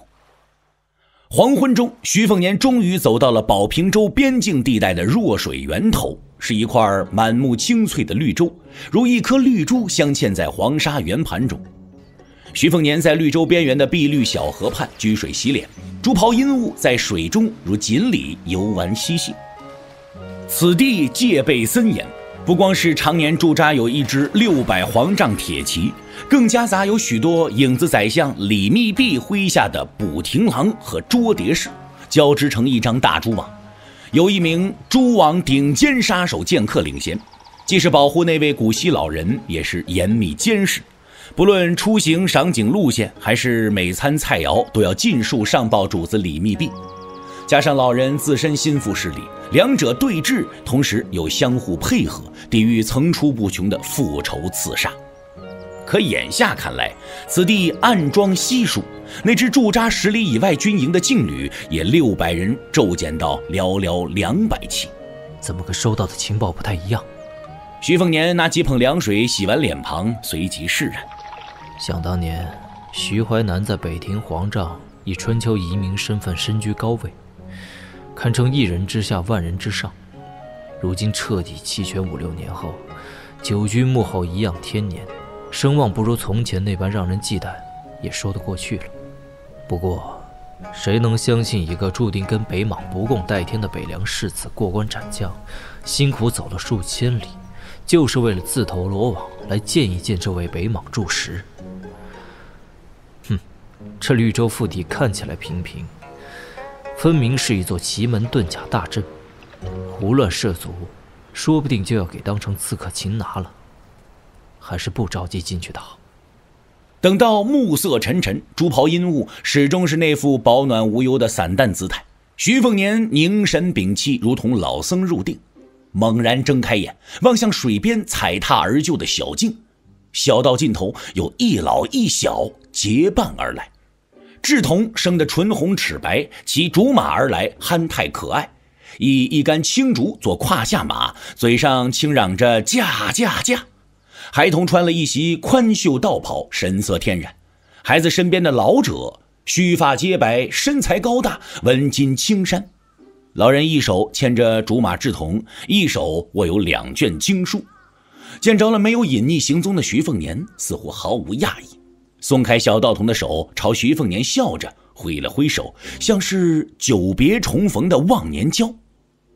徐凤年心下嘀咕起来：昔日北莽王庭第一权臣徐淮南，仔细推敲起来，这人出身于辽东，还是比徐骁年长一辈的远房亲戚。只不过这种关系大可以远到可以忽略不计便是。当年他在世子北逃之前就已经到达北莽，成为慕容氏女帝篡位登基的首席谋士功臣，学富五车，一生所学尽付于北莽朝政。李阳王朝初定春秋，携大势冲击北莽，就是他力劝尚未坐稳龙椅的女帝南下御驾亲征，才有了今日的南北分治天下。黎阳第二次举国之力北征。也正是本已卸任归田的他，重出茅庐，制定战略，使得新贵拓跋菩萨击溃黎阳三县。他这些年隐居弱水畔，名义上是当年府上出了一名左右双手倒卖军情的双面谍子，惹来女帝震怒，不得不致仕退出王庭；实则是当之无愧的功勋元老徐淮南。对待慕容一族的态度上，跟女帝产生了严重分歧，心灰意冷。所谓震惊朝野的碟子案，不过是双方各退一步的一个台阶罢了。看着这位曾经步步登顶，然后缓缓拾阶而下的老人，徐凤年难免百感交集。徐凤年恭敬作揖行礼，精神气极好的老者走近，扶起以身涉险的徐家后生，端详了几眼。欣慰笑了笑，我这老头子想破脑袋也没想到会是你来看我。我甚至想过有没有可能是徐骁亲自造访，嘿嘿，委实是天大的惊喜啊！不愧是我徐家人，我很早时候就说嘛，没些胆识的魂魄都不敢投徐家媳妇儿的胎。徐凤年笑意苦涩。放心，两莽边境动静很大，我这边抽调了一个很关键的蛛网剑客，因为猜到你要过来，就借机调走了大部分皇帐骑卒。这儿看上去最危险，却也最安全。清明时节，刘夏成杀了陶潜志，后边又跟拓跋春笋打了一架。让那不知天高地厚的小将种吃了个哑巴亏，一路行来，趁手杀了淡人心肝的魔头谢灵，敦煌城引来了邓太阿出剑，好像在黄河那边还跟公主坟扯上了恩怨。你这后生，实在是让老夫大开眼界呀！当时我就说，只要你能活着到弱水，我不管如何都会见你一面。来来来，咱们坐着说。徐淮南和徐凤年坐在水边草地上，憨态志同突然做怒容，提起竹马就要朝水中劈下。气机之重让徐凤年出现一瞬窒息，竹袍阴雾跃出水面，也是要翻江倒海的模样。好在徐淮南握住了那一截青翠竹竿，摇了摇头，志同这才敛去气机，复归天真无邪的神情。见到徐凤年眼神异样，老人泄露了些许天机，不过点到即止。我也分不清是道门一气化三清的无上神通，还是斩除三尸上十州的生僻手段。不过，身边这位肯定是苦命孩子。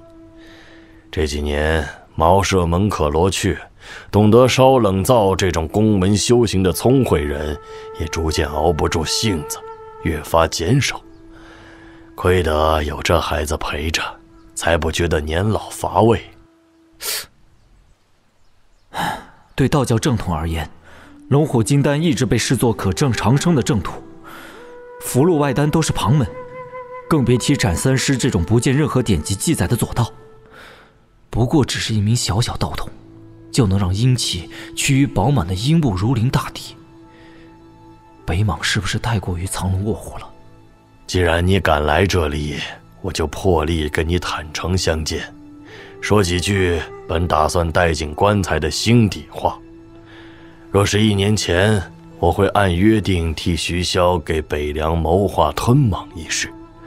毕竟我谈不上忠于王庭，也没有做女子裙下臣的嗜好。之所以做离乡犬、卖国奴，为女帝鞠躬尽瘁，只是因为是对春秋和黎阳憋了口恶气。既然如此，我也就乐得见这两莽横生波澜。这比较棋局复盘还要来得有趣。当然，我跟徐骁一样，都是出了名的臭棋篓子。不过，旗舰乐府的太平令，棋盘内外都是货真价实的国手。他游历黎阳十数年，摸清了脉络。这次返回皇宫对症下药，打了一局大谱，黑白定乾坤，囊括了北莽、黎阳、北凉。我的谋士位置自然而然被这位新任帝师取而代之，我这些年的待价而沽变成了不小的笑话。薛凤年，你说王庭既然已无我的用文之地，我哪怕厚着脸皮付出，又能做什么？徐凤年默不作声，是不是很失望啊？嗯，说不失望，我自己都不信。我生时自然是满门富贵，我死后注定不出十年便是满门抄斩下场。一半是因为我故意不约束族人，由着他们鲜衣怒马、为非作歹；而我做北院宰相时，亦刻意跟耶律慕容两姓交恶已久。另一半是，女帝终归是女人，女子记仇是天性。她死之前注定要跟我算旧账。退一万步，就算他念旧不难为我，下一任北莽皇帝也要拿我后人开刀。我自认对得住族人，三十余年如日中天，是寻常人几辈子都享受不到的荣华富贵，唯独一人不能死，或是说不能死得如此之早。也算我对失信于徐骁的一点补偿。徐凤年抬起头，迷惑不解。哈哈，当年徐骁有赵长林和李义山做左膀右臂，我也不是神仙，给不了两位，只能给你这将来的北凉王其中之一。你要是信得过，就放心去用。他本就要在四十岁前活活累死的命。老人指了指自己脑袋，我这一生读史而懂和自悟而得的阳谋韬略和阴谋诡计，都传授于这位不起眼的偏房庶孙。不用徐凤年询问，老人便笑道：“他已经在出发去北凉的路上，你们该相见时自然相见。”徐凤年正要起身致谢，便被老人摆手拦住：“本就是欠你们父子的。”老夫能在北莽平步青云，也少不了徐骁的助力。哈哈，记得我年少离家时，本意是立志做一名儒家经学家，行万里路后再万卷书，能够训诂著书就好。哪里会想到走到今天这一步？徐凤年无言以对。徐淮南拍了拍徐凤年肩膀。唉，以后的天下，毕竟要让你们年轻人去指点江山。老人唏嘘以后，继而问徐凤年：“听说你练刀练剑都有气候，可有北凉刀？我想瞧上一瞧。”来北莽不好携带北凉刀，只有一柄春雷短刀。老人拍了一下自己额头：“嘿呀，老糊涂了。”短刀也无妨。徐凤年从书箱里拿出春雷刀，徐淮南放在膝盖上，凝视许久。老夫生亦无欢可言，死亦无所惧。之所以耐着不死，就是等着给那名孙子一份前程，再就是少了一个安心赴死的由头。老夫既然欠了徐骁，就再不能欠你。而且老夫也想到了一个不负任何人的做法。徐淮南抽出春雷刀，递给徐凤年，那张沧桑脸庞上的笑容无比豁达。来 来来，割去徐淮南的头颅，装入囊中，返回北凉去做那北凉王。离开时，徐凤年还是那个背书箱远游子的装扮。红袍阴雾依旧隐蔽前行，只是多了一颗含笑而亡的头颅。行出三百里，见到两骑纵马狂奔，去往弱水河畔茅舍。其中一骑马背上的男子玉树临风，北人的身材，南人的相貌。见到徐凤年后，顿时脸色苍白，下马后踉跄行来，跪地捂住心口，咬牙哽咽，嘴上反复念叨着：“我就知道是如此。”徐凤年心知肚明，也不劝慰，冷着脸俯视这名被徐淮南寄予厚望的庶出子孙。剩余一骑做着个嗜读书童模样的少年，见到主人这般失魂落魄，顺带着对徐凤年也极为敌视。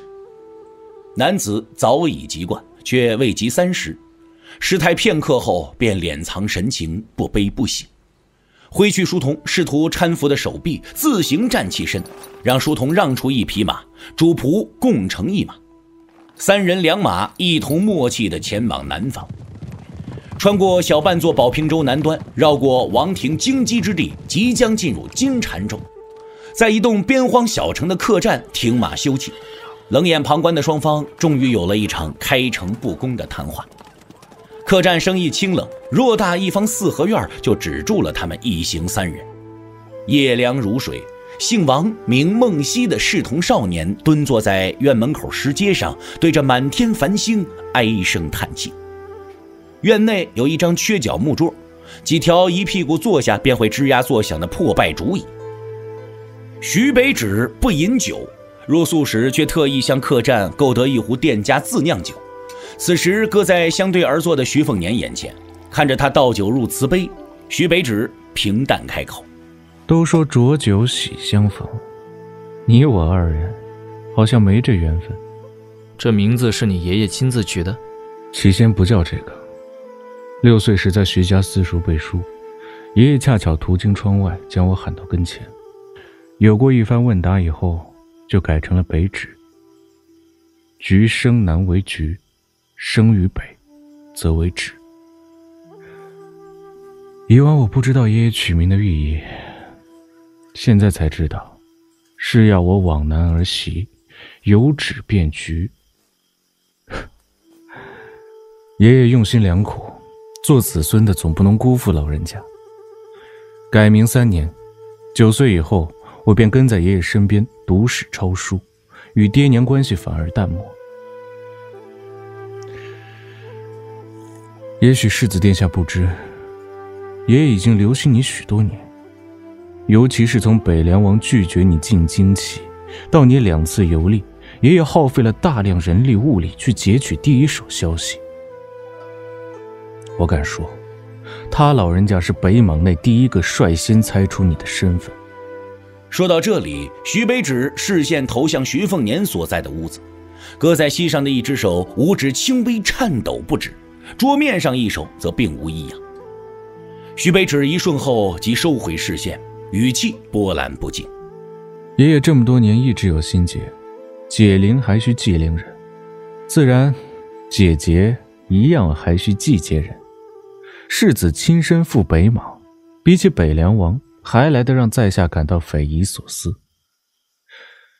我曾经建议爷爷，不等你临近弱水就将你击杀。既然是死结，就以一方去死为重。徐凤年笑了笑，一口饮尽杯中酒。徐北芷低头望向他眼前空无一物的桌面，只是没想到，死劫死劫，换成了他老人家去死。之前爷爷还说。就算见了你的面，谁生谁死还在五五分之间。徐凤年低头喝第二杯酒时，不露痕迹皱了皱眉头。徐北芷抿起嘴唇，注视着慢饮浊酒的徐凤年，近乎质问的开门见山：“你既然不愿做皇帝，来北莽做什么？来见我那不问世事多年的爷爷做什么？哪家藩王嫡长子如你这般疯疯癫癫？”你将北凉军权交由陈之豹，又如何？徐凤年瞥了他一眼，拿了一只空杯，倒了一杯酒，缓缓推到他桌前。徐北芷摇了摇头，不去举杯，竟是隐约有哭腔，自言自语：“对，我不喝酒，便不知酒滋味。我第二次游历返回北凉，来你们北莽之前，临行前一晚。”徐骁跟我坦白说过，我头回跟一个老仆出门，一个叫楚庐山的胖子就鬼鬼祟祟跟在我后头，暗中联络了北凉旧部不下五十人。北凉三十万铁骑的反与不反，就在徐骁一念之间。生在乱世都没有做乱世犬。徐骁笑称狗急还知道跳墙，他这个臭棋篓子，真要被皇帝拉扯着去下棋，万一在棋盘上输了，大不了一把掀翻棋墩子，看谁更翻脸不认人。第二次堂而皇之游历江湖，我才窥得北凉潜在势力的冰山一角。徐骁事后说：“这份家当，陈之豹拿不起。当初踏平春秋六国，徐骁被封北凉王，陈之豹原本可以去南疆自立门户，带着北凉近八万嫡系兵马赶赴南方裂土分疆，成为黎阳第二位异姓王。既然他当时拒绝了当今赵家天子，也就怨不得他这个早已给过机会的义父吝啬。在北凉，家有家规，要在。”国有国法之前，徐悲止默然沉思，许久以后，他默念：“既由断出生。”徐凤年换了个闲适写意的话题，笑问徐悲止：“能否告知智年道童的身份？不问清楚，我总觉着不舒服呀。”我也不知内里玄机，只知道十年前道童来到徐家，十年后仍是智童模样。岂不是应了那个玄之又玄的说法？长生，长生，这个说法脱口而出后，两人神色各异。徐凤年藏有戾气，徐北枳则充满一探究竟的好奇意味。徐北枳自幼跟随爷爷进染宫门修行，善于察言观色，见到徐凤年露出的蛛丝马迹，留了心，却没有问询。不曾想，徐凤年主动透底。我跟一直躲在龙虎山争得小长生的老王八有恩怨。如果你真要到了北凉，乐意放低身价为虎作伥，以后你等着看热闹就行了。徐悲止没有接过这个话头。唉，马上要进入金蝉州了，恐怕以你爷爷的渗透力，在那儿通行就不如在宝平州轻松喽。都早些歇息吧。徐悲止欲言又止，直到徐凤年转身都未出声。直到徐凤年走出几步，他才忍不住开口，嗓音沙哑：“你取走我爷爷的头颅，返回北凉，才算不负此行。”一张儒雅面皮的徐凤年停下脚步，转身望向这名比自己货真价实太多的读书人。徐悲止双手死死握拳，摆放在腿上，不去看徐凤年。我也知道，爷爷是要帮你助长军中威望。毕竟割走堂堂昔年北院大王的头颅，比起带兵灭去十万北莽大军还要难得。我只想看一眼，就一眼。徐北止，你不恨我？极为风雅静气的男子凄然笑了笑。我怎敢恨你？是要让我爷爷死不瞑目吗？徐凤年哦了一声，转身便走，轻轻留下一句：“你要见你爷爷，很难。